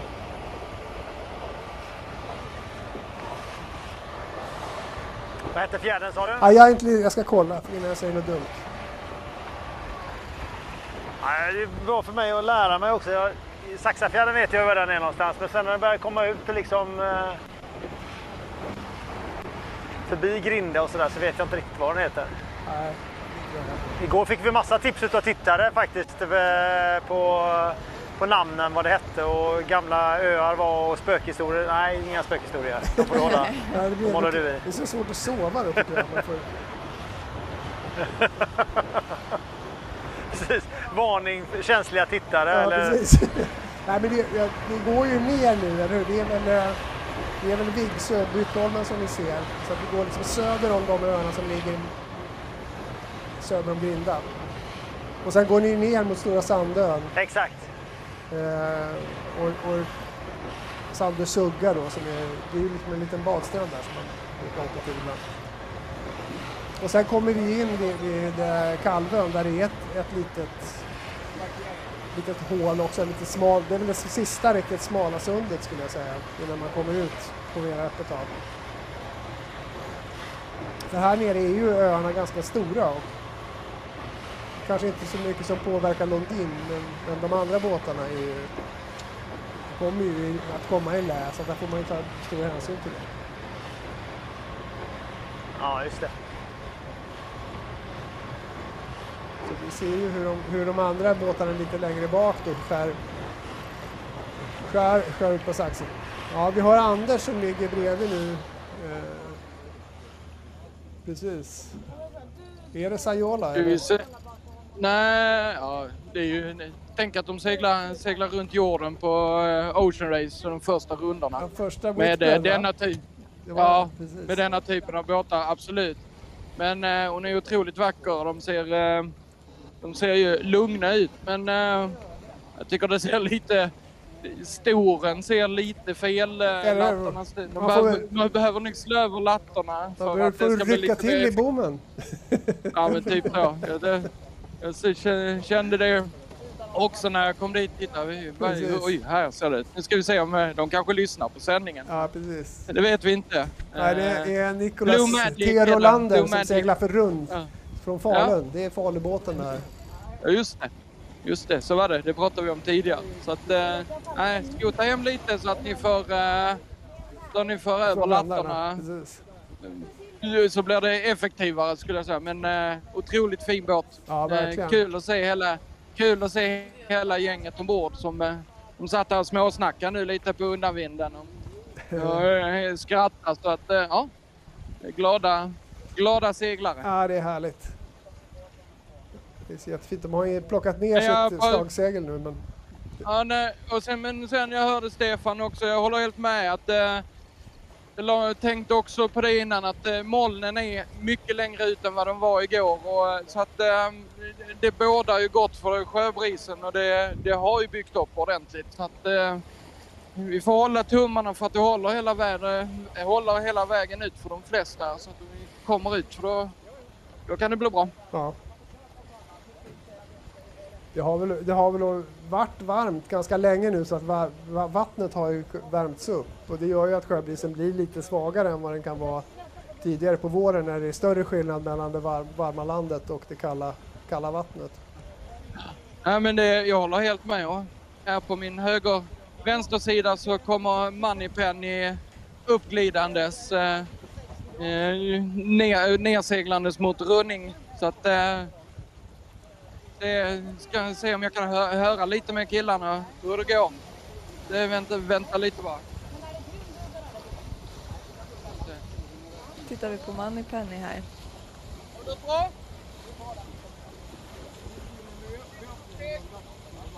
Nästa steg.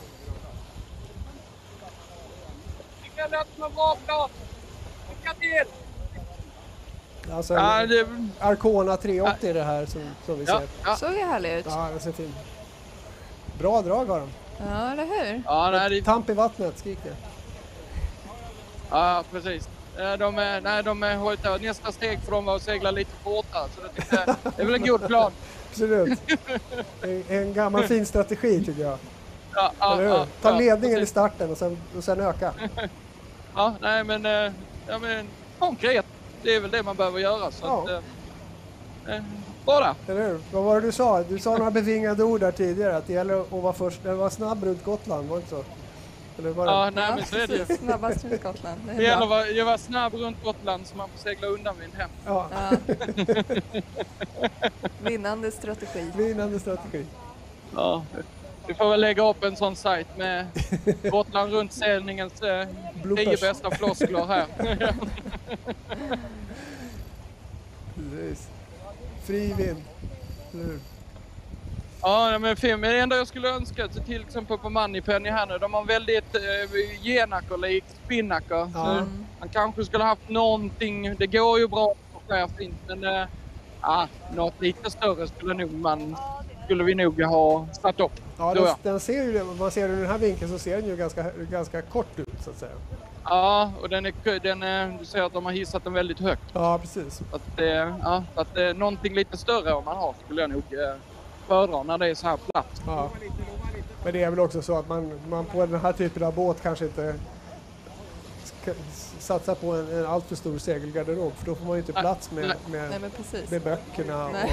och Kaffekokaren och grillen. Ja, precis. Kaffekokaren, grillen. Ja, men sp- spinnaker måste man ha med annars har man ingenstans att sova på på nätterna. Nej, det är sant. Det är sant.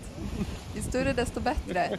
Det är de får Jag satsa kan, på. jag kan ha ana att i en Arcona 380 så har du kanske till och med alltså, vad heter det, riktiga sängar snarare än koj, kojor med fjäderbotten och så vidare.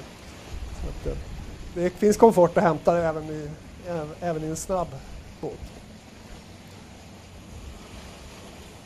Nu Ska vi se var, var du ligger någonstans. Men det vore ju kul att göra ett litet besök på, på Boy Boy. För du borde väl ligga ganska nära dem va?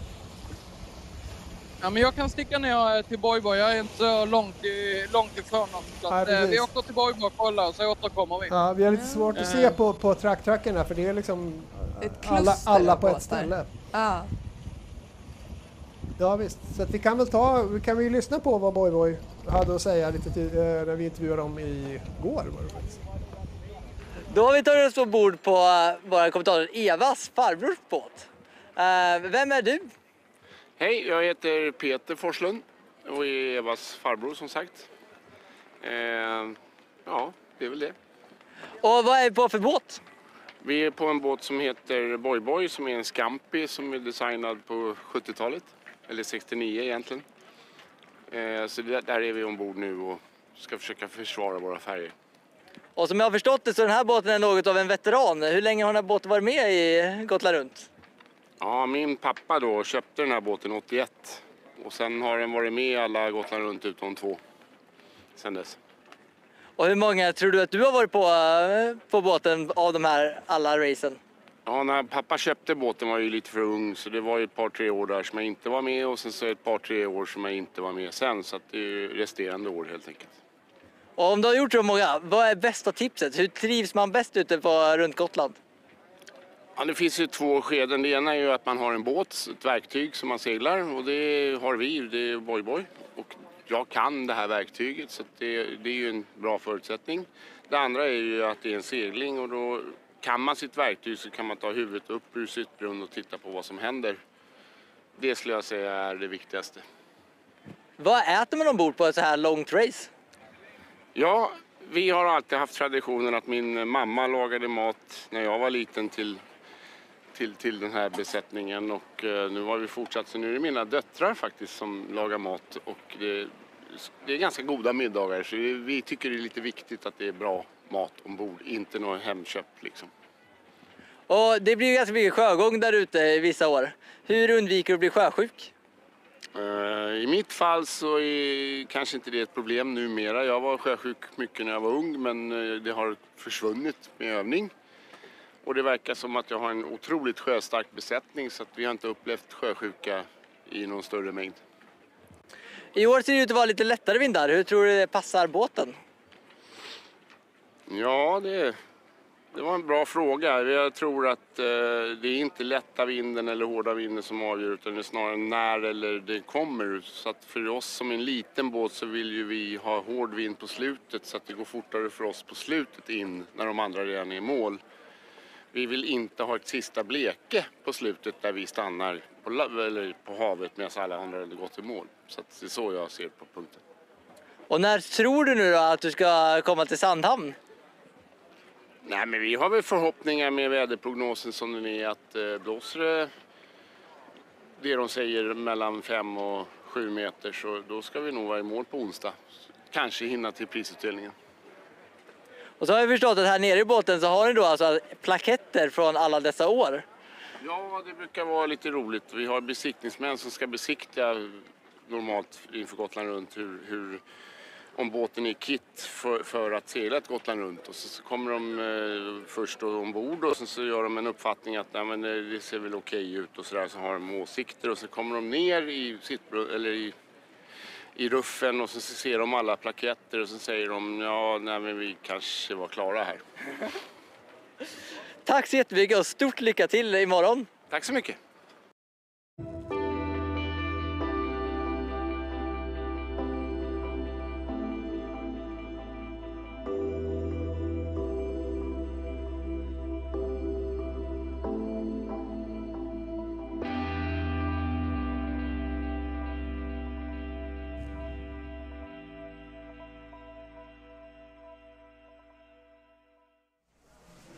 Ja, det är ju härligt att, att, att se Boy Boy som ju som sagt har seglat många Gotland runt. Och det är ju verkligen så också att den här båten, alltså Scampi, båttypen var ju en, en eh, ett paradigmskifte, inte mer och inte mindre, eh, för, för segling och, och också en del av svensk, vad ska vi säga, båtkonstruktörs svenska båtkonstruktörers storhetstid. På den segla, tiden seglade man ju i Halfton Cup som var liksom det, det hetaste. Och eh, Peter Norlin som ritade den här båten den kom lite grann internationellt sett från, från ingenstans.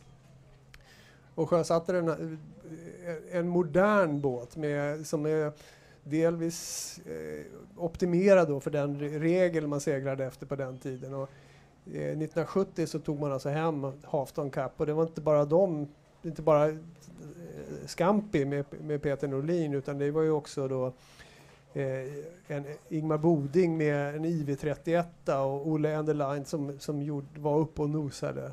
Och att just de här 30-fotarna var ju liksom, det var the shit på den tiden. Och det är ju fortfarande härligt att se att man, man seglar den här båten liksom med fullt ös. Och du ligger precis bredvid där Anders, hur, hur ser det ut tycker du? Nej men det ser väl jättebra ut. Jag ser eh, Peter Forslund, han, är, han sitter eh, sin vana trogen och eh, har stenkoll på eh, båten. Eh. Och jag har full förståelse att han känner henne utan och innan till. Men det är också lite intressant om jag tittar upp i masten på den så ser ni att hela, hela genan eller förstaget saggar ganska mycket. Eh, och de har släppt fram, eh, de har möjlighet att vinkla fram masten för att få eh, det placementet längre fram så att säga. Trycket med uppe i seglarna mer föröver så man får upp rumpan och lite annat. Men... Det är eh, lite och det tyder ju Starbucks-manér på va? att... Ja? Det är lite Starbåtsmanér. Yes, absolut. Och solingen på sin, när den fa, så lite tolvorna gjorde så och lite annat. Men eh, det är ju, det, det är ju helt i tiden. Men eh, det tyder ju också mycket på att den här båten har seglats mycket av Peter. Han vet den utan och innan och han vet när den ska gå bäst liksom. Så att eh, nu ser jag att de börjar, kommer navigatören upp, nu börjar de prata, prata vad de ska ta vägen i nästa steg. Men eh, kul att se. Kul Härligt. att se. Har du några kommentarer på din farbror? Han Nej men det ser, det ser ut som det brukar göra när han seglar den där. Man undrar ju ibland om det inte förstaget ska gå av eller sådär men, men nej, det håller. Det har hållit hittills i alla fall.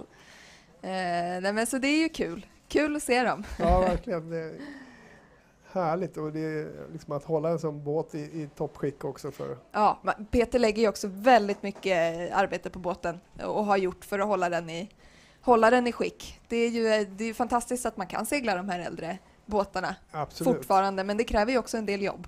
Absolut. Men det är väl också så att jag menar segling är en sport som, som inte bara gör, avgörs på vattnet. Nej. Utan det gäller att ha grejerna på rätt plats och det gäller att sköta om sina båtar också. Så att de kräver ju underhåll från första stund. Och man får inte glömma att Peter, förra helgen var Peter och segla allsvenskan segling i, i Göteborg, eller förrförra var det. Eh, eh, med ett team, då seglade de för Runmare Yacht Club och eh, de är även och tränar hos oss på KSSS och kör eh, J70 så att eh, lite där tillbaka att segla mycket och i olika klasser och i olika discipliner. Och, och vi, här seglar vi Scampi och nästa förra helgen seglar vi sprint och nästa vecka seglar vi något annat liksom. Alltså Ja, är- mångfalden ja, i det eh, har ju verkligen Peter haft. Ja, det är jättehärligt att se. Eh, vi ser här också, jag ser bilder från, från där Stefan ligger på lite modernare grejer. Det är väl en, en eh, ska vi se om vi får upp den bilden. Men Stefan, är du med? Det är Solong, eh, Dele 45an. Eh, Solong Dele 45an och nu har det börjat trycka på ordentligt här. Nu är det dagens toppnotering skulle jag vilja säga i vindstyrka. På kanske en 5 sekundmeter här i alla fall. Bra tryck. Då har vi, då har vi en, en klassisk sjöbris skulle jag säga. Då, som Ja, och det börjar bli lite kallt i vinden också. Det är bra. Eller också är det dina spöken som är ute och det är kalla Ja, rustningar. kan det vara kanske. Kanske är Grinda-spöket. ja. Det finns, jag lovar, det finns ett också. Det är säkert den gamle grosshandlaren Ja, det som är- går är- igen och är bitter över att han gav bort i Stockholm, Stockholms stad.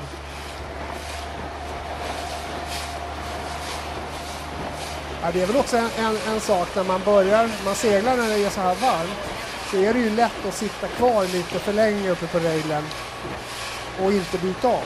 Man, man blir ju lite fuktig, man kanske är till och med lite svettig och plötsligt så känner man att man är nedkyld. Och då, då är det liksom lite för sent, för då, då kanske man kommer ut på havet och det börjar gunga lite grann. Och, man måste ju liksom ligga ett steg före både vad det gäller energi och, och klädsel så att man inte blir kall. För blir man kall så är det svårt att bli varm igen. Så är det och då drar det ju så mycket mer eh, energi också om du sitter och småfryser. Mm. Och, Ja, du ser ju där att de har vattenflaskorna mitt på båten där, eh, mitt i sittbrunnen precis framför luckan. Ja, just för att de det. ska kunna dricka hela tiden. Men jag håller med dig om att eh, det där med kyla ska man inte leka med. Det är väldigt lätt att man blir eh, illamående och trött och dåsig om man börjar frysa. Ja. Kostar mycket energi. Och det är väl också så att första liksom, symptomen på, nu har man inte kommit ut på havet, men de första symptomen på, på att man blir sjösjuk är ju också att man, är, man blir passiv. Man blir liksom dåsig och trött och lite sådär och då kanske man drar sig för att gå ner i ruffen för att man vet att det blir också trigga, kan trigga sjösjukan. Så blir man sittande där uppe och till slut så är man kall och, och, och mår inte bra och kanske inte vill äta och sådär. Utan det gäller ju att, att vara alert och, och reagera lite på, på det som händer i kroppen. Precis, och, och i och med att racet går dygnet runt så drar man ju så mycket, men det går också mycket mer energi än, än vad det gör till exempel bara en dagssegling. Det gäller ju verkligen eh, eh, fylla på energidepåerna med, med mycket mat och bra mat och det många kanske inte tänker på är att man behöver ju äta precis lika mycket på natten. Ja. Att Det är ju mycket mer energi som går in. energi. Det gäller att hela tiden fylla på. Vi ser vad vi slår här. Det är också rent psykologiskt så handlar det också om att man måste liksom vara li- lite alert och peppa kompisarna som man ser börja såsa till lite grann. Att Mm. de liksom... Vi har Anders precis. Ja, jag ligger precis här, här ute vid Clarissa.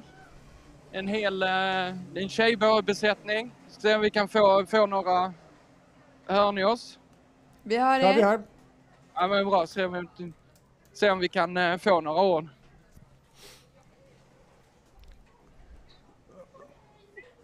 Jag har svårt att... Och, sa du Clarissa? Glatt gäng i alla fall ser det ut som. Väldigt, Var någonstans i banan befinner du dig nu Anders?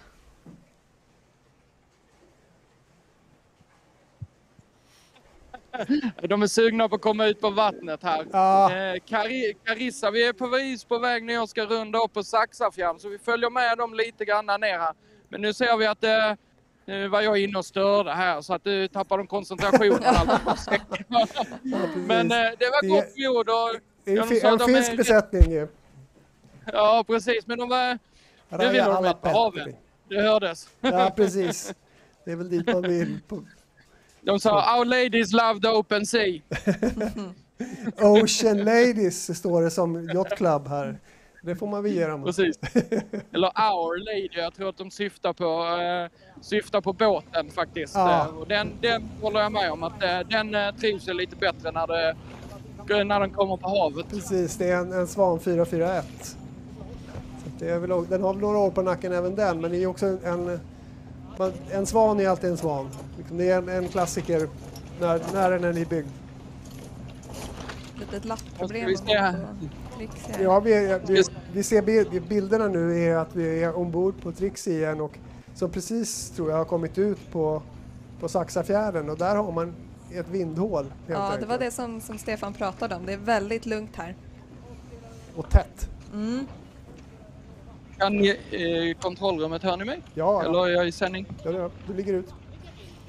Ah, Okej, nej men vi, ska, vi följer med tjejerna ner här så ska vi se, nu kommer de att jippa runt där de förbereder sig och ehm, hänger på dem en stund. Ja, vi gör de, det. är- Vi, ser dem. vi har dem i det bild det nu. Så att,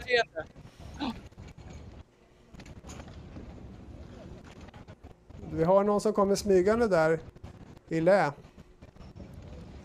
Ja, det är en eh, så- Beneteau 35 35 va? Ja, ser inte. Ser det ut som.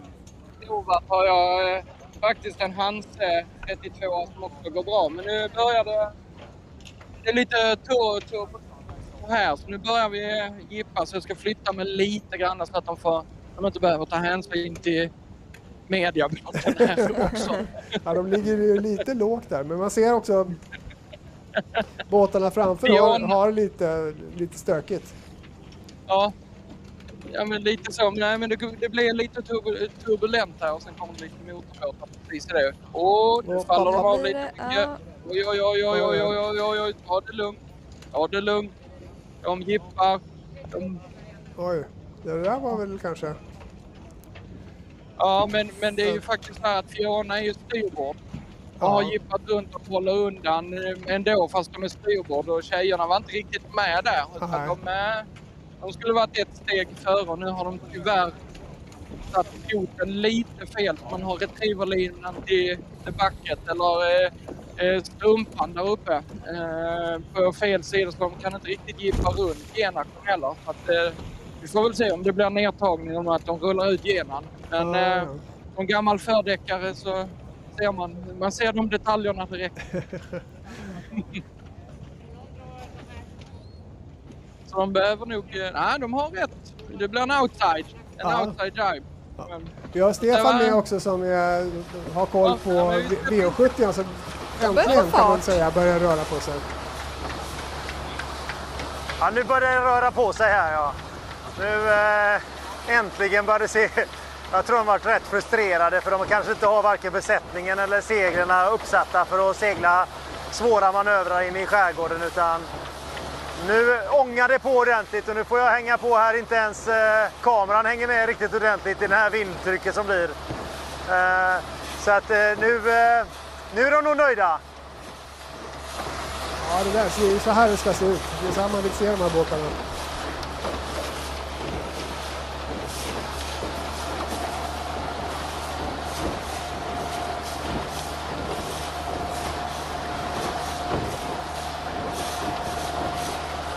Det, är, det man ser att det är ganska stor skillnad mellan där uppe där Anders befinner sig precis vid början av Saxafjärden och ner här mot, mot Kalvön och Sandesugga. Att det är betydligt Ja, det fyller tid. på. Nu är det nästan eh, fem och en halv sekundmeter här. Ska jag säga. Inte, riktigt, inte, inte riktigt sex, men, men det fyller på successivt. Ökar hela tiden.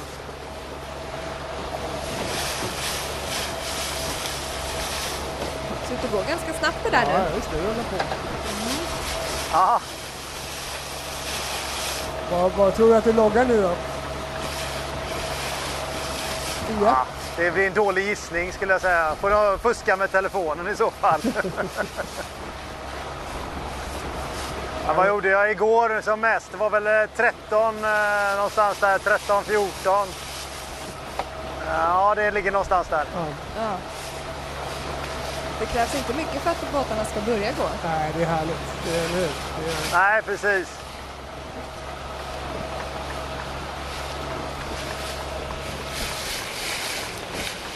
ja, igår vid den här tiden hade ju båtarna börjat ta sig ut på Kanalsfjärden faktiskt.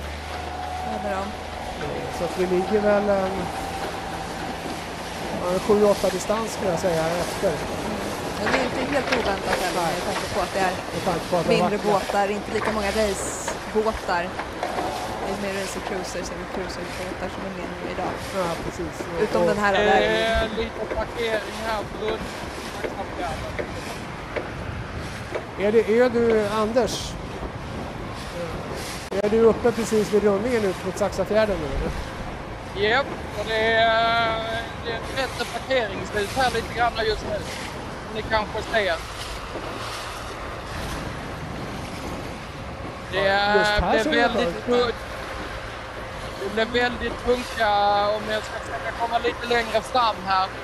Men precis under öarna här så blev det väldigt mycket det blev väldigt gott innan, innan de kommer ut i vinden igen. Så det blev, det blev nu kom Får åka upp och titta när du kan, eh, när du kan se vinden som Stefan, Stefan är i just nu. Ja, men jag känner redan här att så fort nu, jag känner att det är kallt i vinden. Så att det är bara en tidsfråga innan det kommer. Jag ser upp att det är mycket bättre tryck, eh, säg 1500 meter till ja, 1500-2000 meter upp och de, och de kryssar på bra. Men just här under vid nedtagning som ni kanske ser, då blir det totalt punka och nu försöker de bara komma igenom. Ja. Det är några som har fått trycket redan lite längre fram som är på väg ur. Men eh, Vi är ombord på tri- en- Trixie här och det ser ut som att de har börjat få den här farten lite grann faktiskt. Ja, ja, men jag tror det också. Det är inte så långt fram. Men jag ser eh, Boy här. Han är konservativt behåller gen spinnakern, eh, eller han behåller spinnakern uppe tills den säckar och nu rullar de ut sin stora gena. På, stor, det är en stor Det är gena på en nästan som liten en båt. spinnaker bara Ja, genom. precis, Det det är är enorm. Typiskt så här masthead Genoa som räcker ända bak till sittbrunnen. då. Ja. ja, det är nästan det man kallar en Code Zero. Ja, precis. Det ser så Men ni roligt ser ut ju- Ja, det ser storseglet. Det ser nästan löjligt ut i Precis, det är en liten jämförelse. slips bara. Ja. Ja men det är ju klassiskt, det är ju samma sak på Norlin 37 Jag är själv uppväxt på Nor- eh, Norlin 34 Jag är själv uppväxt på Norlin 37 Ja.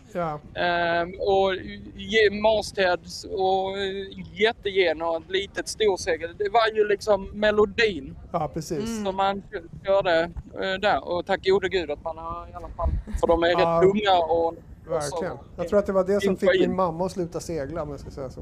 Men det var den stora genuan. Ja. Det var hon som var tvungen att sidan- gå runt den. Å, an- ja, å andra sidan på eh, de nya offshorebåtarna och i Mocka och annat så ser vi att de har ju kodesegel som går, de skotar hela vägen bak till, till äh, akterhörnet det- liksom. Så det blir som en gigantisk gena. Så att man, någonstans var man ju inte fel på det för man har ju faktiskt, eh, det har ju faktiskt kommit tillbaka i eh, vissa vindar och vissa vinklar. Absolut. Och det är ju, jag menar, det tål ju att nämnas också att det är en svensk uppfinning. Så att, eh, Absolut, absolut. legend, den, Eh, KSSS-legendaren Sven Salén som uppfann den. Ja. Till, Ja, var om det så? Ja, för, för sjutton. Ja. Eh, ja, och, och den lanserades då i Genua, därav namnet. Då. Jag kommer inte ihåg om det var ett VM i sexa eller om det var ett VM i, eller ett OS eller någonting. Så att, Ja.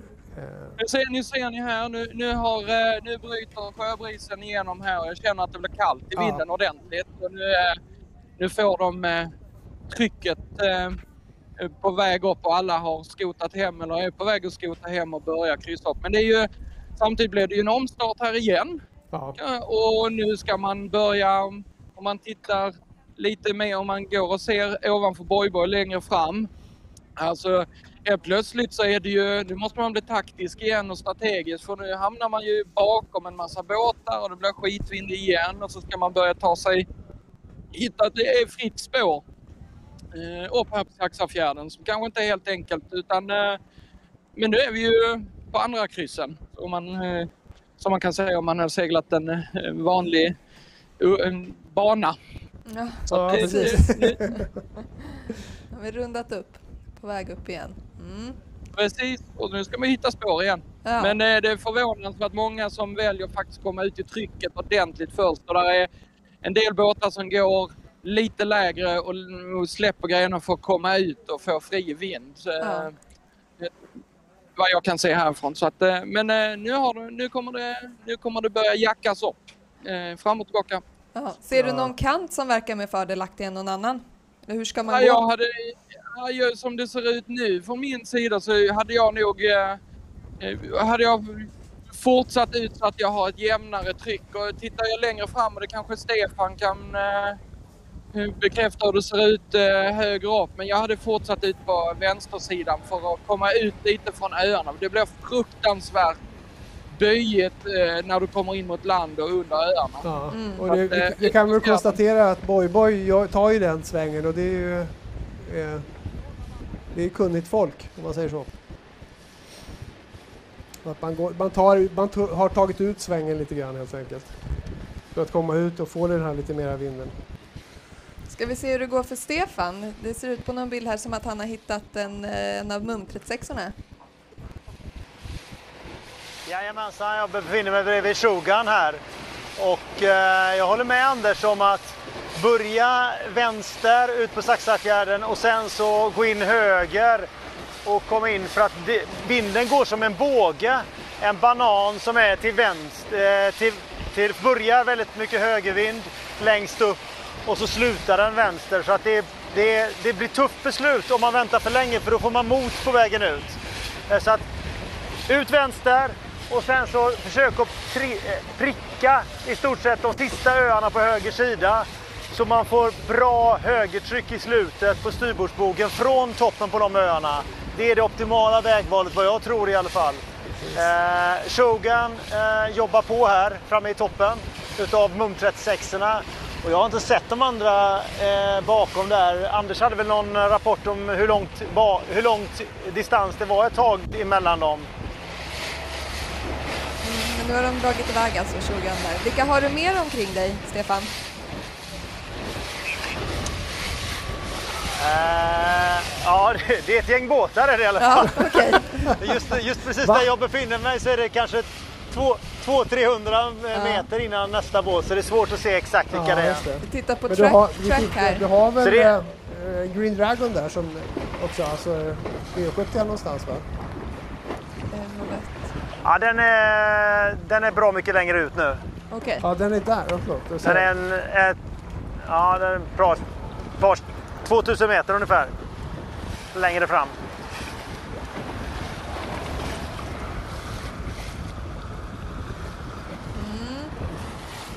Precis, nu ser man ju hur de kryssar här och det verkar som att de flesta försöker hålla vänster, vänstersidan i alla fall. Jag tittar på, på spåren efter dem här på Track Track som vi har uppe. Ja, precis. Så är det många som kommer över också på högersidan här. eh, Så börjar vänster och så går de över höger. Några har gått över lite väl tidigt på högersidan. Okej. Mm. Så här har vi, här har vi Joakim Norlén, kappseglingsansvarig. Jag vet inte om det syns på bild i alla fall. Ja, men, vi ser, eh, han, han, han är- smyger förbi där. Kollar lite. Han kollar lite, bevakar att det går rätt till. Är du nöjd Joakim? Enastående.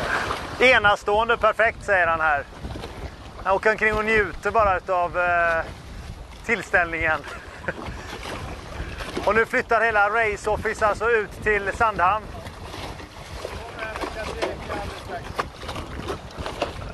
Eh, om det är okej, hoppa, hoppa över till Joakim. Det var härligt. Ja. Ska se här om vi har med oss ljudet också. Hej Jocke. Ja, men Säger tack. Ja, men det är helt underbart. I morse var man ju lite orolig att eh, vinden skulle bli för liten men, men det känns ju som att det finns goda förutsättningar att komma ut i skärgården innan det blir för sent här på eftermiddagen. Så det, är, det är helt underbart att se. Och just att fälten ligger så fint samlade här och har bra, bra vinklar på alla håll.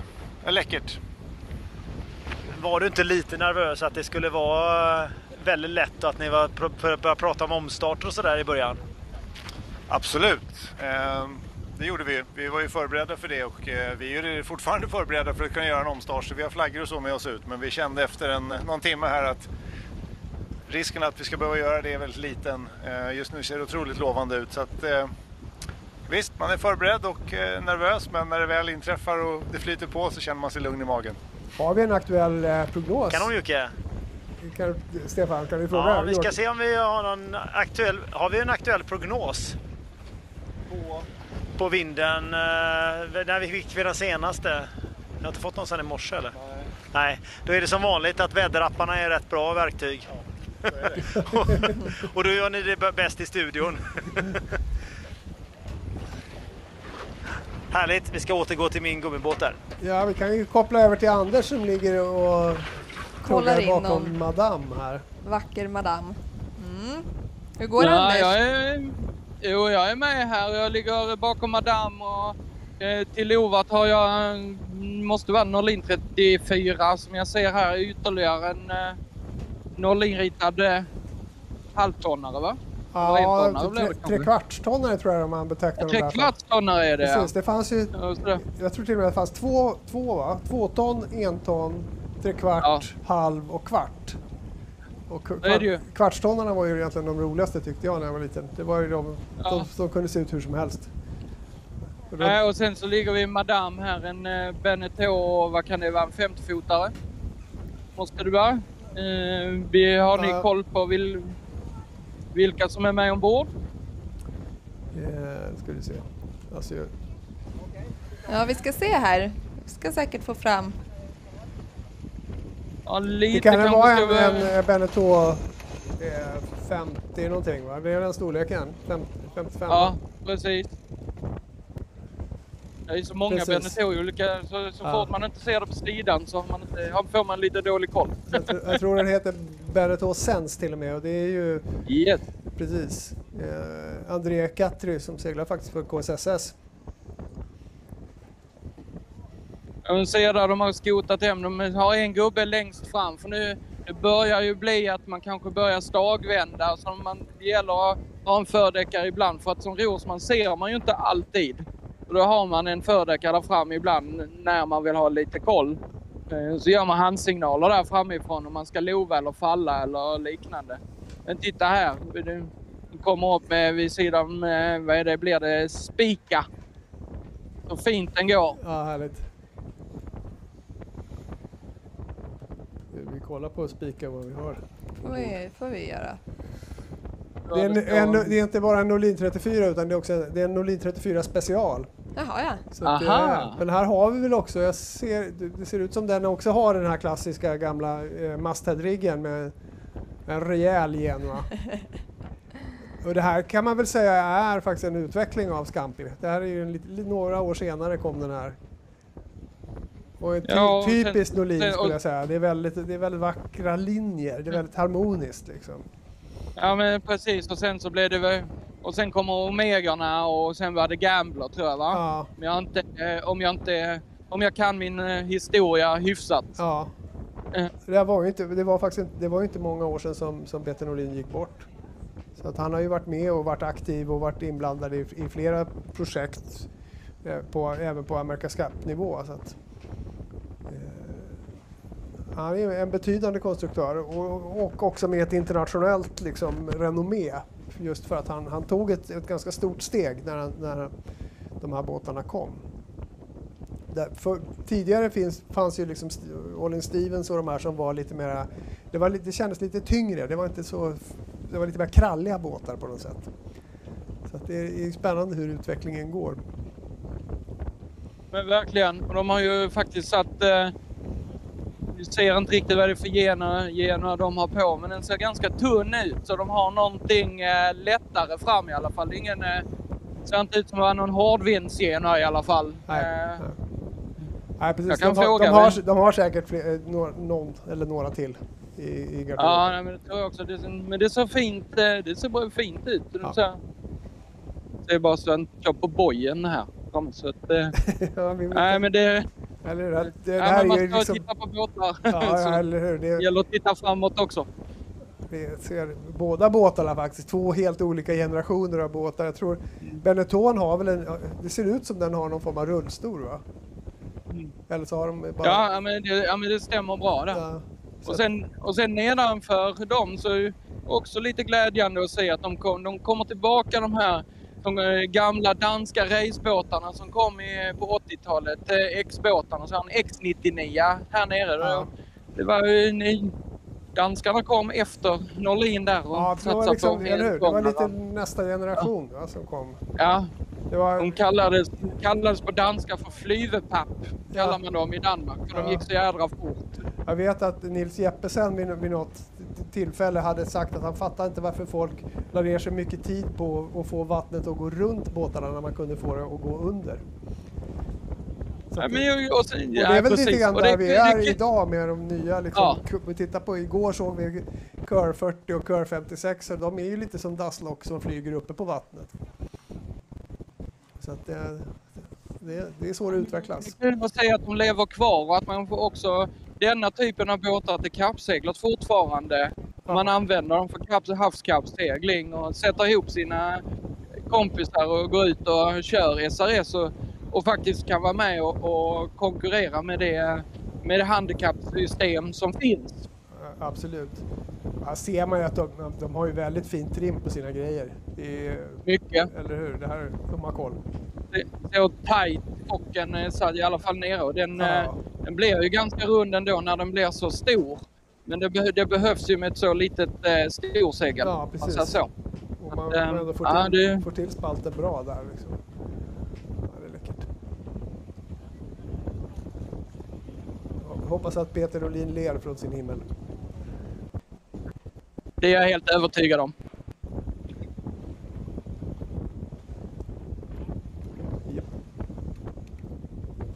Ja, det är härligt, det tuffar på här.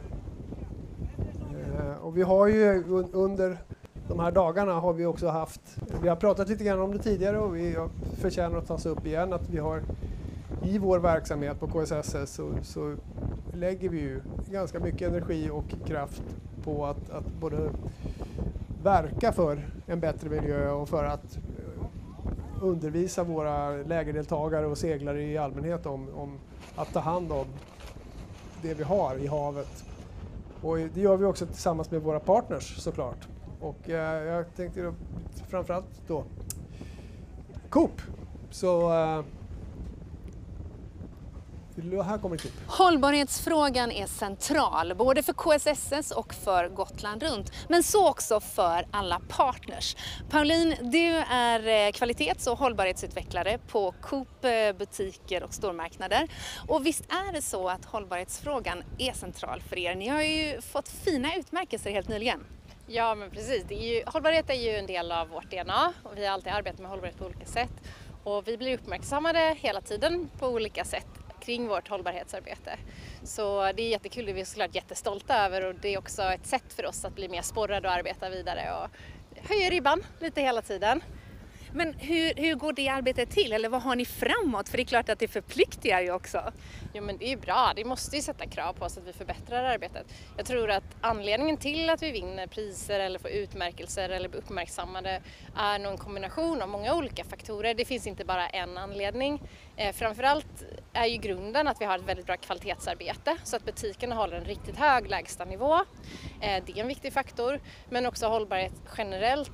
Vi har ju ett sortiment som är stort del, vi har mycket Änglamarkprodukter till exempel och många andra leverantörer med kravmärkningar eller ekologiska produkter. Vi utvecklar och eh, tar in mycket mer vegetariska och veganska proteiner i sortimentet. Så det tror jag också är en väldigt viktig faktor. Ehm, sen går ju hållbarhet och innovation också väldigt mycket hand i hand. Så där kan vi titta på vår nya hållbarhetsdeklaration som eh, finns tillgänglig då i vår app för alla konsumenter. Och den är ju också ett väldigt viktigt sätt hur man kommunicerar ut till, till kunder. Ehm, och Scan and Pay och vi har test, eh, eh, olika test ute i butik. Eh, där vi till exempel i Coop Hagastaden nu senast har vi byggt upp eh, en, eh, en odling där butiken nu är helt självförsörjande på egna örter. Och det är ju helt fantastiskt för då skapar man massa, eh, eller man kapar massa steg helt enkelt i, i hela supply chain. Så det är jättehäftigt. Det är otroligt eh, intressant och jag tänker att ni har väldigt högt ställda mål. Jag vet att ni har, eh, vad är det, 1% matsvinn totalt som ambition? Ja, det är, jätte, det är ett högt krav och det är ju vårt mål att, att ha mindre än, än 1% i matsvinn från, av omsättningen. Och det är svårt att nå det, men samma där, det finns inte en lösning. Och det är också olika, vi har ju så många olika butiker i K-butiker och stormarknader. Vissa är ju väldigt stora och andra är små citybutiker med väldigt högt flöde. Så för att nå det målet just, då krävs det till exempel att vi i våra stora butiker där vi har kök, att man kan ta tillvara på den, det svinnet som finns i butiken och förädlar det och gör mat i butiken till nya rätter och då förlängs ju hållbarhetstiden eh, mycket längre. Men sen behövs ju också andra sätt att kommunicera till kund via lappar som känns eh, attraktiva och det är tillgängligt för kunden när man köper varor som håller på, håller på att gå ut i, i tid och sådär. Just det här med att kommunicera till kund och kommunicera till slutkonsument är ju en av hjärtefrågorna för alla som jobbar med hållbarhet och eh, att öka medvetenheten. Jag misstänker att eh, just att vara delaktig i Gotland runt är ett led för er i detta. Ja men det är såklart en eh, jättekul och viktig del i att kommunicera hållbarhet också. Och jag tror att vi måste se möjligheten som väldigt stor aktör att kommunicera till våra kunder i butik och, och digitalt också. För vi har också ett, eh, ett ansvar att kanske utbilda och informera vad vi gör och vad det är som är bra och vad det är som inte är bra. Eh, Där vill jag också lyfta att eh, nu när vår hållbarhetsdeklaration eh, har lanserats i vår så är det också möjligt för kunden att just skanna varor i butik och då kan man ju se om den där varan är sådär hållbar som man trodde eller vad det är i den som är hållbart för det är ju så komplext. Hållbarhet är ju inte bara liksom, svart och vitt, bra eller dåligt utan det finns så många olika dimensioner och parametrar. Så, så det är ju också viktigt för oss att arbeta tydligt med det och också öppna upp och vara transparenta. Stort tack för allt arbete ni gör kring hållbarhet och för att ni är del av Gotland runt. Ja, men tack så mycket. Tack för att vi fick komma och vara med.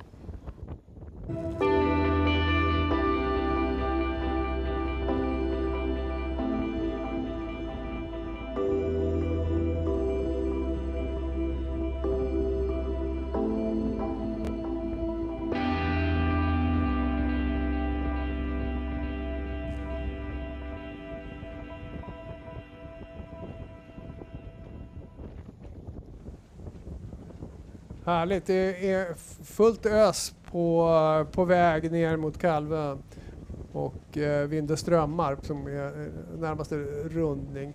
Och då kan man ju undra sig lite grann hur det går där ute på havet för de som startade igår, alltså eh, Classic och ORSI. Om vi tittar på, på Titta där, nu börjar de närma Classic. sig. Ja, de har ju... Har vi någonstans? Gaia ligger Gaia alltså ligger ju uppe vid- Gotska redan. Ja, hon kommer att komma in i eftermiddag. Ja, sen har vi, är det Bakant som har vänt upp där? Så ser det ut ja. Runda till Visby. ja och Beatrice och Britt-Marie också va? Ja, Britt-Marie säkert också. De låg ju nära tidigare. Precis, så det skiljer nu ja, 1,3 distans emellan dem. Och sen kommer Itaka två, ytterligare två bakom då. Eller ytterligare sju bakom er. Ja, det går undan. Mm. Eh, ja, det är spännande och de har... Kan vi se farten på dem? Ja, det kan vi göra. Just det. Det Nere vid Visby där så ser det ut som att eh, Bakant går i 6,6 knop tror jag det står. Just det. Britt-Marie 4,4 men Britt-Marie ligger lite närmare land också går en annan vinkel. Ja. Sen och har Bakant har ju- valt att gå ut på havet va? Och? Britt-Marie går inåt. Ja, precis. Så då kan vi väl se, det verkar gå, gå lite fortare och gå utåt från Visby. Men det, det brukar det ju väl göra. Man vill ifrån Visby lite Ja, grann. precis. I alla fall om det blåser så här. Ithaca 7,1. De har bra fart Ithaca. Ja. ja, de har nog en härlig segling där ute. Nu ser när de kommer in mot mål. Och de kommer nog att komma in här i, i, med början då på Gaia i eftermiddag. Och sen har vi ju Malanova som är ju ganska liten. Mm, precis, Malanova ja. De ligger ju där. De har inte nått Gotska än. Bakom Josefin högst upp i bild. Har vi dem. De ligger ju ändå på en 5,8 knop. Så de ska nog ta sig ner också. Så småningom.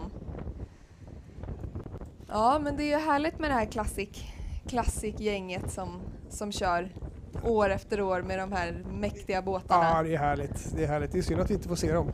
Ja, ja precis. Man hade väl egentligen velat ha, ha kameror på dem. Ja. om Man ser kanske säkert. Skicka Stefan över havet i, ihop med klassikbåtarna. Precis. Vi ska Ja. titta på ett klipp, eller hur? Ja. Från Öring som också är ute på havet.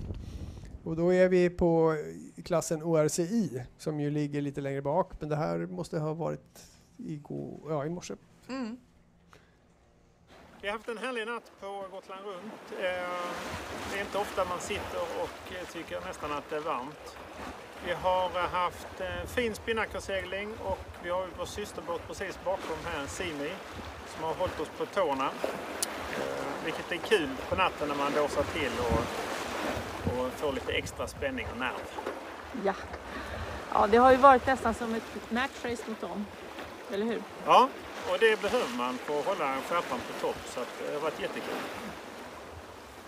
Ja, det här är Simi som vi ser precis akter om oss vid rundningen av Almagrundet. Och några timmar senare såg det ut på det här viset. Vi seglar tillsammans och vid det här tillfället är vi alltså lite före Simi. Men när vi kom till Fårö sen på morgonkvisten så var de tillbaka igen. Och vi låg jämte varann. Och eh, det har varit en fantastisk segling. Härlig kväll va? här är ju bästa tiden. Just att segla in i, man vet inte om det är skymning eller gryning. Allting bara flyter ihop.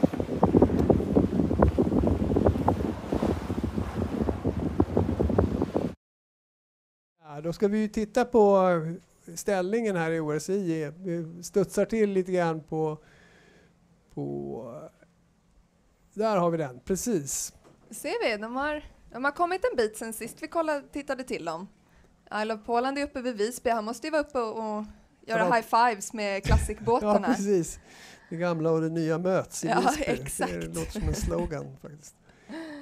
Eh, ja, Varuna det 6 är- har vi ju sen. Eller hur, de Lite håller längre ungefär samma, det är De samma gör det, förhållanden. det så drar att- inte ifrån.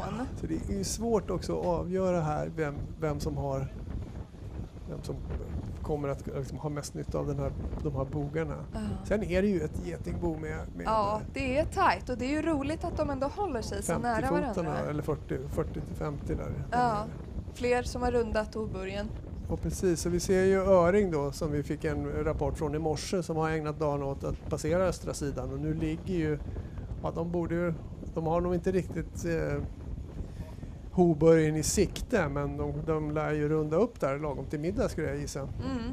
Och sen har vi ju några av våra andra som vi tittade mycket på igår. Vi ser Team Pro for You. Ligger också där på lite högre upp på östra sidan. De har passerat Östergarn. Eh, ja, det är också, man kan se också lite längre bak här så är det ju faktiskt väldigt tajt i, eh, i shorthand-klassen också. Mm. Där eh, Totalör med bland annat alla droger och de, de ligger ju före White Knuckles med bara 1,2 distansminuter. Så det är tätt där uppe och det är ju häftigt. Och, ja, det måste vara roligt att segla när man ändå har, när man har båtar att fightas med Ja, precis. eh, hela vägen runt. Och då sitter man inte och somnar till på samma sätt. De- ser de skulle nog, de kan, ja, Totalör har väl dragit ifrån men de både ja, Totalör och White Knuckles de har nog varandra inom synhåll skulle jag gissa. Mm. Och vi kan väl också se att en av favoriterna där, Team Proof for You, ligger ju ungefär där man kan förvänta sig dem i det här läget. Och de har väl också en bit kvar och kanske rundar Hoburgen lagom till nattmackan om, om Mm. man nu äter sånt ombord Mm. på Team. Det Ja, jo, någon precis. sorts frystorkad nattmacka. Frystorkad nattmacka, exakt. Och det kan vi se den här Bianco eh, som ligger lite ungefär vid, vid Tutalör. Det är ju samma typ som eh, Pro for You om jag inte missminner mig. Ah, ja. First 36,7 så då kan man ju se där att eh, ja, Forsgren eh, med besättning, de, de, har, de har seglat ifrån. Ja, och de, de har sk- skruvat till båten ytterligare. Mm. Skruvat i nästa växel på båten. Ja, det är härligt. Ja, och Refanut ser vi där också ihop med Tutalör och White Knuckle. Så. Ja, det är ju också härligt för där är ju verkligen en klassisk havskryssare som seglar i, då i ORCI, alltså den, den ska vi kalla det för, den me- mest tävlingsinriktade klassen då. Precis. Så kör man med den gamla fina träbåten. Ja, det är kul att se hur de Och som sagt, vi har ett kluster där framme med Elvis och Störtebecker och Matador och Lady Killer. Och det är ju väldigt tight. Ja, precis. Och det såg vi ju tidigare när vi var ombord på Nirvana. De, de ser ju varandra allihopa. Ja. Med avstånd, men, Precis. men ändå. Ja, det är spännande. Nu kan vi väl se på, vi har närkontakt med en av banans minsta båtar faktiskt eh, på väg ner, ner mot Kalvön. En Albin Express som ju faktiskt också är en Peter Norlin-konstruktion. Ja. Som sagt, ett stort avtryck ut. i svenskt båtliv har han gjort. Ja. Har vi med Anders också? Är det Anders som är, som är bredvid båten så hör vi inte honom. Ja, nej, jo, det, jag ligger precis. De är på väg att göra ett slag här så jag ska bara du, gå bakom dem. Men eh, de kämpar på här. De, det var... Återigen gjorde en fantastisk barbord start i före hela fältet och sen har de kämpat på och seglat väldigt bra resterande väg. Så att, eh, Ja, det är härligt att jag ser att de, de har målat båten i någon sorts pastellgrön färg också. Jag tror, jag tror faktiskt att, att Peter Norlin hade uppskattat det. Jag vet att vid, vid något tillfälle läste jag att hans favoritfärg på båt var turkos. Turkos? Ja. Det är ju Aha, radikalt. okej. Men eh, det ska bli intressant att se. De är nog glada om det inte blir för mycket vind för att den är, det är ingen eh, offshore racer direkt. Inte? Nej. Den, är- den, Att, är, den, den är eh, ju faktiskt ganska vek om man ska vara ärlig. Ja, så att de, är- de, är- de ska vara glada att de inte seglar 2019 när det blåste. För det, det hade, hade inte gått kan Det jag hade säga. inte varit så när vi hade väldigt mycket vind. Men äh, de äh, tuggar på här, seglar. De har... Äh, Det är lite tajt här. Jag ser att fördäckaren på den här s- stora... ja. Jag tror det är Ja. Amma... Är det inte, äh, vem är det som kommer här? Det är äh, Gloria Ja. som kom här. Grand det Soleil. Gran Soleil 50, ja, precis. Thomas Forsberg. Just det. Ja. Var det Madame de då- passerade förut också? En gång till, nu hörde jag inte. Var, var det Madame som, de se, som eh, var förra mötet? Ja. Ja, ja, det stämmer bra. Då har ju de Och lyckats hålla så- farten ganska bra. Eh, De låg ju Ja. tätt ihop tidigare. Men jag tittar upp här så faktiskt eh, lite grann när vi klev upp så pratade jag ju mycket om att det skulle gå på, på vänstersidan för att få ut för bättre tryck och det, det har betalt sig. Eh, för de som gick över på vänstersidan på Saxafjärden och till och med när de kommer upp mot öarna på andra sidan får ett fint lyft. Så att det har varit en vägvinnande här så, ute just nu. De som har hållit sig på höger eh, när de är på väg ut för styrbord eh, kommer att stänka hela vägen över och det är väl inte... Det, nej, det kändes inte riktigt bra i magen om man säger så. Nej, vi ser att de, de, de slår. Det här är väl Trixie då som ligger lite längre fram. Och har kom, kanske har kommit liksom förbi Grinda en bit. De slår ner helt enkelt. Mm.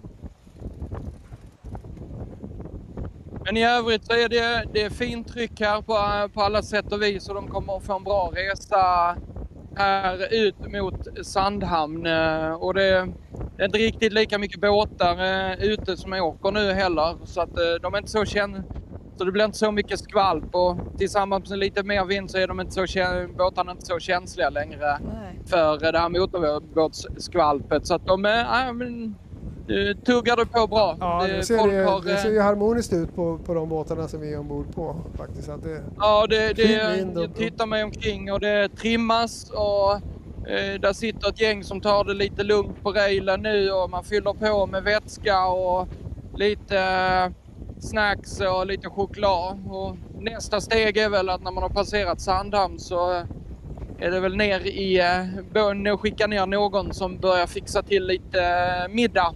Att man är man är mätt och glad när man kommer ut på havet och håller sig varm under natten, första natten. Ja. Det är faktiskt en av de viktiga grejerna när man kommer ut på havet, att se till att besättningen får mat efter en ganska tuff skärgårdssträcka. Precis, det är liksom en, en, man måste liksom lägga in annan växel när man kommer ut på havet där.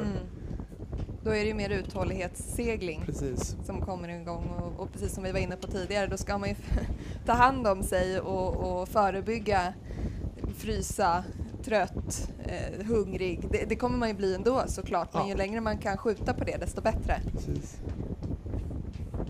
Och alltid se till att det finns några som är, som är lite piggare Ja. än de andra. Ja, precis. Så inte Rorsman sitter och hallucinerar på väg tillbaka. Ja, det är taktik hela vägen. Och man kan ju vinna mycket på att pricka rätt vindvrid och framförallt kanske pricka rätt tryck där det finns, där det finns bra, bra vind.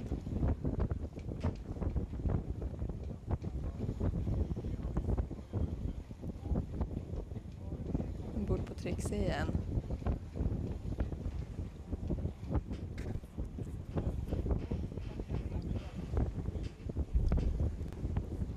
Vi kanske ska slänga ett öga på, på track track här. Ja, precis. Se hur det går för våra stadsseglare just nu. De går genom skärgården.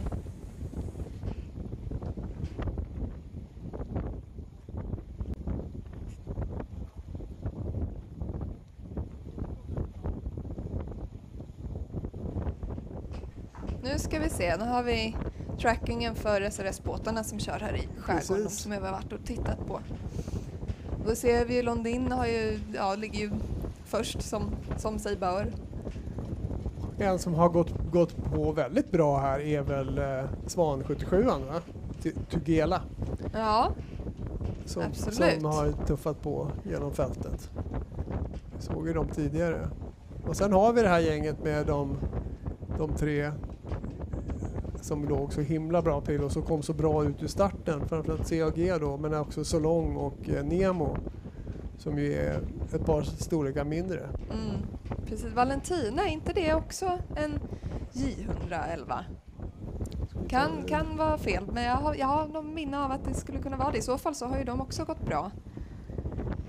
Jo, precis. Så att det är J-båtsväder. Ja, verkligen.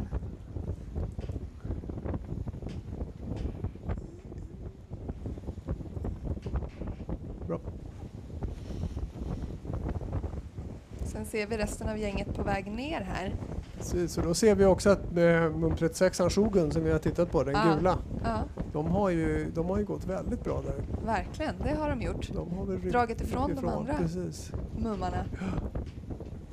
Och Krasotka som vi också tittade på lite grann ligger ju där.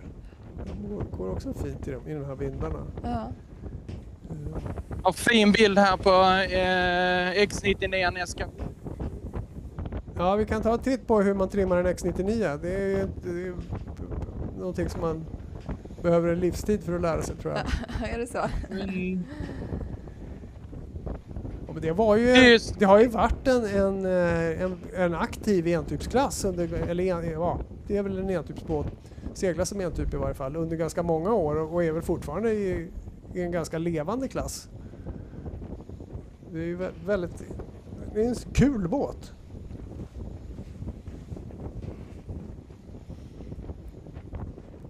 Och de har kul. Ja, de ser ju jätteglada Ja, ut. jag var tvungen att stänga av micken för jag berättade att de var live just nu. Så de är så glada för dem. Från Köln kommer de. Det står bak i aktern. Ja, vad härligt. Precis.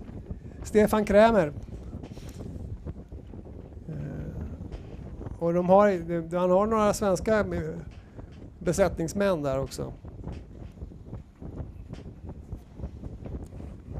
Mm, de ser ut att ha det skönt där. Ja, det där är väl, det är också eh, precis den vinden man vill ha till den här båten tror jag. Eller vad tror du Anders? Ja, äh, men det ser eh, väldigt trevligt ut. Det, som jag sa innan, det är kul att se de här racingbåtarna. Jag ser i båten också, om ni också kan se att de har ju uppdaterat den ganska ordentligt med eh, GPS och digitala eh, instrument som sitter på ett väldigt bra ställe fram i hytten så att Rosman kan se eh, allt ifrån eh, skenbar vindvinkel till eh, true, eh, alltså eh, riktig vindvinkel, hastighet, eh, VMG, alltså Velocity Made Good, att de seglar på rätt, eh, att de seglar så kort väg så snabbt som möjligt betyder det i korta drag. Så att, eh, eh, de har ju verkligen uppdaterat den. Eh, att den ser, eh, så att den för kappsegling. Absolut, man ser de är, de är alerta. De är, har väl ett, ett, ett span ner i lä här för att se vad gänget som kommer, kommer från Ja, där. nej, men vi är, är det Boy Boy som, som, Jajamän, det är som går Boy Boy framför, som precis. tuggar på. Ja, det är härligt. Ja, det, ja, de ska de ju, X99 här ska ju vara före Boy Boy om de ska ha en chans Ja, det är på, så. på beräknad tid. Mm. Ja, men, men eh, räkna inte ut Peter och Boy Boy. Han känner båten. Ja, jag Eh, menar, jag menar verkligen det att de ligger, nog, de ligger nog en bit före Escapad om vi ser på beräknad tid. Det stämmer nog, stämmer nog eh, helt eh, rätt. eh, Men eh, vikten av att känna sitt eh, tävlingsinstrument är ju eh, A och O. och Det kan man ju inte säga någonting annat om när det Nej. gäller Boy Boy och Peter Nej, nej precis. Forslund. Där stelar vi lite grann. Så vi går, där, nu är vi på Trixie. Här Ja. börjar det luta lite. Ja men precis. Och det ser man ju också på båtarna i lä som de möter här. Ja. Det är, och det är, det är slagdueller fram och tillbaka. Liksom. Det är väldigt mycket... Det är tight. Det är ju jättehärligt. Vi har en ganska, ganska bra krängning på den här båten. Men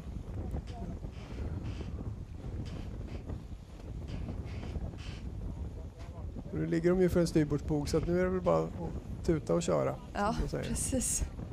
Det är det.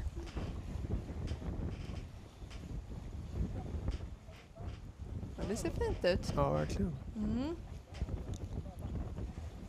Man hör, vi hör inte vad de säger det kanske är bra men, men eh, vi hör att de pratar och det är ju också intressant att man har en diskussion, en taktisk diskussion. Ja, här ser vi ju verkligen hur, titta, hur det ser ut. Det är ju jättehäftigt, verkligen.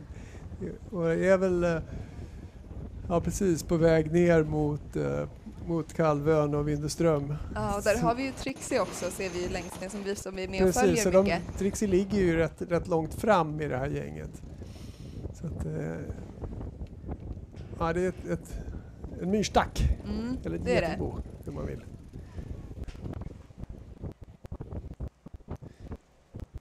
Eh, vi kan väl gå över till, eh, vi hade ju här inledningen av, eller vid, strax efter invigningen av vår nya gästhamn i, eh, vid Djurgården som ju nu kan vi passa på att puffa lite grann för också att vi, eh, nu har ju båtarna lämnat, de flesta av de båtar som vi ser segla här låg ju tidigare inne i, i eh, KSSS Djurgårdshamn, alltså den nyanlagda hamnen vid, vid Junibacken. Och i torsdag så hade vi ett litet, eh, ja, har vi haft li, lite hållbarhetsprat, lite seminarier och en, en paneldiskussion som faktiskt också finns eh, att se. Och, och där träffade vi också, eh, vi hade ju med då representanter för, för Stockholm och det, vi kan titta på det klippet. Att besöka Stockholm från vattnet, det är nog en dröm som många har. Men många har nog också funderat på vad man faktiskt kan lägga till.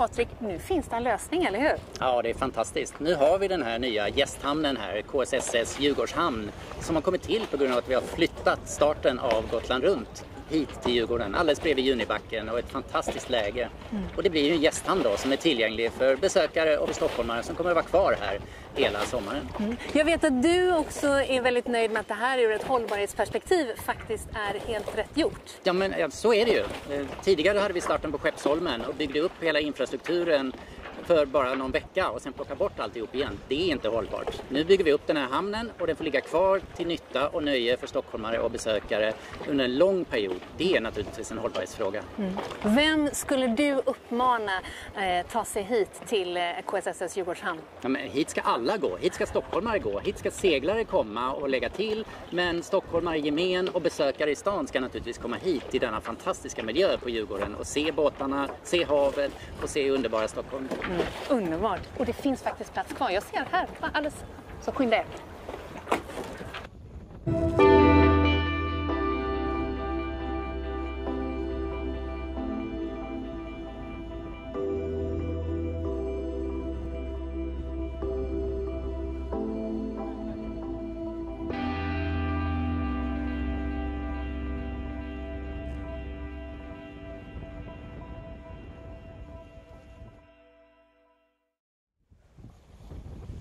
Kolla vad vackert. Oh. Här ser vi ju... Eh, ja, jag är alldeles mållös. Ja, ja det, det blir man ju. Det är så här vi har det. Jag vet inte vilken båt det är som vi kan se här uppifrån. Men det är ju precis... Vi ser nog grindar där borta i, i fjärran. Och vi ser båtarna som är på väg ner nu mot, mot Kalvön och, och Sandösugga. Eh, där nere. Ja, det är makalöst och det är väl liksom... Det är väl så här vi vill att Gotland runt ska vara. Och så här, så, så här ska det se ut. Första söndagen efter midsommar. Första söndagen efter midsommar. Då kör vi Gotland runt. Och igår startade ORCI och Classic och Shorthanded. Alltså de, ska vi säga, de, några av de lite eh, mera tävlingsutrustade båtarna och Mm. idag så är det ju SRS som seglar och det är allt från vi har sett eh, minsta båten, en Albin Express med fyra mans besättning till den största som är på 100 fot, alltså 30 meter lång, 62 tons Ja. Southern Wind med hur mycket vara? folk som helst Ja. ombord. Jag tror att de, jag vet inte, de har ett eget Excel-ark med besättningslista. Så att, eh, ja, det är verkligen för alla att, Ja. att vara med.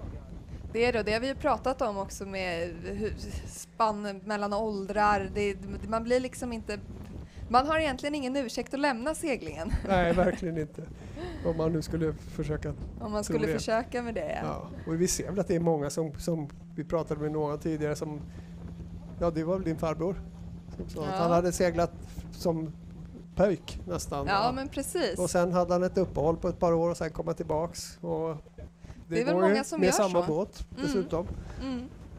Och vi ser ju många på besättningslistor där det är familj eh, som seglar och, och kanske förstärkta med, med några ytterligare. Så det är ju ja, det är härligt. Mm, och det är det fina med respitsystem också, att då, då kan inte båtarna behöver egentligen bli för gamla. Nej, och man kan alltid tävla mot, mot andra. Man har lite Ja. att skylla på också. Nej, man har ingenting att skylla på. Ja, jag ska inte säga det. Man kan inte säga att nej, men... Man har lite att skylla på. att så här, ja, men min båt går inte bra i lättvind eh, enligt det här systemet. Eller nästa dag kanske det är hårdvind som är Ja. enligt det här systemet. Men eh, så är det ju. Men det är tävling, det ska vi ha klart för oss. Att det, det ser trivsamt ut här men, men det är mycket fokus och det är en, en bedrift, det är en bedrift att, att klara ett, att segla ett Gotland runt för det är verkligen ett bevis på sjömanskap och, och seglarkunnande. För alla skulle jag säga. Mm. Även fördäckaren eller då maskinskötaren på Southern Wind Ja. så är det faktiskt en bedrift att segla Gotland runt. Till då killarna på Expressen eller då tjejerna som seglar shorthander. Och, ja, det är verkligen en bredd och ett, en, en sport man kan ha hela livet. Mm. Och man kan verkligen angripa den från olika håll. Ja, precis. Är. Så är det. Och det är, ju, det är ju det fantastiska med segling. Absolut. Det här är ju en seglarfest. Verkligen. Och vi tänkte faktiskt med, med det här hy- hyllandet också börja att titta på att, att runda av den här direktsändningen. Vi kommer... Ja, har vi dem med? Vi har, vi har ju våra två båtreportrar där ute.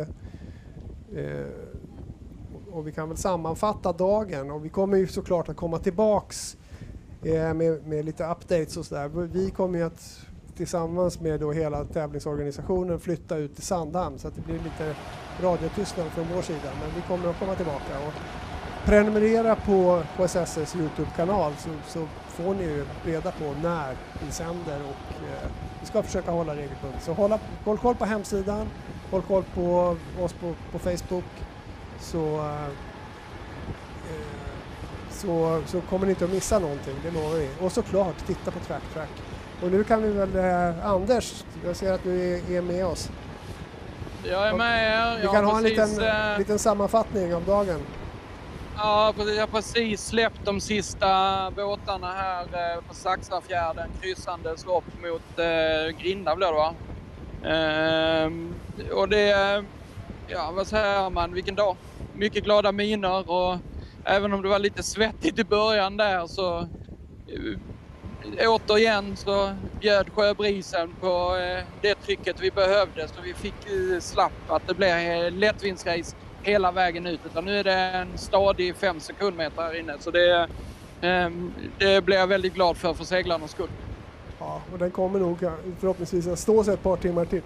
Så att båtarna kommer, verkligen, kommer att komma ut på havet. Ja, jag hoppas verkligen det men det, den är, eh, den är, vinden är skön och kall och ganska stark och, eh, så att eh, det kan nog hålla sig en tre, fyra timmar till och då borde ju nästan alla vara ute, eller hur? Ja. Då har vi Stefan med också. Jajamensan, jag är med på banan. Eh, ute och jagar här ute. Ja, vi, vi håller på och... Hör sa- ni mig nu? Ja, vi hör dig. Ja, det är bra. Vi håller på att sammanfatta dagens sändning så att vi, vi kan ju... Ja, för mig tar det aldrig slut liksom. Det är bara, eh, bara härligt här ute. Jag är ute vid Sollenkroka och eh, har sett dem, eh, de här andra paret var ute och köra lite ena mot varandra. Första båten är ju long gone kan man säga förbi Sollenkroka men sen kommer ju eh, de resterande båtarna därefter. Men det är lite lättare här ute. Det blir ganska puffigt eh, emellan eh, öarna. Så det, det, det kommer vara svårseglat ut igenom. De stora fjärdarna är okej med vind och sådär men sen så blir det, det blir en, det blir en eh, tuff resa för dem. För det finns vindhål här ute som jag inte såg nere på Saxafjärden. All right. Då är, då är det pre, precis ut mot Kanåsfjärden som, som det, börjar avta. Då. Vi får väl hoppas att, att vinden kanske, att de åtminstone får den där lilla puffen ut så att de kommer ut förbi, korsar halsar ut på havet. Ja, precis. Eh, Men eh, det är klart, kommer man ut på Kanåsfjärden så är man i alla fall hemma. Jag såg igår när man tittade sent på kvällen där att det var några av klassikbåtarna som hade svårt att ta sig ut. Ja. Och medan de låg med fyra, fem knop ute på havet så låg de på en knop inne i skärgården. Eh, Så att där vill man inte vara. Och idag är ju båtarna mindre. Eh, Så att kommer de i det läget så kan det bli lång natt in i skärgården. Ja, precis. Ja, vi kanske hin- hinner, hinner möta dem till frukost imorgon då. Ute på Sandhamn. Nej, vi hoppas de har kommit längre än så. Nej, det, det, det hoppas vi verkligen inte att det blir på det sättet. Så. Men att, att man just får den här farten. Nu är de ju, som sagt, det är, det är inte så långt kvar innan det börjar öppna sig ordentligt. Man ska förbi eh, Vindö och Sollenkroka och sen är man ute på Kanåsfjärden. Så att, eh, Och återigen så börjar ju ett helt annat race där ute och nu eh, då är vi ju inne igen i det här med de stora vindskiften och eh, vad som händer med de fronterna här de närmsta dagarna. Det tycker i alla fall jag ska bli spännande att se. Eh, när kommer vriden? Ja. Eh, hur mycket tryck får de på vägen ner? Eh, och det är någonting som jag tror man ska följa. Så att, eh, och vi pratade lite i början av sändningen att eh, tendensen eh, i, i det stora är att vinden ska gå över mer på syd. Men när, det kommer, det är nog eh, framåt tisdag. Och då, eh, då vill man ju vara runt eh, Hoburgen så man kan eh, sätta spinnakern och börja åka med. För då kommer man få en bra resa hem. Ja. ja, det stora orosmolnet är väl då att de stackare som fastnar kanske i, sent ikväll innan de kommer ut på havet också kommer att drabbas av det här vridet sent. Här, Ja, att man- och tyvärr är det ju så. Och då blir det ju kryss ner till Hoburgen och det är ju inte roligt. Det är då kommer man börja tappa tid eh, mot de som ligger framför och hinner, och hinner runt. Ja, precis. Eh, Så att det ja, mitt, stö, mitt råd till alla seglare det är kämpa för varenda meter nu för att eh, man behöver komma runt innan vridet. Ja, men det är härligt. Och kämpa för varenda meter, det är väl den upp, uppmaningen vi kan, vi kan ge.